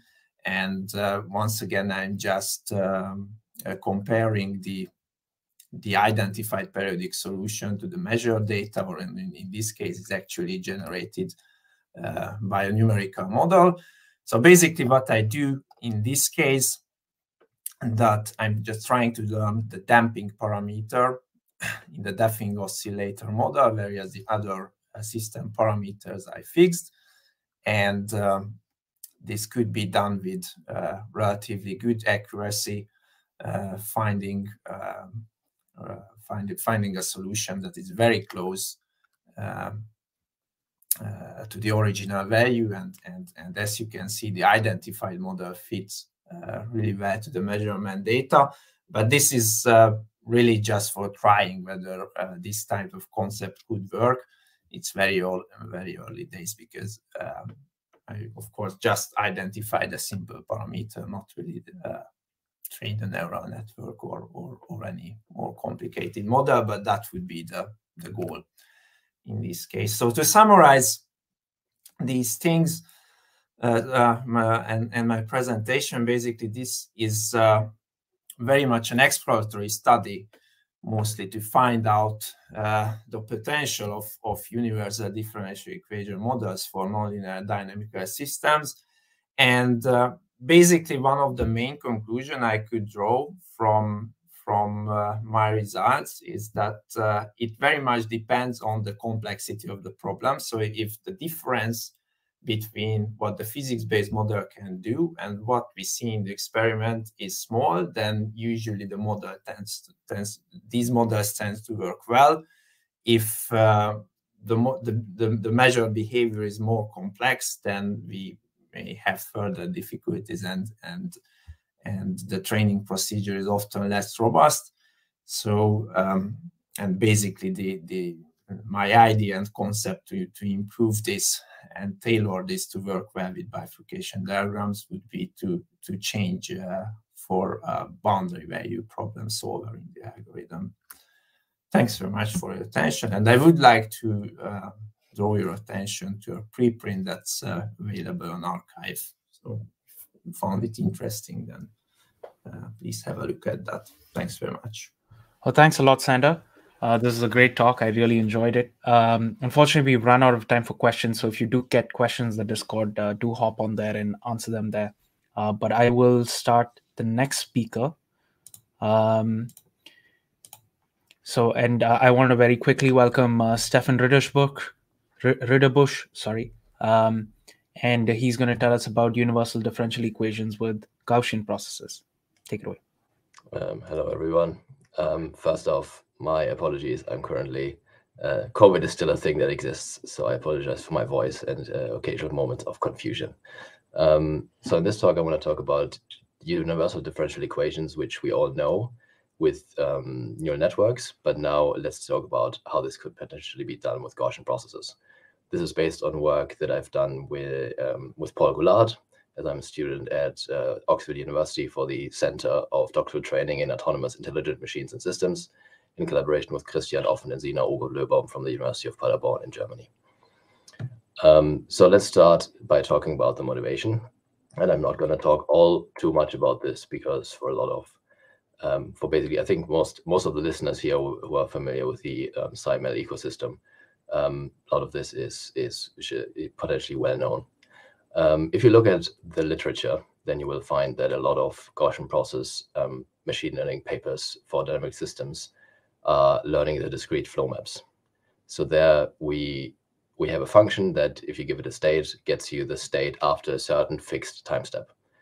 That works very well because it fits directly with the trajectory data that we have usually available. Um, and uncertainty propagation is quite easy because it is just a chain of, um, of functions f uh, represented by a Gaussian process. Um, so there, there are sort of nice approximations available there. But unfortunately, the step size is fixed. You can only have the step size that you trained your model with. Um, and because you're learning effectively the flow map, chaotic and complex systems can be quite hard, um, especially if there's a sensitivity to the initial value. So instead, let's consider continuous vector fields. Uh, and this is sort of why what we all know and like. Um, we have um, a function, and if we give it a state, it gets us back, uh, if it gets us back the gradient at that location. Um, usually for most ODEs, the vector field is a lot less complex than the flow that you get when than you get when solving it. Um, and also, if you have the vector field, now you can choose the step size freely, and you can choose the solver freely, which is if you have the the wide array of solvers from from the DiffyQ ecosystems available, uh, is quite valuable. Um, unfortunately, the data to learn these models is not directly available, um, as we usually don't have the gradient observation. We only have trajectories. Um, and uncertainty propagation through an arbitrary solver is very, very difficult. Um, so now to the part that really I think um, I think other speakers have also already talked about. What we want to do is we want to combine data and model knowledge um, because that is substantially more powerful than having e either of those individually. Um, we ideally want, want a model wh which can take data for um, especially terms that are difficult to describe analytically but if we have some analytic knowledge or some assumptions, qualitative assumptions that we can make about a system, it'd be very nice if we could incorporate those as well. Um, combining those two gets us usually, or should should get us better extrapolation performance, um, structure that we can potentially exploit, and as a result, often cheaper training. So effectively, universal differential equations and neural networks have shown that that what I've just talked about can be done. But now let's do it with Gaussian processes. Talking about Gaussian processes, the first thing that we need to talk about is that I've already mentioned this before, we don't have derivative data available.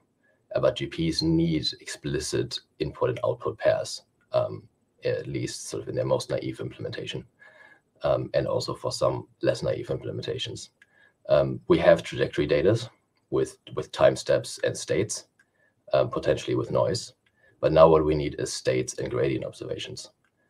Um, and all, a, a potential option to get these would be to differentiate along the trajectory. Um, and we could do this, for example, with finite differences, or we do kernel or GP regression. Um, given that this is a talk about GPs, um, let's just assume we, we fit a GP to our time series.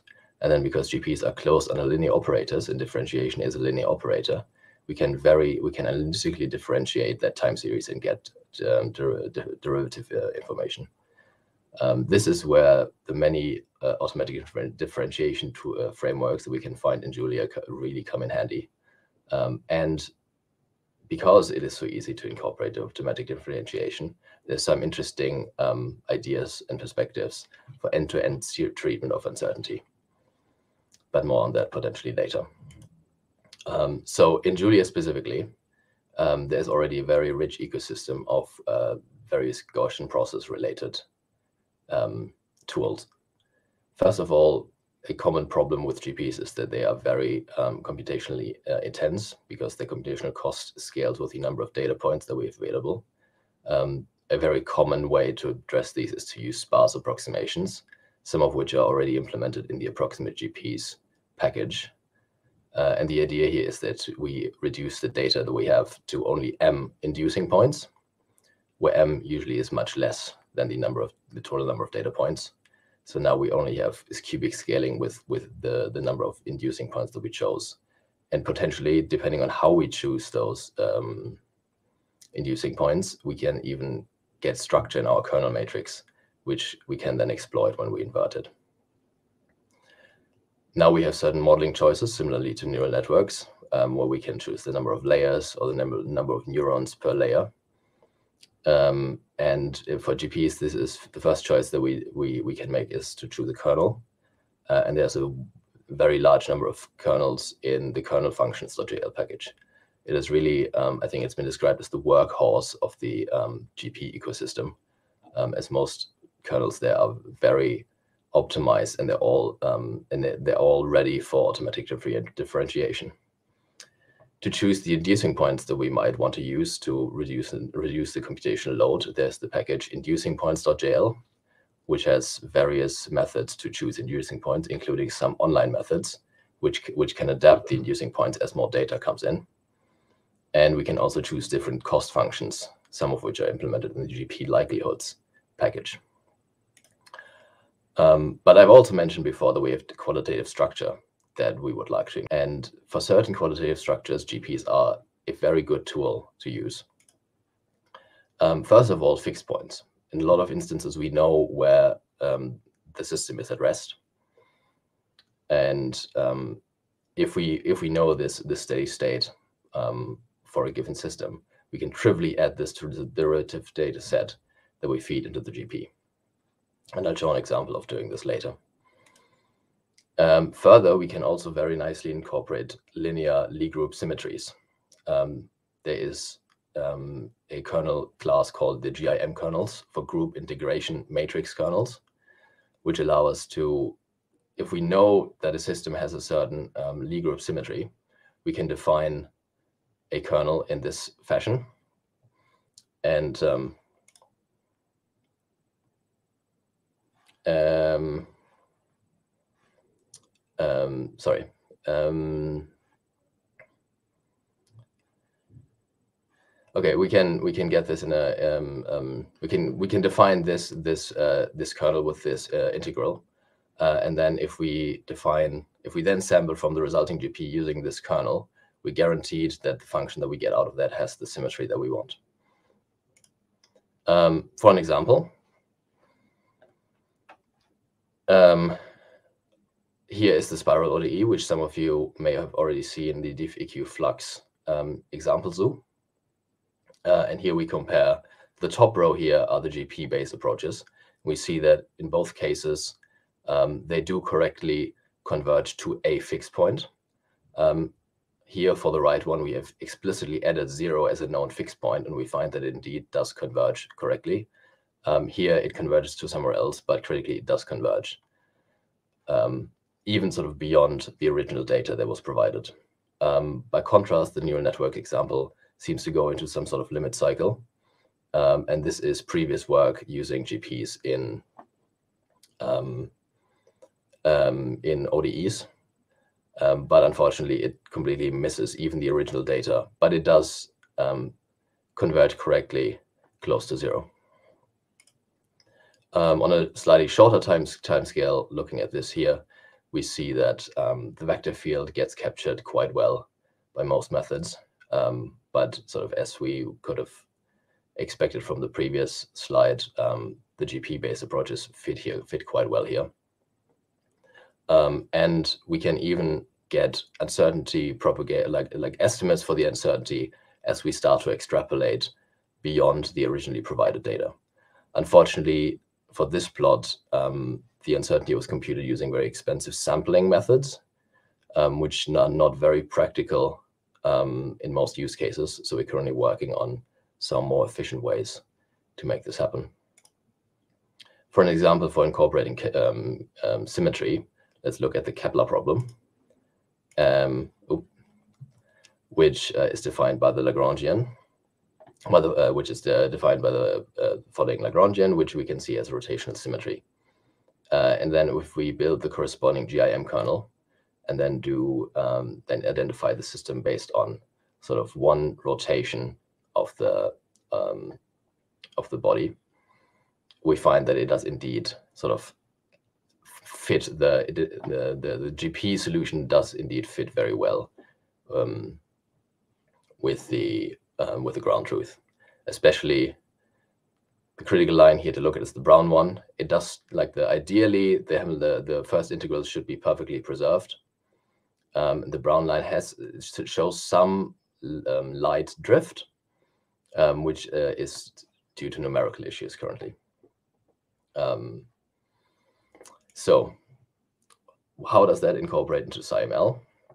Um, ideally, what we what would be nice is if it would be possible to just swap in and out neural networks and GPs when trying to identify a system, so that um, so that uh, one can one can see which which one works which works better for a given problem, um, and to do this, there's currently two um, packages that sort of reflect what I've just shown. The first one is Gaussian process ODEs. Um, that is unfortunate. I wrote this about a year ago. It is unfortunately mostly research code. It does work. It has um, its nice bits, but it is not very extendable. So now, more recently, I've started to build GIF, uh, GPDiffEq, um, which I hope can be a very lightweight package to to really connect um, the existing tools from the Julia Gaussian process processes organization, um, as well as diffeq and Flux packages. Um, so that that as all of these parts get more powerful, the aggregate also gets better. Um, unfortunately, there's still a lot left to do. Um, in the Julian Julia Gaussian processes organization itself, um, I, I, would like to improve the multi-output API while multi-output processes have been implemented, um, I think last year, um, there's a bit of quality of life currently missing um, that I would like to improve upon, um, and more approximation models um, should be added to the approximate GP package. Um, and to be to be nicely used in an ODE model, these it should be easier to rebuild the the, the GPs as as necessary. Um, in G um, this is currently a package um, that I would best describe as end-to-end -end ready to be fixed, which is uh, a motto that I've stolen from somewhere. Um, it sort of does all of the things broadly that I would like it to do, but now everything needs to be improved, everything needs to be tested better, better documented, and more examples. Um, all of that then leads to the very big question. I've already mentioned this before: uncertainty propagation. Um, how does one send uh, uncertainty through an arbitrary solver? Um, not so trivial, even for the for the explicit Euler method. Um, gets extreme, um, substantially more complicated with any other solver. Um, so I'm still working on that one. Um, yeah, in summary, GPs can complement neural networks when building universal differential equations. And I hope that at some point we get to a point where they can be used very simply and interchangeably. Um, there are many opportunities to incorporate additional knowledge and assumptions in GPs that are very difficult to incorporate in neural networks. Um, and Julia really is the perfect uh, knowledge to do this, uh, the perfect language to do this in, because there's already a very extensive Gaussian processes uh, ecosystem um, there is SciML, which is why we're all here today. Um, and it would be very nice if we could combine all of them. Um, if you have any questions um, about this, please get in touch. And I think I'm not sure I am on time, but I might stop it here uh, you, take questions. You, you, you have five minutes left for, for questions. Um, so I have one question from YouTube uh, already. Uh, firstly, thank you for the for the talk. This was very enjoyable. Um, you have you have great pictures on the slides as well. I, I really like them. Anyway, um, so the, there's a question from YouTube. Uh, Steffen, um, have you have you sort of done any experiments comparing you know GPs and, and polynomial chaos uh, you know type uh, approximators or any other types of approximators that you would use in you know uncertainty quantification? Um, I have I have not yet, but I would I would like to. Um, I think this is this is something where again having being being on the vector field level um, um, is much more powerful than being on the on the flow flow um, flow map level that GPs are usually used at used on. Um, yeah, I, I, I want to, but I haven't gotten around to it yet. All right. Um, I also have a question from Discord. Um, has there been work in hierarchical methods uh, which try to sort of identify topological characteristics? um, um, and using GP methods to fit based on identified features. I'm not familiar with with um, these hierarchical methods, um, but I would be very curious um, what they are and and see. Like I'm sure I'm sure something could be done. Yes. Yeah, I'm I'm, I'm sure the person um, who's asking the question on Discord is is somebody you can get in touch with and and and sort of explore further. Um, let me see. I um, in the meantime, I also had a question. Um, how um, how difficult it is uh, is it to sort of um, you know get these get these things to converge sometimes uh, you know um, have you you know especially with arbitrary kernels that you would have in in in, in KernelFunctions is it is it is it uh, is it difficult depending on which kernel you choose uh, et cetera et cetera? And do you have to do any sort of uh, conditioning of your data for that in the first place? Um, so so that sort of part of my of my um, motivation to really build this um, this this package to to uh, to build upon the the uh, Julia processes, Julia Gaussian processes uh, organization is to make it much easier to test various different kernels, to really look at like really look at this sort of very like very widely. Um, so far, like in my old package, where I had to implement a lot of things myself, um, which sort of limited what I could do. Um, in my tests so far, I found that actually Gaussian processes are quite like very, very nice to optimize. Um, they have usually much, much fewer um, parameters. And like it's not like in your network where you have like 250, 500 or so um, um, optimization variables. Like sometimes you can you can get by with only three, um, which means that that optimization can be very, very fast.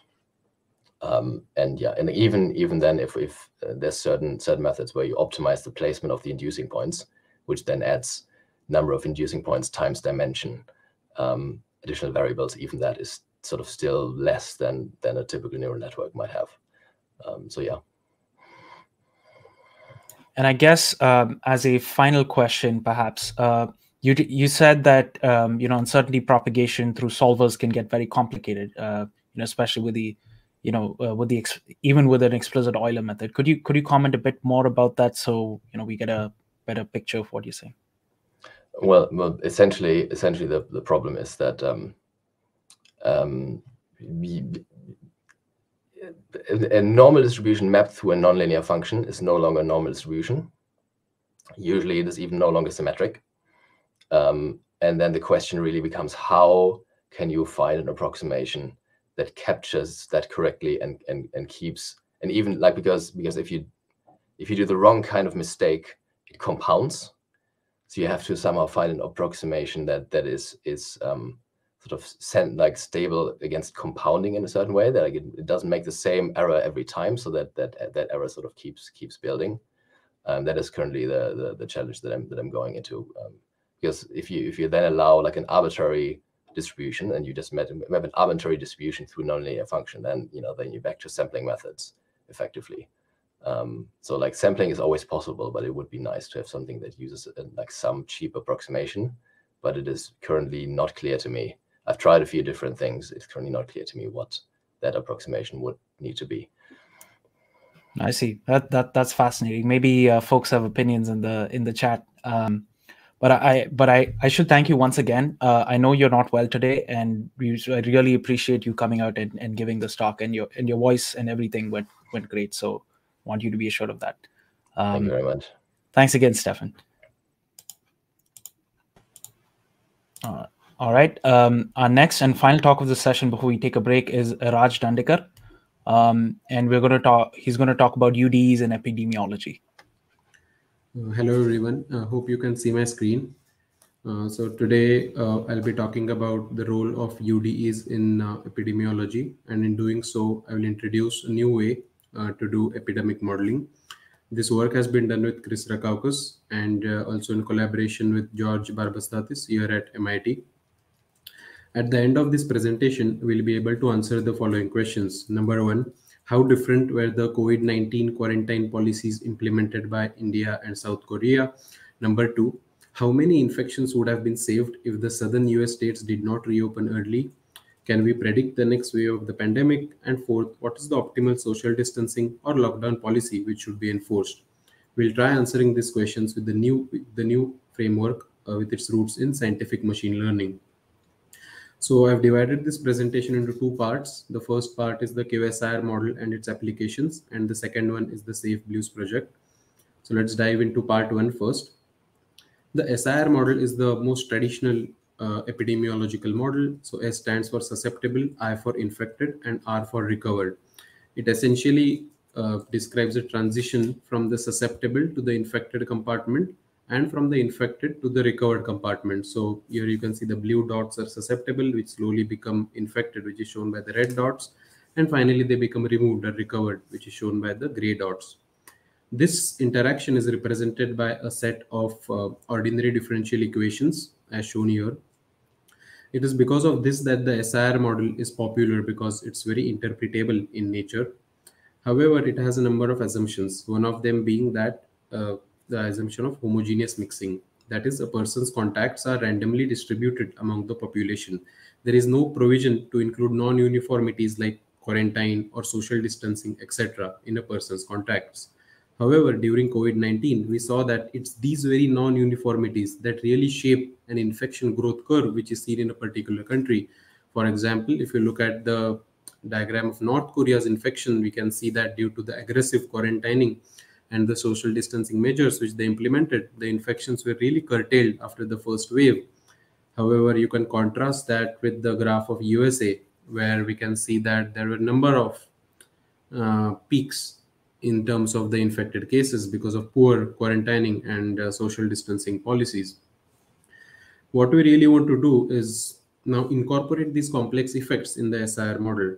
So let's see at a micro level what such a such an effect would look like. So either it's something on the left which is we quarantine or isolate a portion of the infected population and then we prevent them from coming into contact with the rest of the population or it's something on the right which simulates a kind of a lockdown situation where a person really only interacts with their neighbors and uh, uh, there's a distance range which we impose on the interactions.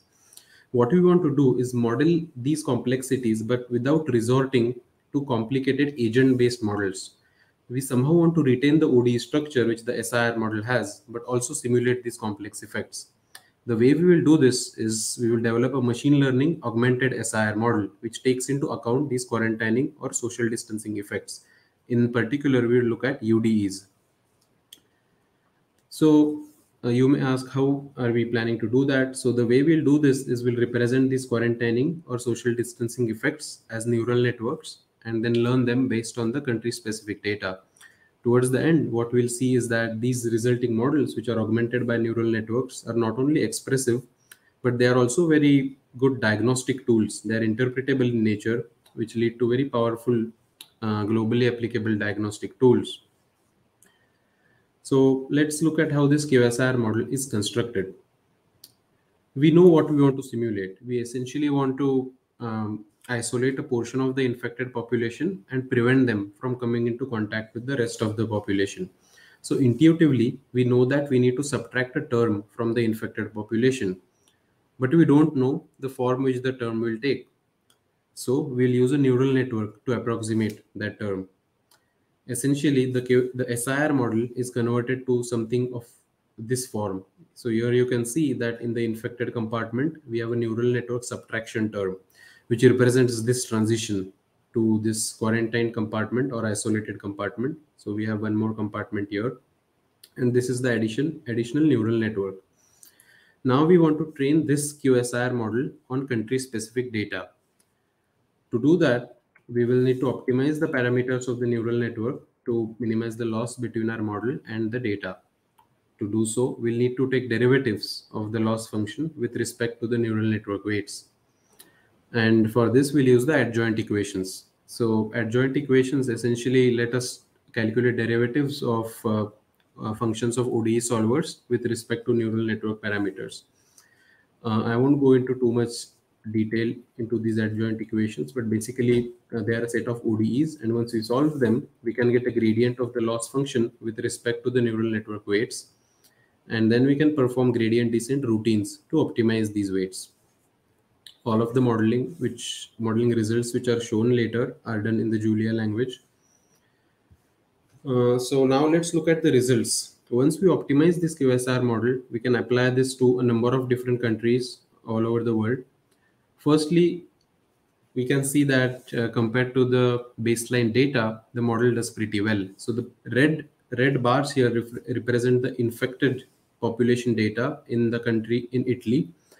And uh, the timeline, just to give you a sense, we looked at February 2020 to May 2020, so roughly about three months. And we can see that, and the blue is the recovered data. We can see here that the QSR model captures the trend in the underlying data for both the infected and the recovered population. This may not be too surprising since we have neural networks, we expect the model to be expressive. What is probably one of the important takeaways from this presentation is this plot here. If you look at the, so first of all, this plot is for China. The black dots here represent the quarantine strength, which is recovered by our neural network. It's the optimized neural network output, and we are calling it the recovered quarantine strength it shows this particular variation. The red line is the time at which a ramp up is detected in this uh, quarantine strength. What we noticed is that this, this time is actually very similar to the time at which a government lockdown was imposed in China. And that was great news for us because if this is true, then the model can really be used as a diagnostic tool to understand what's going on um, in the particular country. Now we wanted to test this particular thing on several different countries.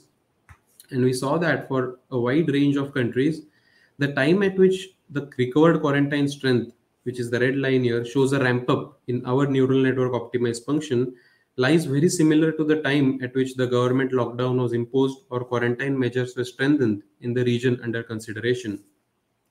We eventually did this for uh, 75 different countries which is hosted the results are hosted at this particular site you can check this out and we essentially showed that the model which you developed the qsir model is not only very expressive in nature but it can be used as a powerful diagnostic tool to understand what's happening on ground in the particular country so this makes this model pretty impactful as we have seen over the last one year it has been used by in a number of different uh, areas. Uh, various national labs have, are using it. Silicon Valley startups have reached out to us, and uh, academic institutions uh, are also using it. One of the key aspects because of which the model uh, can be further more useful is that it's flexible in nature. It doesn't need to stick to just the quarantine effects, but There's a, for example, there is a group of students at MIT who is working on the VSIR or the vaccination SIR model. In this, they represent the vaccination term by a neural network, and then they're applying this model to a number of different countries of the world. This flexibility is also one key uniqueness of the models constructed using this uh, approach rooted in scientific machine learning. We wanted to further test this model on to another different setting. So we choose the we chose the time period of May to July 2020, and uh, we are especially interested in what happened in the United States during this particular period. So if you look at this video, we can see that during May to May to July 2020, the cases in Europe were kind of reducing and stagnating, but there was an exponential explosion in the number of cases which was seen in especially the southern and the west central uh, United States. In particular, we looked at these nine states which showed a huge surge in the number of infections. Now we wanted to ask the question that can we apply the QSIR model here and can the model recovered Q of t be correlated with early reopening in these states? And secondly, how many infections would have been reduced if these states had not reopened early? Okay, so now we applied this model to number of different states. And first I'm showing you this plot for the state of South Carolina. So there are a number of things to unpack here. So let me go step by step. The red dots here represent the neural network recovered quarantine strength by our model. It shows an increase and a subsequent decrease. What's great here is that the time at which there is a cusp seen in the recovered quarantine strength by our model actually matches very well with the time at which the stay at home order expired in the state of South Carolina. This shows that our model recovered quarantine strength Q of t shows a drop when the state reopened, which is here.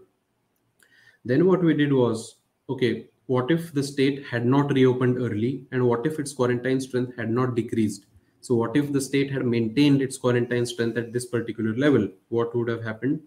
We simulated this particular scenario for the state of South Carolina, and we saw that the number of infections, which are shown by this blue uh, blue line here, would have been significantly less compared to the number of infections which are actually seen, shown by these red bars. So the second conclusion for this particular state was that in the event of a stricter lockdown, the infections could have been reduced significantly. So we had two basic uh, conclusions which we wanted to check for all the states. First, do, do all the states for do does for all the states Q of t show a drop when the state reopened? And second, in the event of stricter lockdown, can infections have been reduced significantly in all of these states? First thing which you observed is that for all nine states which we looked at, our model shows a drop on Q of t when the state reopened. And secondly, for all the states which we considered, in the event of stricter lockdown, the number of infections could have been reduced by a significant amount. So this study again confirmed the validity of the QSIR model as a diagnostic tool. Finally, uh, in the last three or four minutes, I want to uh, talk about another project, which is the Safe Blues project, which we did. Through this project, what we wanted to demonstrate was that virtual virus spread through Bluetooth tokens can be used as an indicator for real-time estimate of infection statistics. This study is now being uh, mm, conducted as an uh, experiment in the Auckland University, uh, New Zealand. So the main premise was this, after a government policy is implemented, such as lockdown, mask measures, etc., it usually takes a week or two before realizing whether it's working or not. So the question was, can we really reduce this lag to zero? And this is why we designed the Safe Blues campus experiment. So how it works is as follows. So let's say there are a number of students in a college campus. We ask them to participate in this Safe Blues experiment. Once they agree to participate, uh, they download the Safe Blues app. And once they do that, their phone is seeded with a huge ensemble of strands. A strand has a number of properties such as transmissibility, incubation duration, infection duration and uh, a strand can spread across nearby smartphone through bluetooth communication. So let's say if two students meet at a cafeteria and they interact then there's a and both of them have safe blue app then basically the strands can change properties based on whether it's infected or recovered etc then what we do is we train a neural network between the historical covid-19 data and the safe blues strands data. The real key here is that the safe blue strands data is available to us in real time. So if we can train a deep neural network between the historical data and the real-time safe blues data, we can have a real-time prediction without any lag of the epidemic trajectory. The key point here is that uh, biological pathogens and uh, Bluetooth both have proximity as the key factor which governs their transmission. So we constructed a deep neural network and we trained it. So this plot kind of summarizes um, the conclusions. If you look at the red dots here, this is the infected data, which we only have up till this time. Whereas the blue strands are the safe blues strands, which are available to us in real time. So it's available year, even up till year, let's say two weeks after the point during which the infected data is available. And based on this data, we train a neural network between the infected data and the safe list data, and then we forecast then what we can see is that if you look at the forecasted data, the prediction which is shown by this blue line matches very well with the true data during this time, which is shown by these yellow circles. So I'm going a bit fast through this in the interest of time, but if you have any questions regarding this, please feel free to reach out. These are some preliminary results which were done in the Auckland University campus. And uh, at the heart of all of this is a scientific machine learning framework. So essentially, we have neural networks integrated with uh, SIR modules, which are used for predictions. And this type of a Safe Blues module can also be used for policy control. Essentially, we can ask questions like, okay, what is the lockdown strength which is required, which will get the effective reproduction number to less than one? It should not be too less or it should not be too high. What is the optimal policy which can be implemented to get the reproduction number less than one? So Safe Blues methodology enables us to get real-time estimates, real-time estimates such as the ones presented here. So, okay, in conclusion, what we have shown and what we have seen generally is that neural network augmented frameworks, UDEs, can lead to powerful epidemiological models. These models are not only expressive and powerful, but also highly interpretable in nature. And they can potentially replace complex compartment models in the future we have an active collaboration which we are doing with sandia labs currently to test some of these methodologies on real data which they have and we want to also integrate these uh, ude framework with bayesian modules so that we can do error quantification and i would like to thank you for your time and would be happy to um, answer or discuss any questions thanks thanks a lot raj um, uh, you could um, you could still share your screen if you if you'd like to skip over slides, um, yeah. but that's not crucial. Um, uh, to great great talk. I I mean I've seen previous versions of the talk, and I think you really nailed it this time. It's fantastic. Uh, Thanks, I, I, have one question from YouTube. Um, so, uh, do you do SINDy or something similar to try and identify the symbolic form of the quarantine term Q? Yeah. So uh, what we have shown um, in one of our recent studies is that um, symbolic recovery can be done on these models, and we can essentially get the interaction terms, like what the neural network actually represents. I plan to include it in this talk, but I thought that it would extend the time. But I will be definitely happy to chat further regarding this. So whoever has posted this question, yeah, it's it's on it's on YouTube. You you'll be able to find it on the on the live stream. Yeah. Um, uh, I uh, I have one more question. Um, mm-hmm. Why why the why the SIR models? I'm sure there are like a, a million of these uh, these models out there, right? So why why do you why do you choose to add mm-hmm. neural networks to that one, or why not a different one? Yeah, that's a good question actually. So first, we wanted to start out with the simplest model, and the SIR is one of the simplest compartment models out there. So it's a three compartment model, and after showing that it works indeed for three compartment models, and now we have even shown that it works for five or nine compartment models. So we just chose the SIR because it's simple. And uh, now we are moving to more complicated uh, models. I see. So in principle, you could you could use different ones and you'll get different kinds of inter- interpretability for each exactly exactly mm, i see um, and and uh, i think we have another minute so i will i will follow up again and say hey mm. uh, what about the uh, the vaccine sir model uh, what how how well is it doing? Do we do we get a sneak peek of the results there? That's a good question, actually. So the team who is working on that, I think they started uh, four or five months back, and uh, I still think they are working a bit more to polish the results. But essentially, there is a good comparison result between, let's say, the country of Israel and some other countries. So I think there are some good results to be expected in that study. Well, that's a, that sounds very very exciting. I think we're at the point where we all want to see Mhm. those types of results. Um, Yeah. All right, I um I think I will close it off, uh, uh close it off now and uh, give one minute to the audience, and we have a ten minute break now. Mhm. Um, thanks again, Raj. By the Okay. way, um, Thanks, Ranjan. see you around. Um, so we have um we have a ten minute break now, and and we will begin again at uh, three p.m. Eastern. All right, and see you guys in about uh, ten minutes.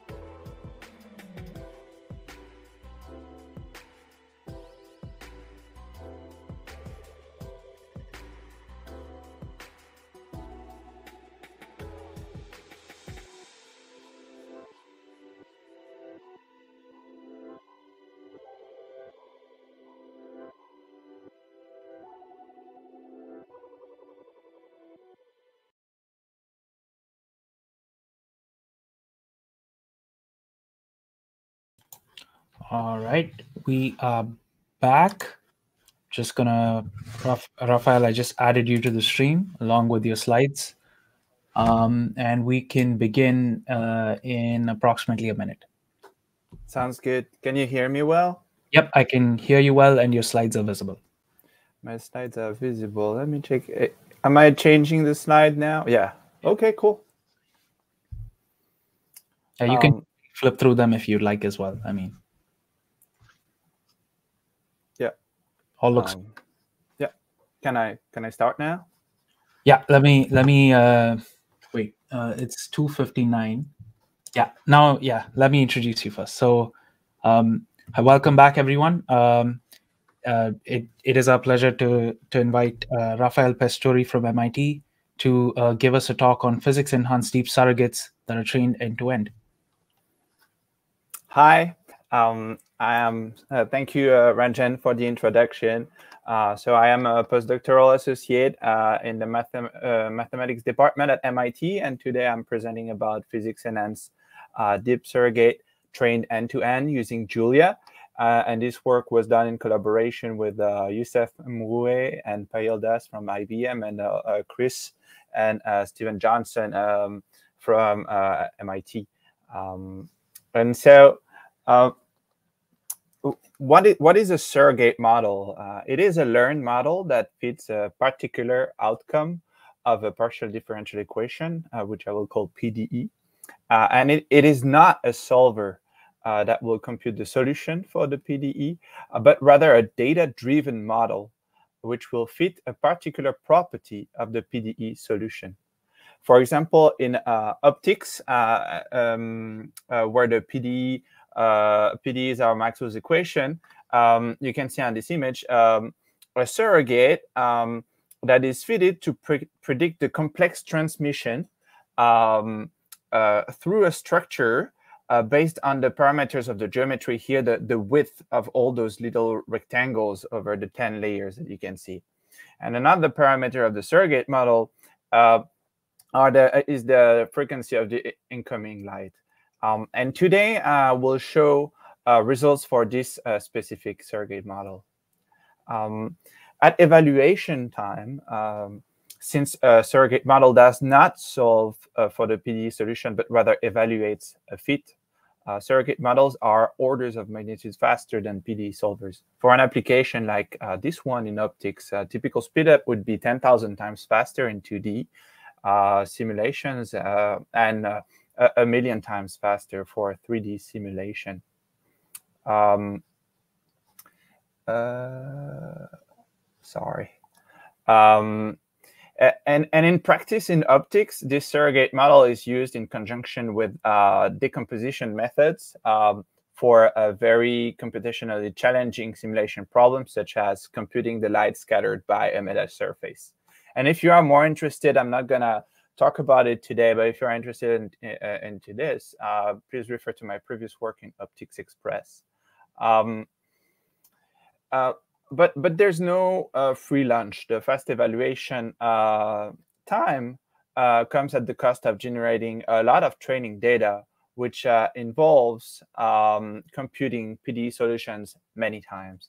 And so data generation re is really the bottleneck of high-dimensional surrogate models.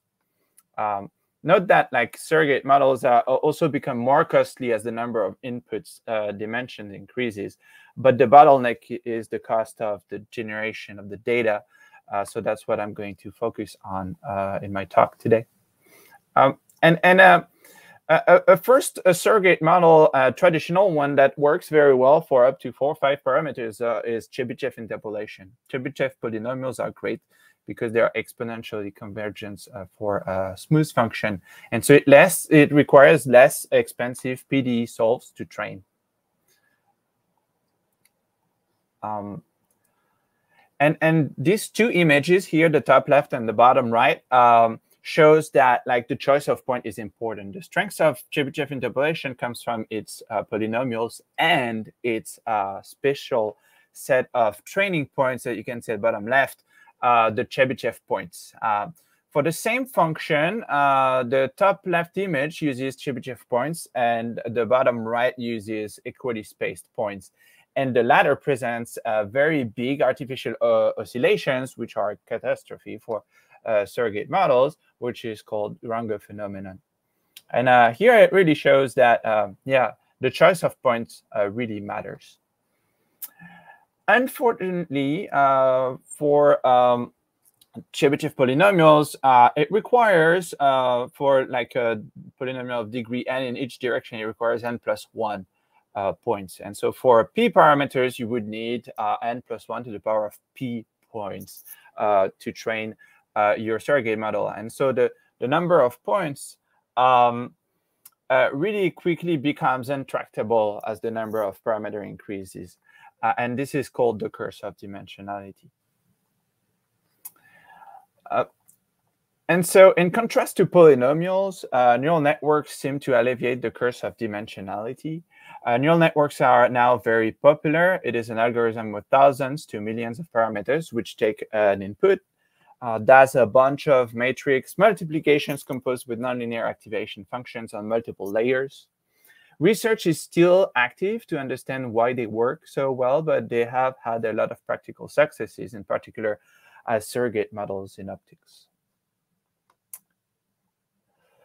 But again, there's a trade-off between accuracy and training time. A neural network uh, with many parameters might be more expressive, but it will be more expensive to evaluate and take more data to train. Again, today we are going to focus on alleviating the training cost, which is dominated by data generation when and why should we use neural networks instead of brute force solvers for PDEs? Um, in optics, at least, a lot of people are trying to use neural network, um, but our physics model is great in optics. Unlike uh, for some other problems where neural network are used, like uh, face recognition. Um, and, and so in the top left of this slide, uh, I show uh, uh, another Frenchman, a Frenchman like me, André-Marie Ampère, and in the top right, James Clerk Maxwell. And uh, them and a lot of other people worked really hard to have a very good physical model for electromagnetic waves. And, and neural networks, uh, the vanilla neural networks at least, don't, don't have physics in them. And so it's very difficult to compete with physical models and um, brute force solvers. And often um, you are better off solving for Maxwell's equation with a good brute force model uh, uh directly. However, um, Surrogate models are a compelling case for using neural networks because they can be reused millions of times and evaluate much faster than solving for the PDE. And so over time, you can amortize the training cost. And also, they seem to handle uh, uh, high dimensional inputs well, so it makes them great candidates for surrogate applications. Later in this talk, I'm presenting ways to include the physical knowledge uh, of the PDEs inside the deep surrogate.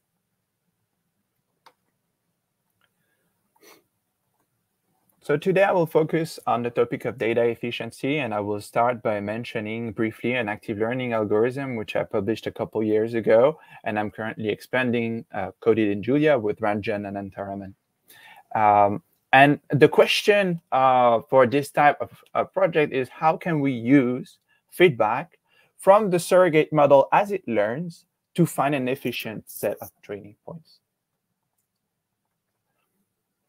Uh, start with the results here. Here I show the fractional error on a test set for three models. Uh, in green, uh, the Chebyshev interpolation, which uses Chebyshev points, and it performs the worst because it suffers the curse of dimensionality. Recall I'm using this surrogate model I introduced earlier with 10 geometry parameters.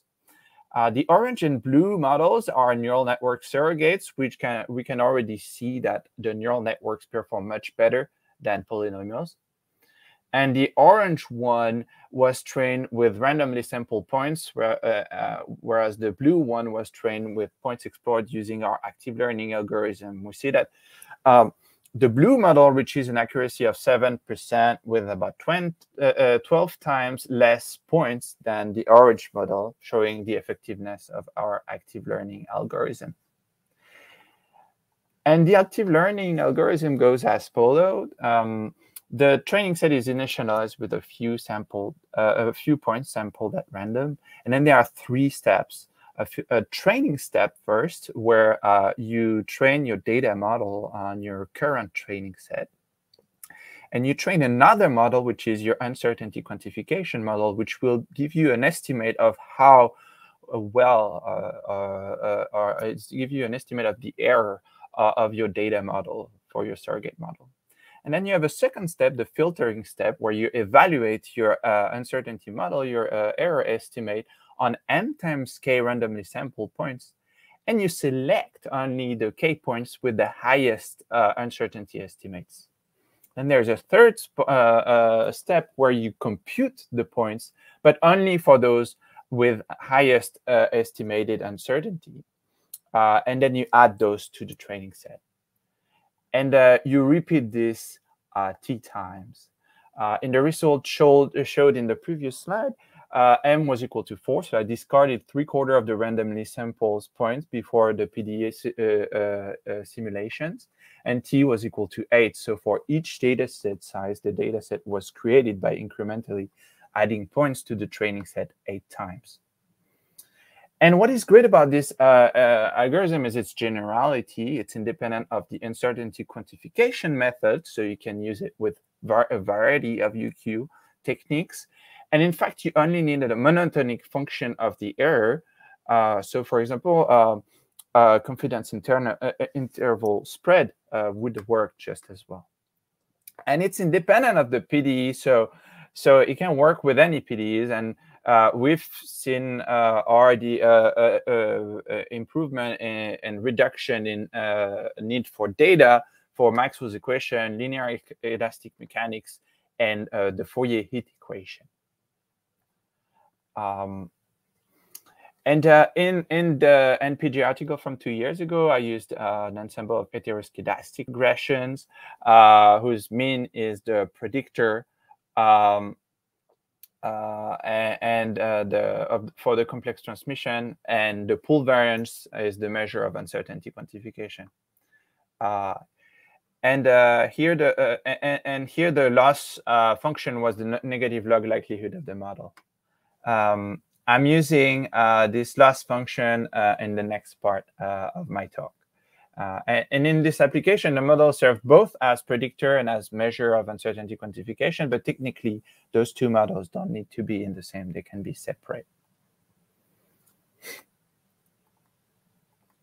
Uh, now I will focus on the second question. Uh, how uh, can we leverage field knowledge inside the surrogate? And this work was published at the end of last year on arXiv.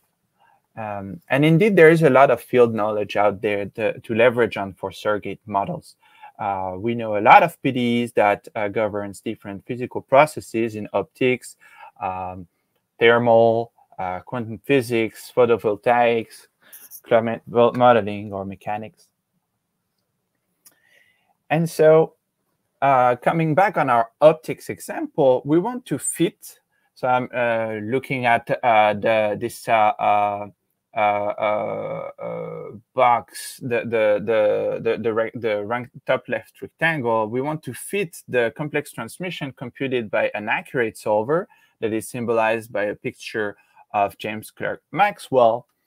And the idea of the physics enhanced deep surrogate, the, the other box uh, called PEDS, uh, is to combine a neural network generator with a low fidelity model, here symbolized by a cartoon of James Clerk Maxwell.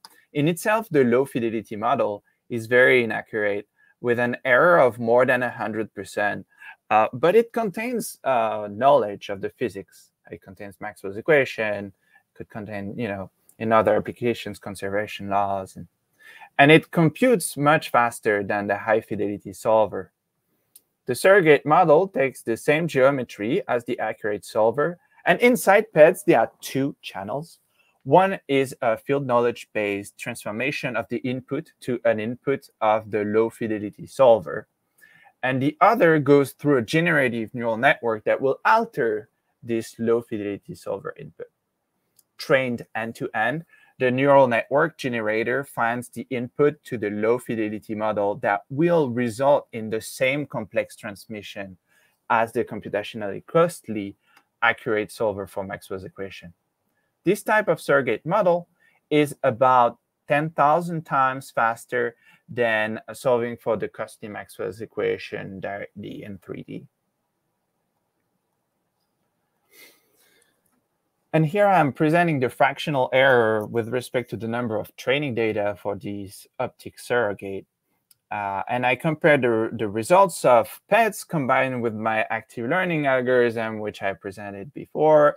Um, and, and, I compare it to this, uh, the neural network only baseline, and also to an improved baseline that uses active learning.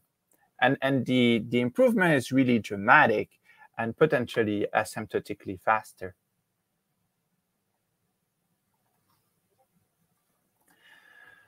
Looping back on the motivation for PEDS, uh, it can be applied to many different physics problems. Uh, a, low fidelity model is very easy to find. It can be, for example, a model that is reducing the resolution. Um, it can be a model that is simplifying the physics, for example, I don't know, uh, um, removing a nonlinear term in the PDE. Uh, and, and you can apply this PEDS strategy for many physics problems. We're currently looking into uh, 3D Maxwell surrogates and surrogates for the Boltzmann transport equation.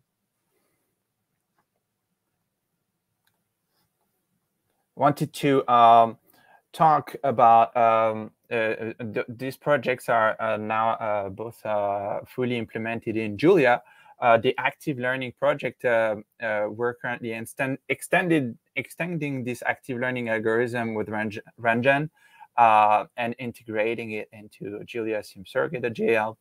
And for the physics enhanced deep surrogate, I'm going to release the code soon. it's currently um, uh, not really open source ready. Um, but uh, it, it, was easily uh, it was easy to stack the neural network with this like solver layer using uh, flux.jl and zygote.jl. And for the back propagation through the solver layer, uh, under the hood, what it's doing is an adjoint simulation that is uh, solved inside an rrule uh, that, that was like custom defined using ChainRules.jl.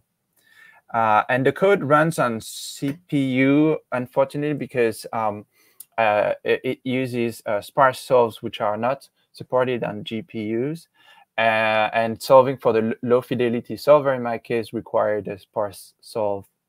Um, but I, I did parallelize the batch loop uh, when training the model using MPI.jl and the all reduce function, which also needed um, another R, specific R, rrule.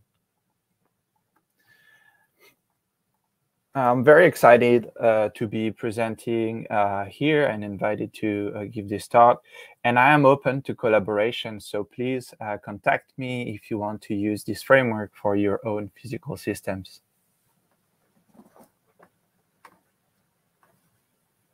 And uh, I will also uh, yeah. answer questions on yeah, discord. Minutes uh, uh, for for your talk. But but uh, but yeah we can um, let me quickly check the the the discord.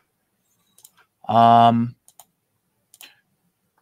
yeah um actually um maybe i should perhaps lead with my own question. Um mm -hmm.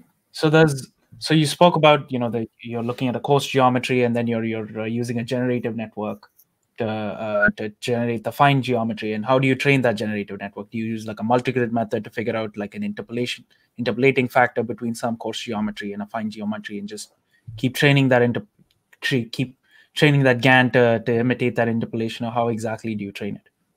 Yeah so the, you know you have a lot of freedom uh, uh, in, in, your generator in the slides I've showed, it's actually um, uh, using a, the parameterization of the fine geometry. So it's it, you know it's using those width of the different rectangles, uh, and then it's just a, a, fully connected neural network that that uh, uh outputs like the a, a coarsified uh, version uh, of the structure that will you know result in in the same um, complex transmission once you solve it with this low fidelity solver and so matching the high fidelity solver. Uh, but I'm also exploring uh, uh, an, in another project like uh, uh, more of a convolutional arch architecture when the input is just like the fine image directly.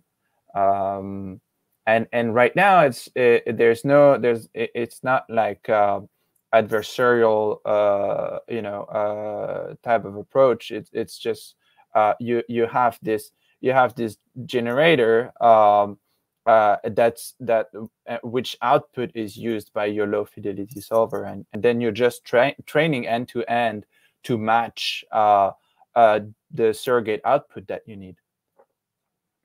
Uh, that makes sense. Thanks. Um, there's a question from YouTube. Um, you mentioned earlier in the in the talk about drawing candidate points at random. Yeah. Uh, so it was like uniformly uh, at random. Oh, uh, yeah. So that that's like uh, that's the baseline we used. Yeah. Okay. The, the question is is what distribution that is, and you and you just uh, answered us. Yeah, yeah, and and then basically the, this active learning uh, uh, algorithm is is really kind of a Bayesian algorithm where uh, you know you're you're you're you're basically changing the the the, the distribution of of uh, of your sample points by using this filtering technique. Um, you also have a couple of questions from Discord. So, um, does PEDS introduce a new level of opaqueness in the investigation of uh, the Maxwell equations? Uh, what does it mean by by opaqueness? Uh, it, it, I would say, if anything, it's it's adding knowledge and it's making it more interpretable. Uh, you can, for example, um, uh, inspect what uh, what is the generated uh, low fidelity structure and uh, maybe make sense out of it. Um, so, so in a sense of interpretability of your model, I think it's uh, and and you and then the low fidelity solver is really just like a solver for the PDE, so it's pretty interpretable. Okay, um, but I'm, I, I might have misunderstood the question. Yeah, no, I um, yeah, I guess that's that's one interpretation. Um, there's there's another one on Discord and on YouTube. So why do you need a, a, a sparse solve instead of a low resolution dense solve? You know, specifically when when talking about the FDTD simulation. Yeah, so it's an uh, uh, a frequency domain simulation. So you have you know uh, your your you, you have your operator that is uh, you know matrix, which is uh, uh, you know very sparse. So you want to use this property in order to you know solve it efficiently and be able to scale it a bit. Okay. And um, I think the the person who asked the question about opaqueness, they by opaqueness they meant that uh, you know there is there's an extra layer added, right? I mean, there's this generator layer added that that perhaps uh, is not interpretable or perhaps is not um, we that, that we don't quite may not know how to interpret as well. Uh, so, Well, have any comments on that? Yeah, in in the arXiv paper, we actually have a whole section about um, uh, uh, uh, you know physical insights uh, related to the the generator. Um, so you, you can see what it generates, and then uh, we did also some uh, PCA analysis of, of the generator, and we could like uh, and and and and this all like the the results we found like all made sense. For example, uh, for um, higher uh, frequency, um, which corresponds to shorter wavelength, the generated structures like were varying va- varying much more uh, compared to like low frequency type of gener- uh, uh, uh, generations. Okay, so I think um, I've exhausted the questions from YouTube and Slack, but I had one. I had one more on uh, on on geometries again. Aren't there other aren't there other types of methods out there that generate uh, geometries for you know for for PDE solutions? Um, and you know, if so, if is, is do you get a chance to look at any of the other methods? Um, so the the method I've um, I'm, I'm not sure I'm answering the question, but um, there is a, a whole literature on a technique called space mapping. Um, and uh, the major difference is in space mapping, the the the dimension of the uh, the dimension of your low fidelity solver is the same as the dimension of your high fidelity solver. So you don't, you don't have that um, uh, that freedom uh, in the generate in the generator. You don't have as much freedom. Uh, so, but that's that's a very large literature over the past twenty years. Um, yeah. Oh, that, that that makes sense. There's there's one more question on YouTube about benchmarks. Um, when you said your approach is faster than PD solvers, you know how how much faster? Um, when I approach what? Um, so supposing um, you know, let's say you're solving the Maxwell's equations, right? Oh yeah, yeah. Versus yeah so, so so in order to get this complex transmission so like it's a surrogate model it's not a solver right so you you only care about the complex transmission for example for some other applications uh, in in thermal uh, you might uh, care about the thermal conductivity of your your structure uh, or like the young modulus in linear elas uh, elastic mechanics uh, so there's just one number um, and so um, to to compute that number uh, it's uh, for example, uh, go back in optics. Uh, it was it's uh, ten thousand times faster to evaluate that PEDS uh, compared to evaluating the brute force Maxwell solve. All right, that that makes a lot of sense. Um, we have 15 minutes until the the next talk, but um, I think maybe we'll we'll close this talk and just break for 15 minutes and come back. Oh, yeah. Uh, th- thanks again, Raphael. This is great. I really enjoyed it.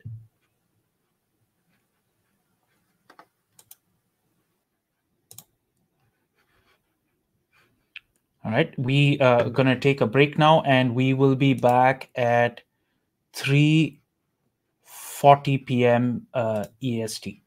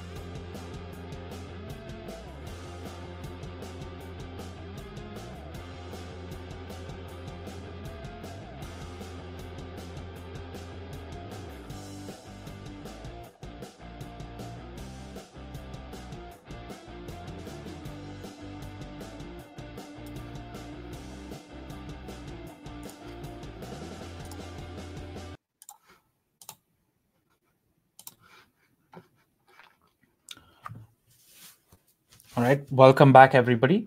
Uh, we will we will start the next talk very soon. Um, let me try and add their pre-recorded video here. Um, right, our next our next speaker is uh, Qingyu Qu, um, who will be talking about fractional order computing and modeling with Julia. Um, this is a pre-recorded video, so um, once the video is, uh, make sure to ask questions on the chat that uh, can check out, either uh, you know whenever it's uh, it's morning for him. So um, we would appreciate uh, we would appreciate you just directing the questions to the chat. And let me just start it off. Hello everyone, this is. Today I'm going to introduce you how can Julia be used in fractional order computing and modeling. Well, we already studied classical calculus. We can get the derivative and integral of a function. But you may wonder, is there a half derivative or a quarter integral? The answer is yes, we have fractional calculus. So here, we have a simple introduction of fractional calculus. Suppose we have a function fx equals cat power of x then we can get the first derivative and the second derivative. We can extend to the nth derivative. So here we replace n to a half. We can get the half derivative of fx. So you may be wonder, we already have classical calculus. What is the meaning of fractional order? So since the invention of fractional calculus, it has shown its powerful application in mathematics and engineering. So I believe fractional order modeling and computing will only become more and more appealing. So first, we will see the FractionalCalculus.jl. It's a package, it's a Julia package we can use to compute fractional calculus. There are differences, derivative and integral in fractional calculus. So we also have support for all these kinds, such as Caputo, Riemann-Liouville, and other sense. The usage of FractionalCalculus.jl is very simple. Just call fracdiff and fracint and pass the function order, the, the, the specific point and the step size, and choose an algorithm to compute the derivative and integral. So here is so here is the different order of different functions. So with the help of SymbolicUtils.jl, we implement symbolic half-order fractional differentiation and integration. While these features are still in test periods, I think I still think these features can help researchers a lot. Then we can see the FractionalDiffEq.jl. Here is the problems overview of all of the problem types in FractionalDiffEq.jl. We have FODE problem, FPDE problem, FDDE problem, FIE problem, and many more. So we can start with the FODE problem, which is fractional ordinary differential equations. We can divide FODE problem into two classes. First, we will see the single term FODE, which means there is only one fractional differential equation. There is only one fractional differential operator in the equation. All we need to do is define the problem by, similar to DifferentialEquations.jl by passing the function, order, initial condition, and the time span. Choose an algorithm and plot our solutions we can see the solver achieve a high precision. Then we can see the multi-term FODE. There are many fractional differential operators in the in the equation. So we can so we can abstract the mathematical models and define our problem by passing the parameters, orders, right hand function, and time span. Choose an algorithm, then plot the approximating solutions. So then we can see the system of fractional differential equations. It's very easy to solve the system of FDE. But here, what I what what amazed me the most must be the enhancement of FDE solvers. So when in MATLAB, we we are so in MATLAB we are we are solving a trial system using FT, FO, FOTF toolbox. But it cost us 20 minutes to complete the simulation. Then we use Mat then we use then we from then we translate the code from MATLAB to Julia. Then we only cost eight minutes to complete the simulation. And that is just what we and that is we just translate the code from MATLAB to Julia. So I believe there will be more improvement in FractionalDiffEq.jl. So here is some fractional order chaotic systems. Very beautiful. Then, then we can see the fractional partial differential equations. Uh, there are relatively little solvers for FPDE, mainly focused on diffusion equations and advection equations. But I think there will be more solvers in the future. Then we can see the fractional delay differential equations. It's also very easy to solve these problems. Abstract our mathematical models similar to DifferentialEquations.jl and choose an algorithm and solve the problem. Plot the numerical solution.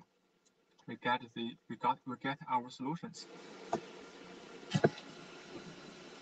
Then it's very easy to solve system of FDD. Just define problem, solve problem, and plot solutions. Yeah. Okay. Then, we can see the distributed order differential equations. So what is the distributed order?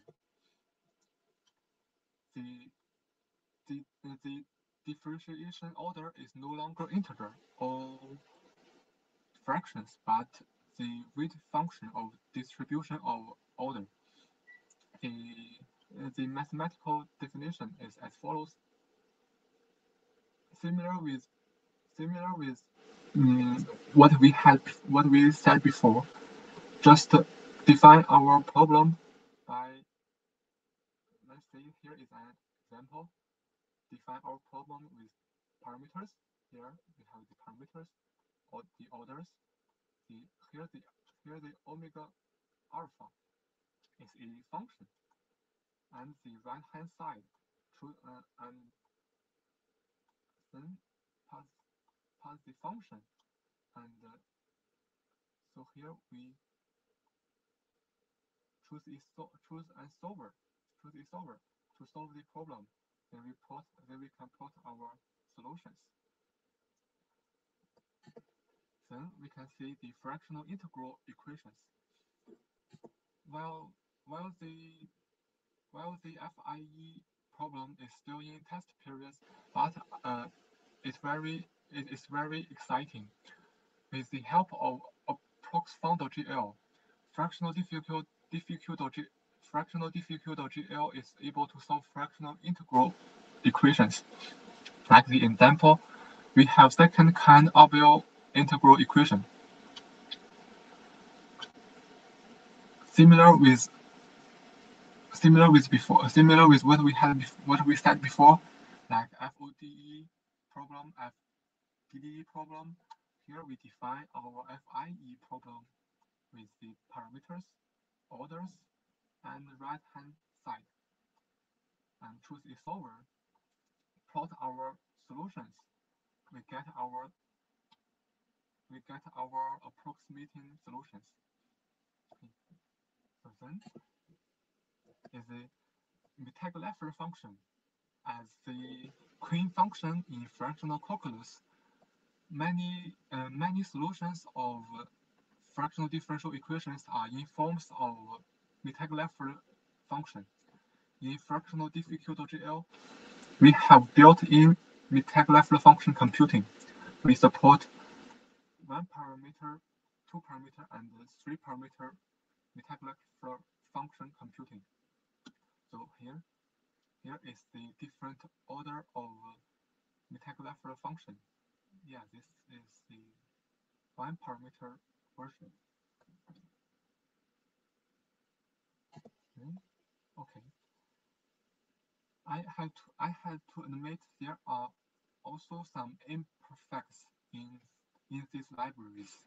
There are still more there are still a lot of works we need to do in the future. For example, the design pattern and the, the benchmarks, also the documents. There are some missing documents we need to we need to fix. So here in SciML conference, I call for developers who interested in fractional differential equations and Julia to join us. So our mission, uh, our mission is to make the fractional order modeling and computing more easier with Julia. Yeah. Okay. That's all. Thank you.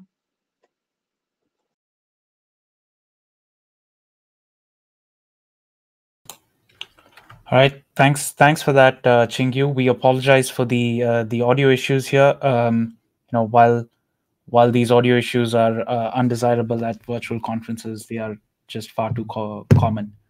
Um, so um, we we again we have uh, time to spare before our next talk. So what we're going to do is take a break until our next talk, which will start at 4 p.m.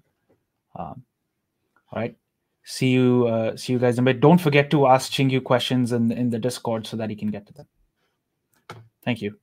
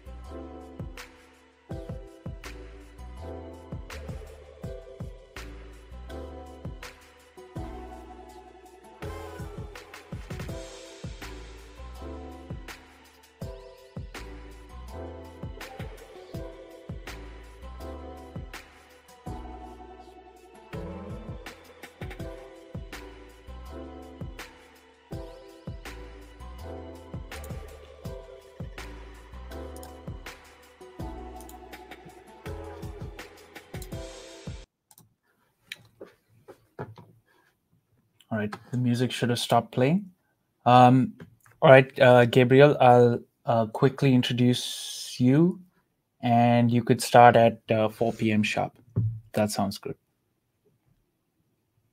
Uh, you are on mute, by the way. Can you hear me all right now? I can hear you all right now, and your and your screen is visible too. So that sounds good. Yes. All right. Um, Right. It, it's four, so I'll introduce you. Um, um, please let me welcome uh, Gabriel Birnbaum, who's gonna talk to us about modeling plasma phy- physics with neural PDEs.jl. Cool. Thank you. So, hi everyone. So, my name is Gabriel Birnbaum, and I'm an independent computational scientist based in San Francisco. Um, during the day, I actually work at a tech startup here uh, called Substack, and at night, I work on like modeling differential physics, which I find quite neat as a little hobby. Um, and today, I want to talk to you about how I used um, NeuralPDE to solve some plasma physics models and to build Plasma JL, which is this interface to make it easier for others to do the same. So, we're going to talk about building this interface, extending NeuralPDE to these use cases, and generally working with physics physics informed neural networks. So, first, let's talk about what is a plasma. Not to be confused with the blood plasma, or what we're talking about here is the superheated matter, also known as the fourth state of matter. So, when something is very cold, it is in a solid state. You heat it up a bit, it becomes a liquid. You heat it up more, it becomes a gas. And when you heat up a gas to a certain point, um, in really extreme temperatures, the electrons are basically ripped away from the atoms, making it an ionized gas, um, which is also called a plasma. And these gases, they're electrically conducting systems, and their behavior is pretty complex. As you can see, you know, gas models are already pretty complex to model. And once one adds electrodynamics to it, the system becomes even more um, intricate. But in any case, plasma is pretty important. It comprises over 99% of the visible universe. Stars are plasmas, nebulas are plasmas. And um, it is the active goal of um, uh, part of astrophysics and much of nuclear fusion research to predict um, the behavior and movement of plasmas. So I guess the question comes up that how does one model plasmas? And one way to do that is through the Vlasov equation. And this Vlasov model is one of the most accurate models that we have to model plasma behavior. It's a kinetic model and it describes the time evolution of the distribution function of a plasma. It is also one of the most complex models that we, we have in plasma physics. Um, as you can see here, um, a lot of math. We don't need to worry too much about Um, it. Gabriel, are you are you uh, are you uh, changing your slides there? Uh, because Yeah. we cannot see the the slides changing. Oh, that is odd. Did you see Okay. this change? Uh, no. Um, You see this? Ah, this? now now I can see it's changed. Changed. That Let's do it like this then. Sorry about Yeah. that. Um, okay, so we were here. What is a plasma? And now we're talking about plasma and the Vlasov equation. Sorry about that. Moving along. So basically, um, the as I was saying, the Vlasov equation describes the time evolution of the distribution function of plasmas, and it is a pretty complex model. Um, I'm not going to go into the math here per se, but as you can tell here, this is, this is pretty complicated. It is um, a, a phase space model, so it, it can be up to six dimensions plus time. Um, uh, so uh, you need to know the position and velocity of each particle, um, or um, at each point, which is you know um, a lot of dimensions. It is also a self-coupling system. So here, the distribution function f um, describes um, and defines rho and j, and rho and j basically um, define the electro electric and magnetic fields E and B, and these fields then impact f. So this makes the system pretty nonlinear. Um, and that is like sort of a, a, really part hard ma- makes the whole system fairly hard to um, model as well. And because of that, it is pretty hard to solve this numerically, and we still don't have good models for it. Um, and you know, some other things make it harder. Like the system needs to conserve um, charge and momentum and preserve positivity of the distribution function. And it's hard for the meshes um, generally to handle several characteristic speeds. So you have waves that are really fast and waves that are really slow, and they're interacting together at all times. Um, and that's pretty hard to to figure out. Um, so we thought about just doing what about physics informed neural networks? Can we use that um, instead of meshes to to um, solve this? And we thought that this was a good idea because the initial approach is basically like let's give it a shot, right? Let's try this like new new new way of modeling things and see how far we get. And I think it's important to highlight, and I, wonder what Chris Rackauckas would say about it, is that I think this is sort of one of those good use cases for physics informed neural networks. I think they are overused, but in a case where something is high dimensional and our numeric models are not very good and surrogate models are quite attractive, um, then using um, physics informed neural networks could um, make sense.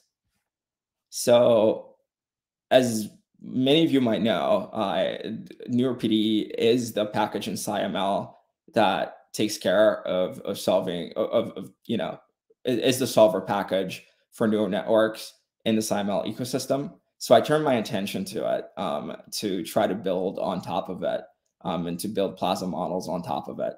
Um, but there were a few problems at the time. So for one, um, the the Vlasov equation is a heterogeneous integral differential equation with indefinite integrals. And at the time, NeuralPDE did not support um, integral differential equations, nor did it support heterogeneous systems, nor nor did it support indefinite integrals. And I still wanted to do this. So what I did is I actually just went into the code and started to like um, uh, contribute to it. Um, I mentioned this fairly um, just because I think it's a good model to contribute to SciML this way, like trying to expand the scope of what it can do and thus like doing cool things with it. Um, and it was a lot of fun. So I, you know, encourage everyone to do the same. But that's enough talking. Um, how about we talk, we go through a code example and uh, we, we just walk through it line, line by line, but I'll just basically describe it first that um, pl plasma is basically uh, an array of distribution functions and species so you you give it um, you give a plasma, you describe a plasma by saying, "Hey, I want this plasma to be electrostatic or collisionless," and then you you define it by setting up the distribu- initial distribution function and the initial species.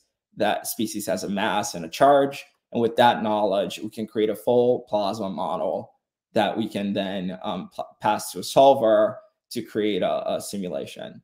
So the first line here, we just call plasma and all its contents. Um, uh, the second and third line there, we just define the temperature that's going to be used to define the Maxwellian um, uh, distribution of, uh, of the, the plasma that we're trying to model. And then in line four and five, we define species. These are predefined species that are already um, in plasma JL. So this is a deuterium ion, and the other one is an electron. Um, then the lines underneath that we then set a distribution object based on the Maxwellian initial distribution and the species D, and the same analogously to E. What we're doing here, this Maxwellian distribution is already predefined in plasma.jl, but you can also create your own um, uh, distribution functions. We don't need to think about the geometry right now, but basically what we get at the end is that we get to define a plasma as an electrostatic plasma that takes these distributions and the geometry and th this this object can then be passed to the solver that can then take in any kind of, of you know can do any kind of dimensional um sol solve with any strategy available in your PDE any number of layers and of neural networks and that's all sort of like abstracted away. So you can you can configure it if you want to but we we have like reasonable and sane defaults to make it even easier to model plasmas.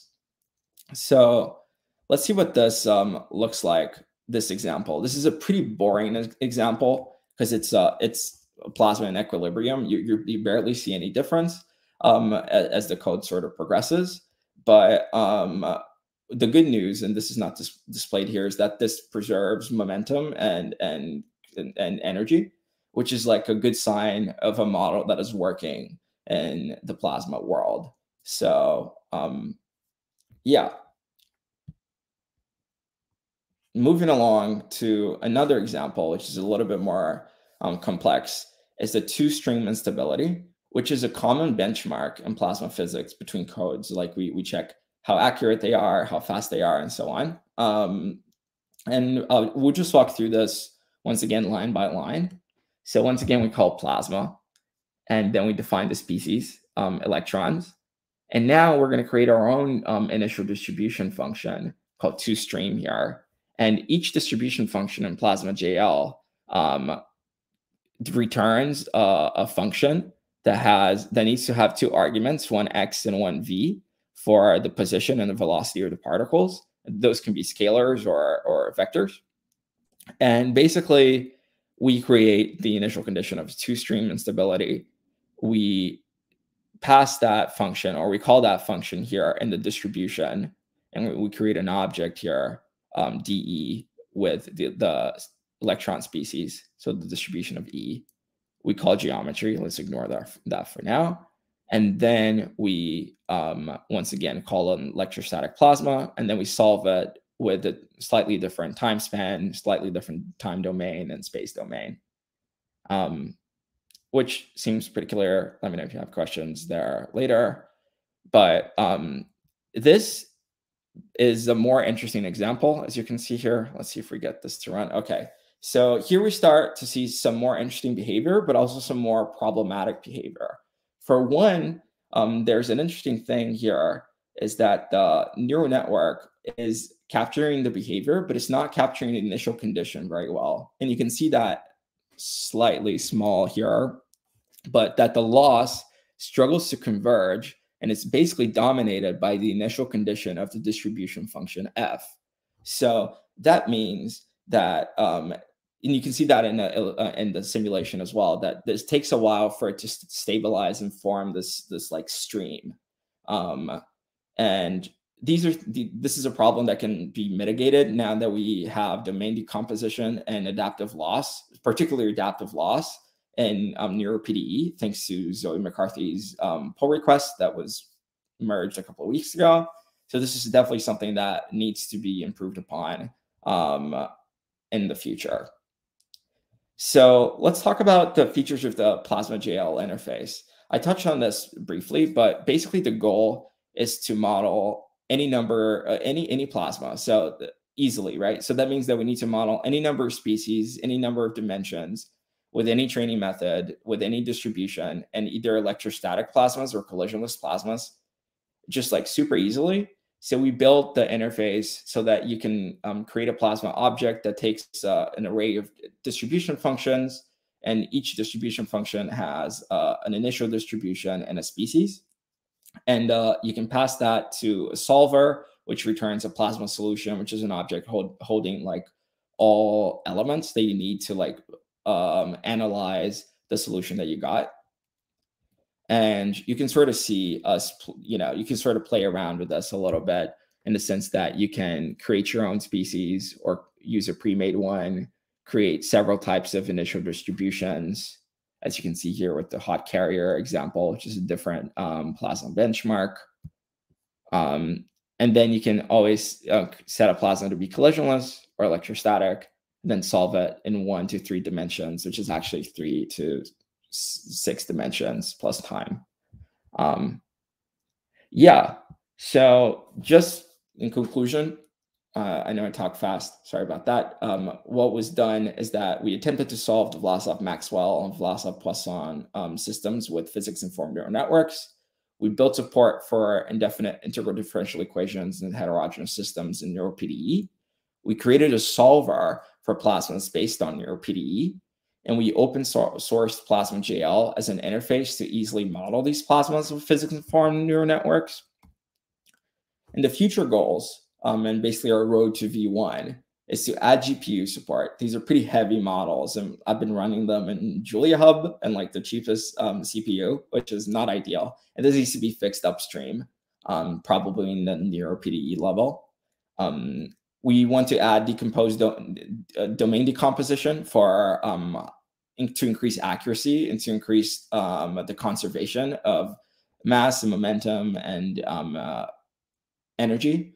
Um, in some of these models that that I ran, um, conservation um, started to wane as the model advanced um, with time, and with domain decomposition, we think this is going to be well mitigated. Um, we also want to use adaptive loss for some some models that are harder to um, that, that you know that struggle to converge, like the one I, I, I showed earlier. We want to create a Makie recipe for better graphing. Right now, this is a problem with NeuralPDE as well. And we need to get a little bit better at graphing. I think this needs to be solved a little bit further upstream. And then we want to add support for our surrogate models in an interface um, which is already possible in NeuralPDE, and then also add batteries included um, validation. Um, so basically, I can ask, "Hey, PlasmaJL, how well is my how good is my model?" And it can just show me the conservation laws and how well they're being um, maintained in the, in, in, the simulation. So I can basically know how much I should rely on um, the model that I'm looking at. Um, thank you. Um, you can reach out on Discord or via email or check out my GitHub, and I'm happy to answer questions now. Thanks, Gabriel. That's very nice. Um, I uh, I'm just picking up some questions from YouTube and Discord. Um, so the first question is, uh, what does your plot show for the two stream instability? How does this compare to a, uh, kinetic or PIC model? Oh yeah. So basically, that one is I'm basically I, I get the question because I zoomed in into one stream over there. So basically, you you could zoom out, and then there are two streams down there. I just wanted to show the weird behavior that you saw on on the, on that one stream on top. But basically, it's the same. It, it's it plots f versus v um, in zero to four domain, um, and that's like different from a particle and cell model because you're not actually moving a particle. You're just seeing the solution to the Vlasov equation in that time um, and space domain. All right. Um, next question. Uh, how does your model handle kinetic effects like Landau damping? Um, well, the Vlasov equation generally um, neglects some some um, damping, um, if I recall correctly. Definitely some scattering is neglected there. Um, basically, it's it models every it's supposed to model everything the Vlasov equation models, and it's supposed to neglect everything that Vlasov equation neglects, right? So it's basically just plugging in the Vlasov equation and to a physics informed neural network and seeing what it does. All right. Um, next, uh, is the number of particles in each species defined by the distributions you mentioned? Is there a limit? Um, and as a follow up, is that also is that also a way to add boundary conditions or uh, or external fields? Um, can you repeat the first question? Uh, the first question is the is the number of particles in each species. I, I, I assume that this question is specific to a slide. Um, yeah, yeah. Is it defined um, by any distributions that you mentioned, uh, or is that a limit? Yeah. So so this is a little different. So this is a particle and cell uh, method has like a number of particles and and what we're doing here is is really just solving mathemat like approximating the Vlasov equation with a neural network. So it's a bit it's, it's something a bit different. All right. Um, I okay. So last question. Um, last question. So how how can you do hybrid models with plasma.jl? That would be that would be the ideal thing, I think. So um, using that to develop surrogate models would be would be great. So because you have this thing in plasma physics called um, gyrokinetic uh, models, which are pretty accurate but super expensive. Um, and doing that with like a hybrid model with that and PlasmaJL will probably be probably be the way to go um, uh, long term for like high accuracy. It is not something that's been implemented yet. Um, so, yeah. All right. Um, I think we can do one last one. Like, did you did you happen to comment on boundary conditions? Um, you know, or oh yeah, you uh, you can implement your own boundary conditions as well. So that, and that, that will just go into the PINN. You know. Yeah. The, so you can also pick them like um, to be Dirichlet or um, Neumann as well, or you know, for for the distribution function, they can be reflective or not, um, or periodic. Um, that's all implemented in the interface. All right. Uh, you you have more questions, I think, in you on YouTube as well as um, as well as Discord. So do uh, do check both those out. Um, and uh, thanks again, Gabriel. I'm just going to move on to the the next speaker real quick. Thank you. Um, next, we have Avik, uh, who's um, I Avik, your your screen is your screen is a bit, I you know, ah, this now now it's now it's better. I was confused as to what was happening there. Um, all right, I, I will quickly introduce Avik Pal uh, from the Julia Lab at MIT, who's going to talk about mixing implicit and explicit deep learning with skip DEQs and infinite time neural ODEs. Yeah. So hey everyone, I'm Avik, and I'm going to be talking about uh, mixing implicit and explicit deep learning with SkipDEQs. So this is a work done at Julia Lab in collaboration with Alan Edelman and Chris. Uh, so we'll directly get into uh, what deep equilibrium networks are. So they're essentially a class of implicit neural networks which are used to model infinitely deep neural networks. So what that means essentially we have an explicit neural network, let's say f of theta, and we just want to apply the same function over the input x an infinite number of times. So it's essentially an infinite composition. Uh, but that raises two questions. How would we actually backpropagate through an infinite composition and how do we reasonably store those intermediate solutions because there are potentially an infinite number of them. Uh, so what happens when you actually iteratively evaluate the same function over, over, over and over again? So there can there can be many possibilities, but let's say three of the most common ones. The first one would be if the solution just diverges. One case could be the solution keeps on oscillating between multiple values. And the third one could be that it reaches a steady state or an equilibrium.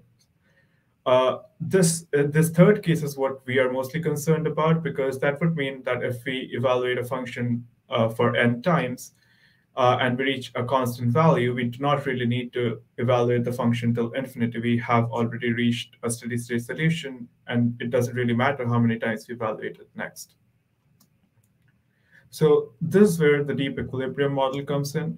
So instead of just uh, defining a new, new, explicit model, we are just saying that the output of this uh, equilibrium model must be the steady solution of the steady state equation f of theta uh, with the initial conditions zero and parameters theta.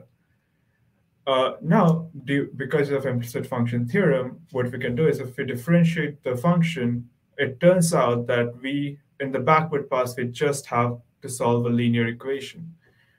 So we do not really need to solve, like store any of the intermediate values.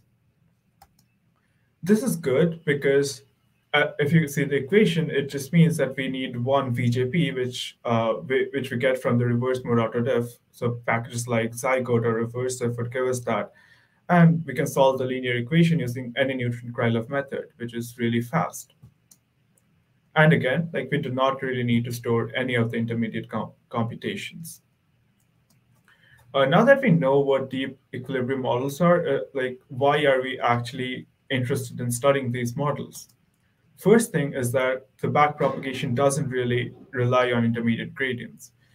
Uh, so which means that these models are really memory efficient. Like you can have a thousand iterations or a hundred iterations. The memory cost for the backward pass is constant.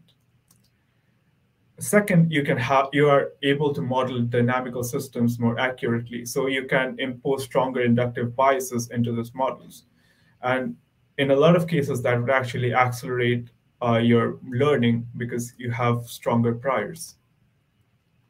The last and uh, the case that we are mostly interested in is that these models can automatically adapt their depth to the input. So for explicit models, you have a fixed model, and given any input of any complexity, you have the, you have to do the same computation. But let's say you have two cases where one is a simpler input and one is a more complex input. You want to have more depth for the more complex input and have shallower depth for the easier one. So a deep equilibrium network or even neural ODEs will automatically adapt its depth based on what the input is. However, like uh, as we saw for deep equilibrium network, in the forward pass, you have to solve a steady state equation, which is not very cheap. So how do we accelerate that? And that is the question that motivates us to develop this new framework called SkipDEQs. So then, like we have a very simple intuition. The initial condition that we give to the solver is not very good. It's just zero, which doesn't really make sense. Can we make, have a better guess? So what we do is we have a small explicit model, let's call it G of phi, and we tell the network to guess a good initial uh, condition for our steady state solver. So if the model is able to predict the initial condition that's really close to the actual uh, steady state, we'll have to perform less iterations. So the idea is that over time, like as we are training the model and we are doing it end to end, so we are jointly learning theta and phi, the model would learn to predict the steady state solution, or at least get so close to it that we have to perform very uh, few iterations. So we can think of it like a predictor corrector approach. So the neural network G of phi is the predictor, and then the steady state solver is just performing a, a set of corrections. Uh, but now we have introduced a couple, like a few problems. Like, do we now we have to we have more hyperparameters in the form of G of phi, which is not ideal. In our experiments, we just found that if we set G of phi to be f of same, same as f of theta, uh, it just works for all the problems. And as far as how do we train it, we have the we just minimize the L2 norm between the initial between the guessed initial condition and the final solution from the steady state solver, and that's and that's the essentially auxiliary loss term, and we can end-to-end backpropagate through this. Uh, we also explored another idea. So as you can saw that introducing G of phi added some extra parameters. And like since our entire pitch is around like we have low uh, low memory requirements, it's uh, not ideal to have extra parameters. So can we actually get rid of that? It turns out if we, instead of using G of phi, if we minimize, so if we, perform one iteration of f of theta, and we say that the first iteration needs to be as close to the steady state solution. So what this does would be this would incentivize the model to learn a simpler dynamics. And turns out in most cases, even this outperforms the SkipDEQs. And we just call it SkipDEQs version 2. Uh, now I'll just uh, introduce the package that we have been working on for this. So we call it FastDEQ, and it's uh, publicly available on GitHub. So what do you do uh, to define a deep equilibrium network? You just pass an initial model and you just say what solver you're going to use. For now, uh, let's call this discrete DEQ solvers. I will discuss what they are in the later slide. To define a SkipDEQ, you would just have to pass an additional function, which is essentially modeling g of phi. Similarly, for the regularized DEQs or SkipDEQ v2, you just uh, don't pass g of phi. So like with a simple API, you can actually perform all these kinds of different uh, deep equilibrium networks, and uh, it already implements all the linear solving in the backend and everything. Now coming to infinite time neural ODEs, or as we call it, continuous DEQs. So the models that we saw in the previous slides uh, were modeling discrete dynamical system, but discrete, like discrete dynamical system come with its own set of problems. So consider a linear dynamical system uh, with u naught equals to 1, we know that it will converge to a steady state of 0 if, al if the norm of alpha is less than 1. But if you see that, if you set alpha to 0.9, you will see that every step is like, it's just slowly, slowly going to con convergence. So in most real world applications, we uh, evaluating the function would be very expensive. So we do not want to make a lot of evaluations. Similarly, if alpha is minus 0.9, it just this value just ping pongs over the steady state. So like we consider these shortcomings of dynamical, like discrete dynamical systems, and what we could do is rewrite the DEQ as a continuous dynamical system. So instead of uh, finding a steady state for f of theta z minus z, uh, we are taking that quantity and saying that this is the rate of change of z.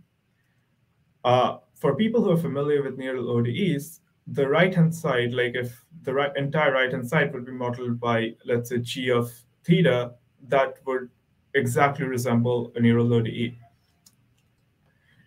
Uh, and now we are solving this uh, uh, infinite time neural ODE with the initial condition z naught, z naught, and we are solving it till time t equals to infinity. For a neural ODE, we would uh, stop at a lesser time, let's say at t equals to one or two or something like that. Also note that this formulation just works out of the box with SkipDEQs because we would just have to change the initial condition and we have made no assumption on what the initial condition is for modeling it as a continuous dynamical system. Again, like we uh, provide out-of-the-box support for continuous dex and fastdex. So this was the example from the previous slide. Uh, so we have a discrete dex solver. So instead of just passing a discrete dex solver, you could just pass a continuous dex solver and pass your favorite ODE solver. So here we are using Tsit5.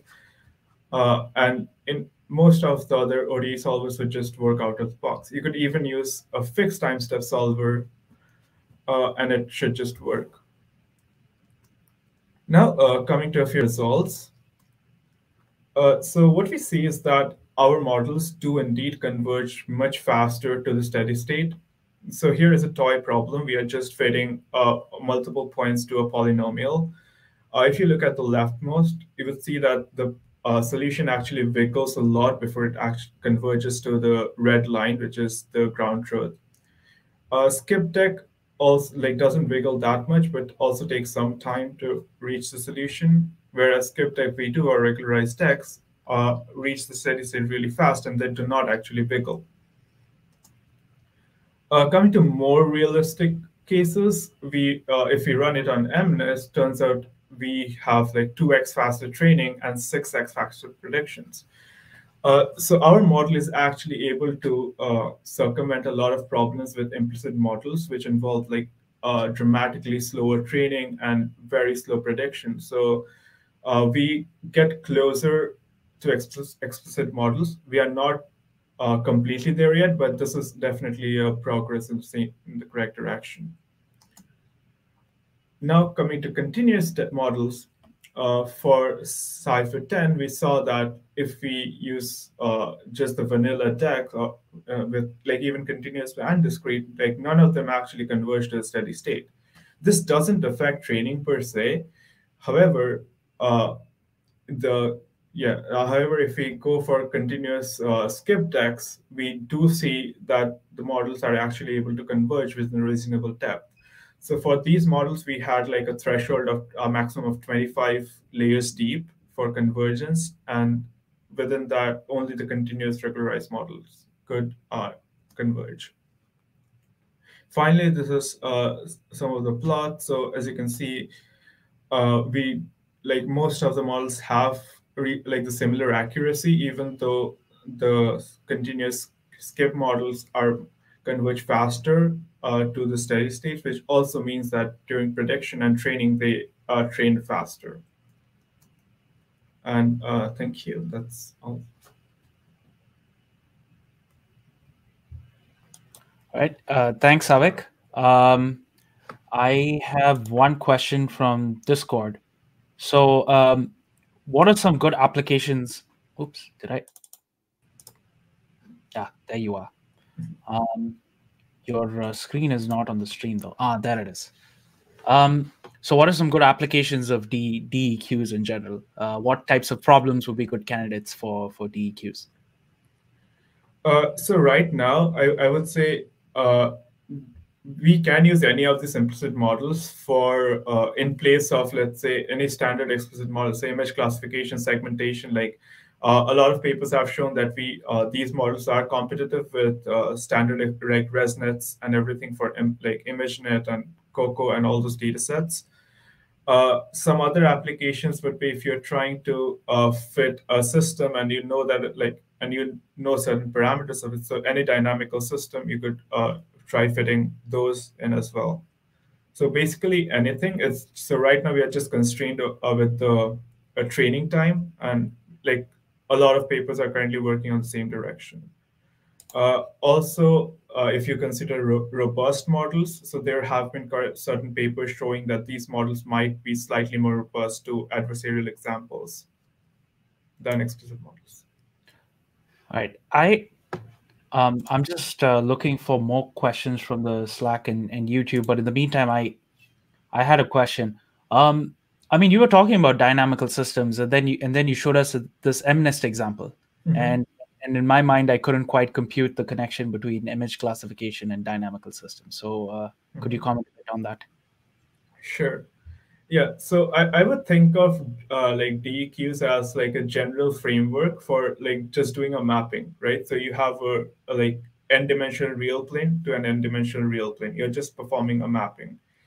Uh, so yes, that the uh, we are so this mapping is being performed by a dynamical system, but the input can really be anything. And so and because we were targeting like a more machine learning uh, like traditional deep learning space, it made sense that we have like an image classification problem where the input is like an n-dimensional input would be the image, and we are just transforming that image into some latent uh, space and then just applying some form of like classification head over that. I see does that, that clarify. Yeah, that that does. Thank you. Um, let me let me check the. Uh, check the other platforms. Um, have you uh, have you tried have you tried it on dynamical systems then? And uh, you know, have, uh, what sort of uh, benchmarks and results do you see? Uh, we haven't tried directly these models on dynamical systems. However, like we are uh, using, like we are we have been developing models inspired by this idea of like better initial guesses for stiff uh, systems. And I can say that we are getting at least like around seven to eight X performance gains there, like even if we include training times and everything. I see. All right. Um, I think that's, I, I know we, we have like three to four more minutes. I think we, uh, we don't have any further questions in the chat. So what I will do is I will take this time to thank you and uh, transition to the next set of speakers and um, and get that all set up for them. All right. Thanks again, Avik. All right. Hey, Theo and Zach, welcome. Hello. Thank you. So, uh, sorry, Zach, could you could you test your audio again? I'm not sure I heard you well. Hi, could you hear me? Yeah, now now I can hear you. Okay. okay. Um, do you so do you guys want to both share your screens and I can put whoever's screen on? Uh, sure. Great. Yeah, Zach's going to be sharing first. Okay. All right. Full screen. Try full screen. Yeah. Yeah, and uh, well, uh, we have another three minutes, so um, you know you can start then. Theo, when will will you be speaking over Zach's slides, or do you do you have a separate screen to share that I should switch to? Um, I will be speaking first for the first two, and then um, I will uh, have a separate screen share the uh, second half of the talk. Okay. Would you would you mind testing that screen share as well, because we have the time? Yes. Let me do it. Oh, looks like I have to quit Google Chrome and reopen it real quick. So. Good. We started early then.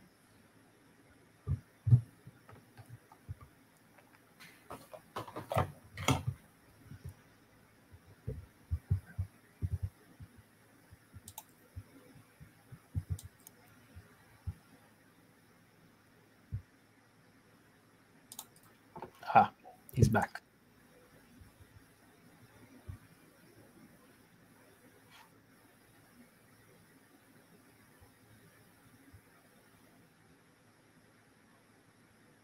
Okay.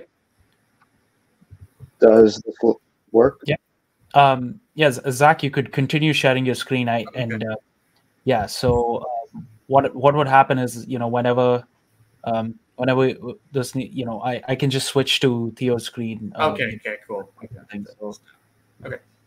All right. Yeah. So yeah, you could just keep. So you're your first full screen. Yeah. I'm just gonna I'm gonna put your slides on, And since we are one minute, I'm just going to start introducing uh, both of you, and um, and then you can take it away. All right. Um, all right. Thanks. Thanks everyone, and um, welcome back. We are with uh, Theo Diamandis and Zach Frangella, um, who will be talking to us about uh, speeding up a backslash b with uh, RandomizedPreconditioners.jl. Um, uh, whenever you guys are ready, you guys can uh, can take it off.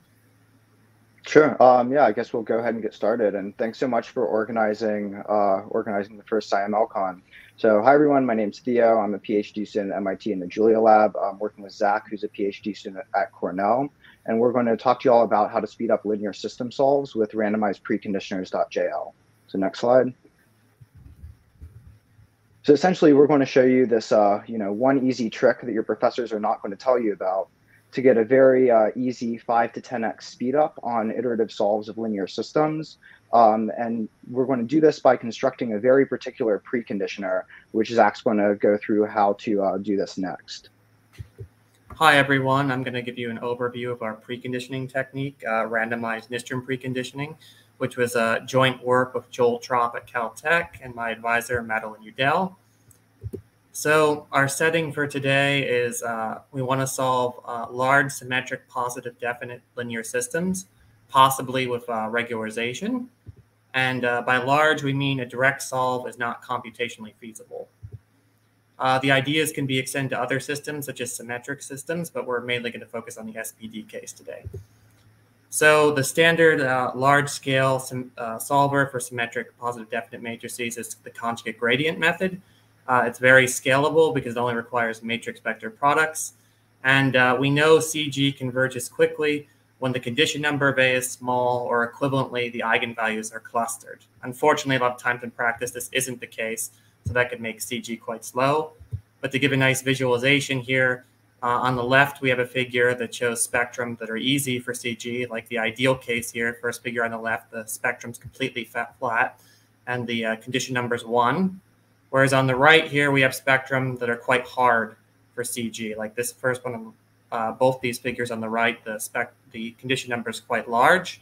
Um, especially in particular, this one on the right, you see the spectrum a lot in machine learning applications. So uh, if you notice, if you could just kind of flatten the top spectrum here, you could get a very uh, well-conditioned system and CG would be fast. And the, the preconditioner we're going to talk about today does this. So what is a preconditioner? So preconditioner is something that, you know, has basically has to satisfy two properties. Uh, you can easily apply its inverse and, you know, it makes results in a nice spectrum where the uh, preconditioned matrix well conditioned. If you get that, you know, CG will be very uh, fast to converge. So like what our approach is, is that uh, we basically find like the best possible preconditioner uh, for a certain class, but instead of doing it, uh, forming it exactly, which would be quite slow, we approximate it in a fast and efficient manner. So the ideal preconditioner uh, for our type of problem would be uh, if you wanted to just flatten the top spectrum, the ideal thing would be to find where, you know, uh, the rank K that you need to go to to flatten the spectrum sufficiently.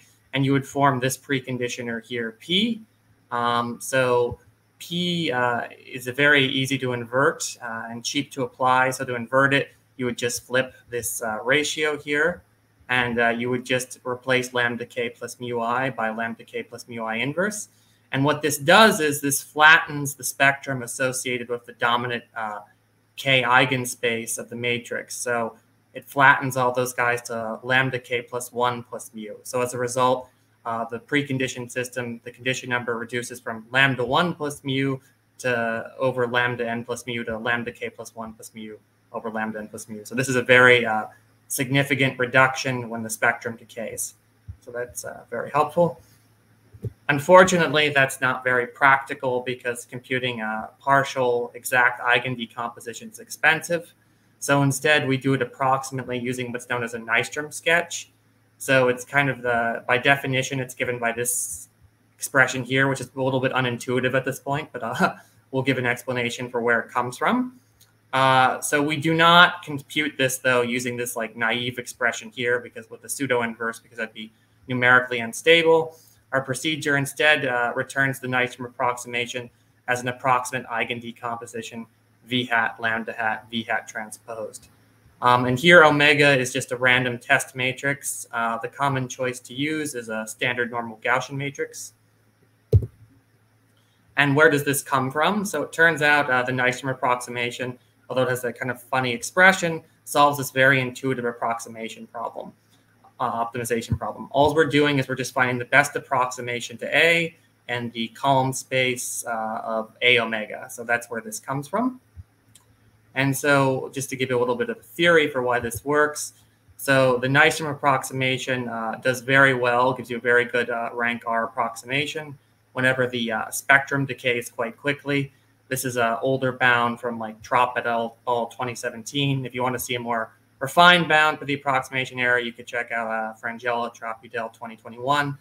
And, you know, in the case of regularized systems, uh, we've showed that, you know, under the right conditions for constructing the preconditioner, the condition number is uh, less than 28 in expectation.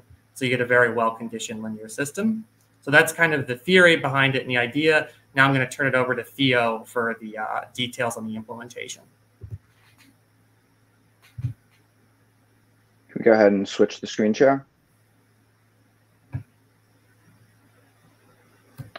All right, great. Um, so the uh, implementation of this is going to be in RandomizedPreconditioners.jl. Um, and you can construct the Nystrom sketch with only two lines of code. Um, so one line of code to construct the sketch, and then another line of code um, to build the preconditioner. And sometimes uh, you may want to get uh, p inverse as well. And so this can be done super easily with um, a Nystrom preconditioner inverse.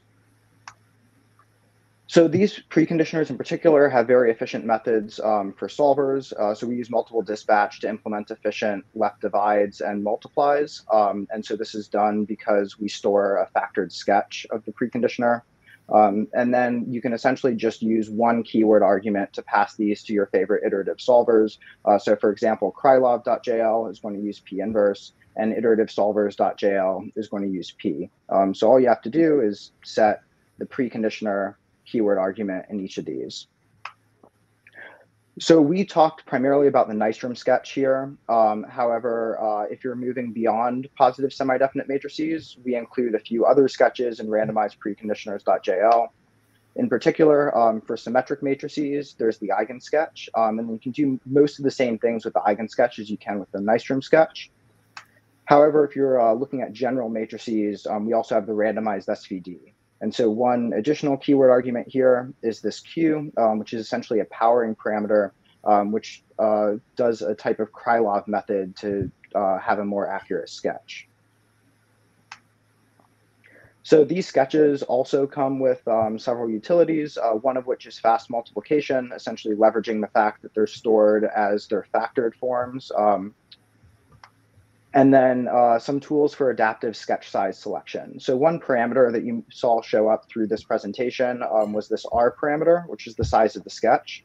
Um, and a lot of times you don't know this a priori. Uh, you would only actually know it exactly if you could compute the full eigen decomposition. And the whole point of these methods is that you don't do that.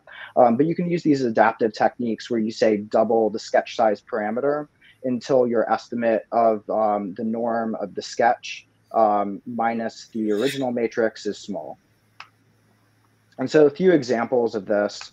Uh, here's one of ridge regression um, with a uh, with about 4,000 features, and this is a data set from OpenML. The eigenvalues of the matrix that's constructed are on the left. Um, you can see that essentially the rank of the matrix is approximately 2,000. And then you can also see mu, which is going to be the parameter of ridge regression, uh, which we choose as 1e negative 4. On the right is the convergence of conjugate gradient uh, with several sketch size selections. Um, so several sketch size selections are. And one thing in particular that I want to point out is essentially whatever parameter you choose, you always get a speed up here. And these uh, sketches are really fast to construct. So it almost never hurts you to do something like this. Um, however, you can see that even if we choose a relatively modest sketch size, so for instance, r equals 100, we get about a 3x speed up, despite the fact that the true rank here is about 2000, so it's much uh, greater than 100.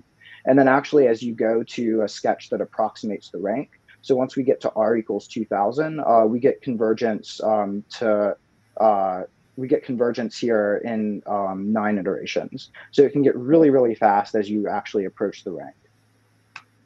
And then back to the example that I showed at the beginning of this presentation. Um, here's ridge regression with 15,000 features. Um, and this is solved with the Nystrom preconditioner in under five seconds on a laptop. The um, preconditioner itself takes about two seconds to construct. So you're getting a total system solve of about six seconds with the Nystrom preconditioner versus about 25 seconds with no preconditioner. In addition, um, this is a case where the diagonal preconditioner works quite well. However, a lot of times the diagonal preconditioner doesn't work particularly well. Um, however, the Nystrom preconditioner can usually uh, almost always get you some type of speed up. So again, it almost never hurts. So uh, to go from here, um, I encourage you to check out RandomizedPreconditioners.jl, which has uh, these methods, um, and that's on GitHub right now. It's being added to the Julia registry in a few days. Uh, also, this does work with LinearSolve.jl, which is the SciML linear solve interface. So again, just with two lines of code, you can construct your preconditioner and then um, just put it in whatever uh, solver you call from LinearSolve.jl. In addition, uh, check out Zach's paper on Nystrom um, preconditioned conjugate gradient method. And then for more kind of in the randomized numerical linear algebra um, world, you can check out this Martinsson Tropp survey, uh, which is recent and quite good. So to conclude and just highlight a few future directions that we're thinking about, um, with this package in particular, one of the things that we would like to do is add additional test matrices. So right now we're using that standard Gaussian normal test matrix that Zach mentioned. And uh, this is great for dense systems. However, for sparse systems, it a lot of times destroys the sparsity pattern. However, there are some other um, test matrices that are more specifically tailored for sparse systems. And so we hope to add those to the package pretty soon.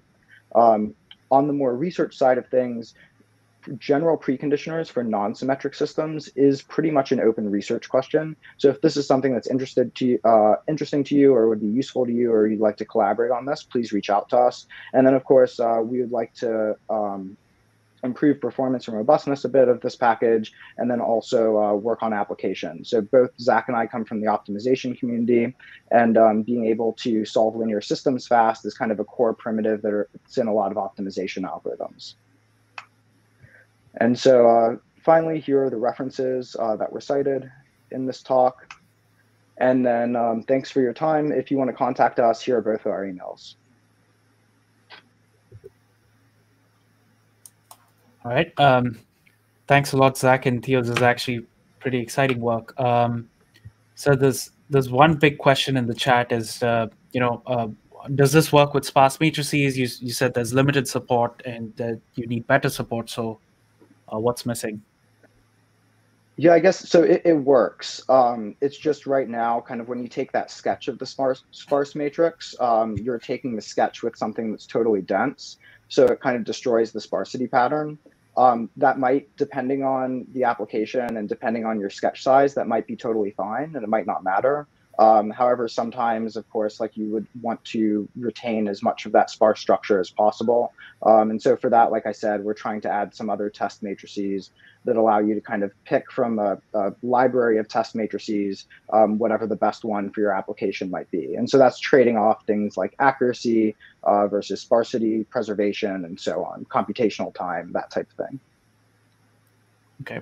Uh, we there's uh, there's another question from YouTube. Does um, can it take a, a, random number generator state you know just setting a random number generator state to make this entire thing reproducible? Oh uh, yeah that there's no reason uh, why it couldn't. Okay. Um so um even even with the um, so even with your sketching right you don't you maybe you don't even need to preserve sparsity in a sense right? You just need um, you just need a, a, sparse matrix that's that's sort of easy to invert according to your uh, according to your sketching standard, right? And it just needs to perhaps have the same sparsity level, um, or or even if it doesn't, it it, it yeah maybe maybe just the space same sparsity level given given the the memory requirements of the problem at hand, uh, generally speaking. So um, so so yeah, do you have any comments on uh, comments on that? You don't need to, I guess, you don't need to uh, the fact that you don't need to preserve sparsity or, or I don't know. Maybe maybe that's what you meant by preserve sparsity.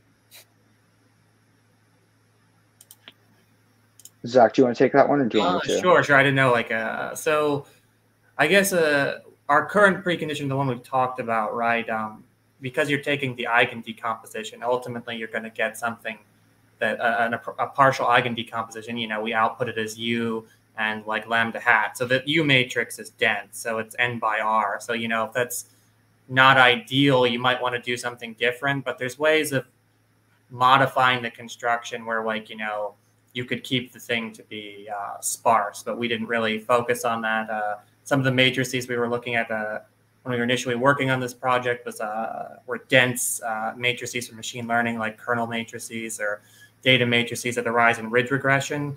So that was our focus. But there's some different things you could do probably to better optimize for sparsity.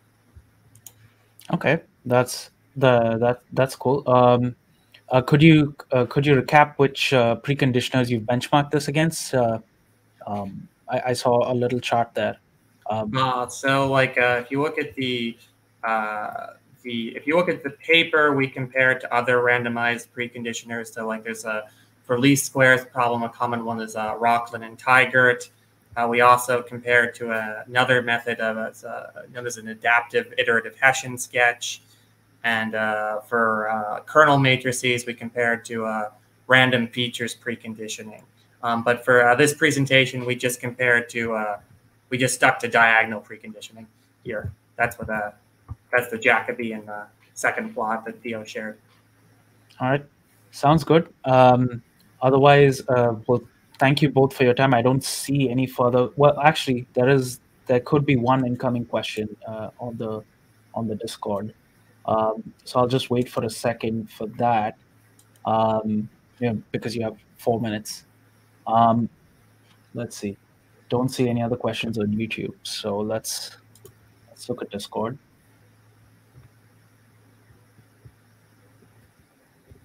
All right, this is taking a while. Um,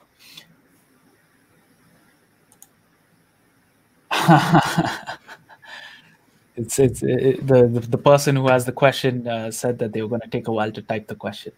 So um, so yeah i guess they're they're in a race for time here. But um, but now this this this is great work. I i, I really enjoyed this. Um, i can't wait uh, to try it out with my with my stuff. You know sparsity i think would be a big thing for for a lot of people. Um, you know just just mostly because you know pdes and all of that you know yes mm. it's sparse yeah you want to preserve yeah. that structure for sure yeah um, all right. And we're currently working on applying this in some optimization contexts, which also a lot of times have have sparse structure as well. Mm. Yeah, I bet. Um, okay, so I'm okay. So the question hasn't come in yet. So what I will do is uh, I will request both of you to to get on the Discord and sort of help answer questions there um, because it's fascinating work. So um, so and I'm sure people are pretty enthusiastic uh, to ask more questions.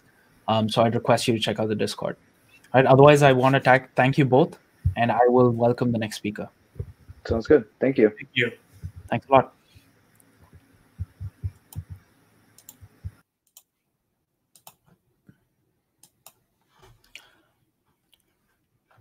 All right. Uh, we have two more minutes. Um, we have two more minutes. So, um, you know, uh, one minute uh, you know at 4:59 I will introduce you and um, and we can um, and then you can you can start at four at at five uh, sharp. Okay. that sounds good to you. Yeah, it sounds good. Yeah. Could you could you uh, say something else, please, uh, just to test your audio? I thought it was faint for a sec. Uh, can you hear me? Yeah, yeah. This this is better. Right. It it was faint faint at the at the beginning. okay. Yeah, but the, this is, I believe, the uh, final talk for the day. Um, actually, you know what? I may as well uh, announce this. You know, this is the final talk of the day. After which, we will send out a Zoom link to the Discord, where uh, you know we can join for like for you know an open format discussion. Um, but but uh, we will end the live stream after this talk. Um, you know, after you know, I guess thanking all the speakers, etc. But um, but um, but yeah, we should you should uh, be on the Discord to look out for that Zoom link. Otherwise, um, I will introduce our next and fi- our final speaker of the day, um, Kyung Hyun Lee. Um, he's here to talk talk to us about bifurcation-based machine learning of dynamical systems. Uh, take it away whenever you're ready. Uh, okay, hello everyone. My name is Gyung, and I'm a PhD student at University of Bristol. And my supervisors are David Barton and Ludovic Renson. And today I will um, talk about uh, bifurcation-based machine learning of dynamical system, uh, which is um, um, example of applying SciML packages uh, for system with bifurcations in nonlinear dynamical systems. Um, I will introduce some examples um, from experimental bifurcation analysis uh, to using experimental bifurcation analysis to build the dynamical system models.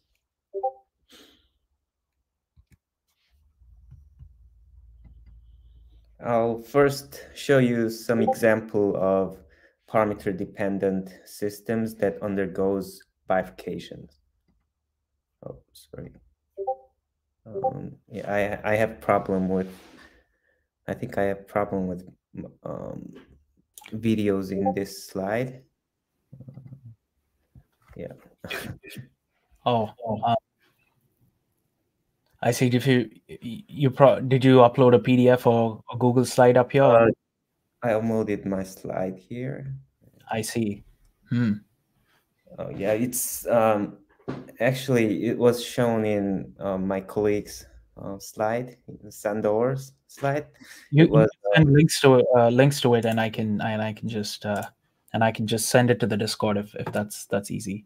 Uh, but but but you should continue with your talk. Oh yeah, I'll just continue with it. Um, it's um, um, self-excited system example of self-excited systems. Um, like um, in airplanes, at certain speeds, um, there could be some limit cycle oscillations on airplane wings, and it can end up uh, of disasters. So usually researchers doesn't want those kind of problems, and these are the first example that I wanted to show was this uh, the it's called aero elastic flutter, and the wing flaps at certain wind speeds. And the another example that I wanted to show on this um, second slide, uh, second video was a wheel shimmy, which um, which at certain speed of the uh, vehicle with wheels, it can lose like its controllability or manu manu maneuvering ability. So it's called as limit cycle oscillations and self-excited systems. And this type of dynamical system without an external excitation is often called a self-excited system.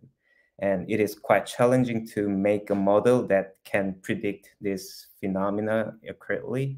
And I'll show you some example that if we use SciML packages, uh, packages, then we can model these systems quite um, interestingly.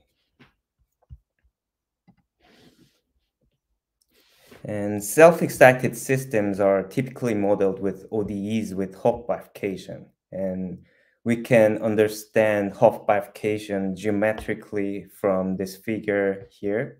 And at certain parameter value of mu, uh, we call this a control parameter. And there can be change of stability changing of an equilibrium and the branch of um, limit cycle oscillation is generated at this equilibrium. And uh, self-excited vibrations that we uh, observe that are shown in the pre uh, previous slides um, are some stable limit cycles. Somewhere over um, in the upper branch over here and there are some interesting characteristics of systems with bifurcations that we can use in modeling, which is like um, existence of an invariant manifold, which I will explain from the next slide.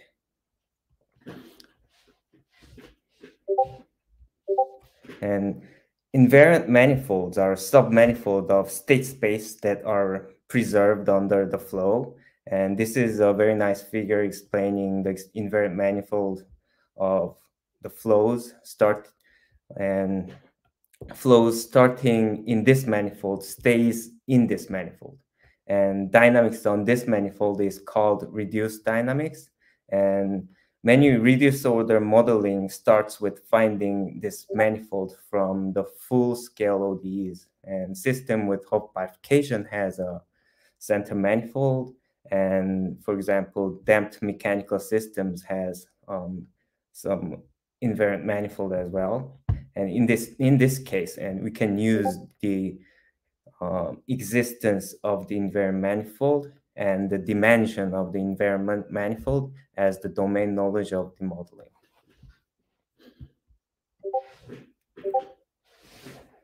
And this is a general framework of training parameter-dependent ODE models using machine learning.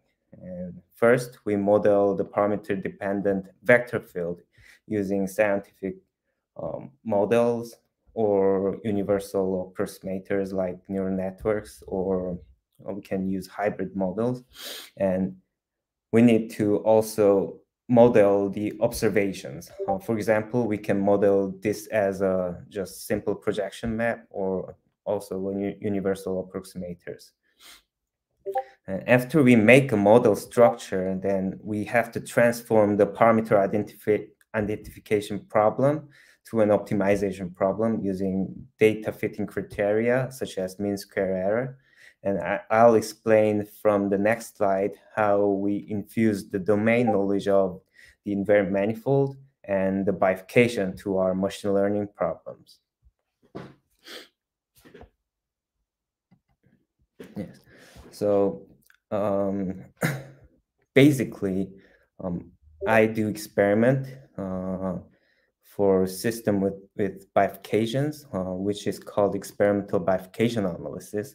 This is the um, bifurcation diagram measured from a, a flutter rig experiment, uh, which is a typical subcritical Hopf bifurcation measurement. Um, these red circles are the um, measured unstable periodic solutions, um, which are stabilized using feedback controllers. And these blue uh, blue circles are the um, measured stable limit cycle oscillations. So if we draw this uh, bif bifurcation diagram, then we can um, plot this like uh, this typical subcritical Hopf bifurcation diagram. And and this, we know the bifurcation structure of this, uh, this uh, measured system, on, which is a dyna reduced dynamic on the invariant manifold. And the in interesting thing of nonlinear dynamical systems are we can use coordinate transformations to transform this this uh, dynamic system to a topologically equivalent dynamic systems. And we can, we, we usually use uh, these coordinate transformations to um, derive some simple type of uh, type of uh, ordinary differential equations, which is called normal forms. And these are the simplest uh, usually a polynomial type of uh, equations that um, reproduces these dynamics in a simplest form. And, and we can use these or those kind of um, differential equations as uh, our basis model. And I'll show you how we can train this uh, system using the normal form. So uh, I'm sorry about the um, this equations errors. Um, I don't know what happened, but um, anyway, I'll just go on. The equation I have used to reproduce the dynamics uh, shown in the last slide is using the sub subcritical Hopf normal form, but I added uh, quintic terms to reproduce the saddle-node bifurcations to uh, to make a stable limit cycle oscillations on the in the on the upper branch. So this is the basis model I used to make a topologically equivalent um, dynamic system. And the advantage of using normal form-like equations is that the shape of the trajectory of the LCOs of this system on the normal form coordinates are LCOs, just very simple LCOs with a circle trajectory.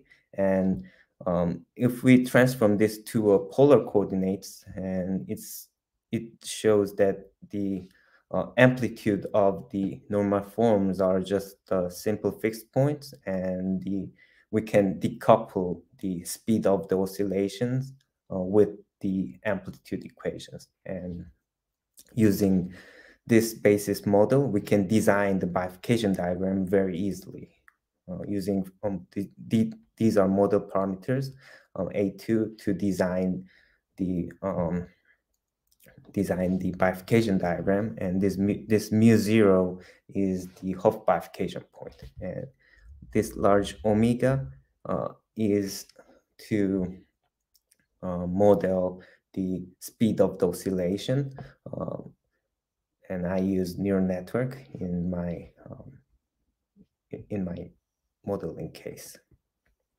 And this is the summary of training uh, the the um, observ observable, um, which is uh, basically a coordinate transformation between the um, invariant manifold, which is a center manifold in this case, uh, between the invariant manifold and the measured uh, measured trajectory. So basically, uh, this observable, which is a neural network. Um, it's uh, it's a combination of linear transformation and the neural network uh, transforms the uh, circle, uh, which is the trajectory of the normal form, and this two measured um, some complicated closed form shapes, and so in order to match this uh, transformed um, trajectory to the uh, to the measured trajectory,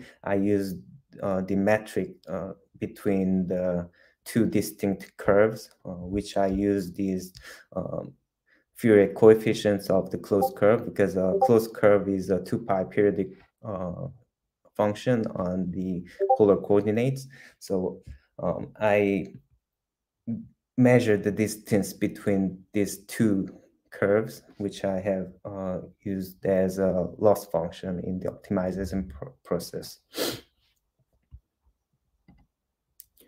And to summarize the uh, procedure of training the model, uh, I first create the topologically equivalent dynamic system on the normal form coordinates, uh, which is um, just um, arbitrary coordinates uh, then train the this arbitrary coordinates between arbitrary coordinates and the measured coordinates, which is um, observable. Then um, train the um, another part of the normal form, which is responsible for the speed of the oscillation, which is um, this omega function here. And this is um, the experiment I, I, did in the wind tunnel. This is the uh, flutter rig, and um, this this system oscillates at certain wind speeds, and I measured this uh, flutter phenomenon with this kind of rig and stabilized the uh, unstable periodic solutions using this shaker with uh, feedback control. So this is the measured uh, bifurcation diagram. Uh, these are the measured uh, bifurcation uh, lim limit cycle oscillations, um, stable limit cycles in the upper branch and the unstable limit cycles in the in this lower branch. And uh, we can see that the um, bifurcation diagram is quite accurately predicted, and also um, we can predict the um, phase trajectory of the uh, limit cycle oscillations. And so I also trained the speed of the oscillations um, using the optimization, um, which I used um, loss function to minimize the uh, mean square error using DiffEqFlux.jl. So um, you, you can see that um, the speed of the oscillations are uh, very accurately uh, accurately trained uh, on the stable branch and as well as unstable branch. Um, the trick of a little trick to train unstable branch was uh, because of the uh, unstable unstable predict solutions for Hopf bifurcation. Is unstable direction of the this um, periodic solution is on the reduced direction uh, and uh, the re radius of the uh, the amplitude of the oscillation is a fixed point uh, so i only uh, did the time integration in the tangential direction so which is uh, a trivial which corresponds to a trivial Floquet multiplier. So I didn't have any problem with the um, stability issues in this case. Uh, uh, oh, I need to go fast, and I'll show you another example of using invariant manifold and um, this bifurcation theory in training uh, for system with uh, mechanical system with uh, harmonically forced systems. This type of uh, system has also invariant manifold, which we can uh, understand as a nonlinear version of modal subspaces. So um, like these forced systems uh, also have bifurcation diagrams, uh, which which is uh, called frequency response functions. And if we fix this uh, forced amplitude, then we can have one of the um, this frequency responses plotted here. And so this system is actually a two parameter bifurcation problem with um, which uh, like three parameters are forcing amplitude and the forcing frequency. And this red curve in the middle is called the backbone curve, which characterizes the nonlinear um, resonances. So this equation here is a normal form of forced mechanical system in polar coordinates. Uh, this rho is uh, amplitude of the vibration, and this uh, this psi here is the um, um, is the phase difference between the force and the response. And if we measure the uh, phase of the response and as well as the uh, phase of the force, then we can train um, this normal form using the input-output map generated from uh, this uh, this equation here.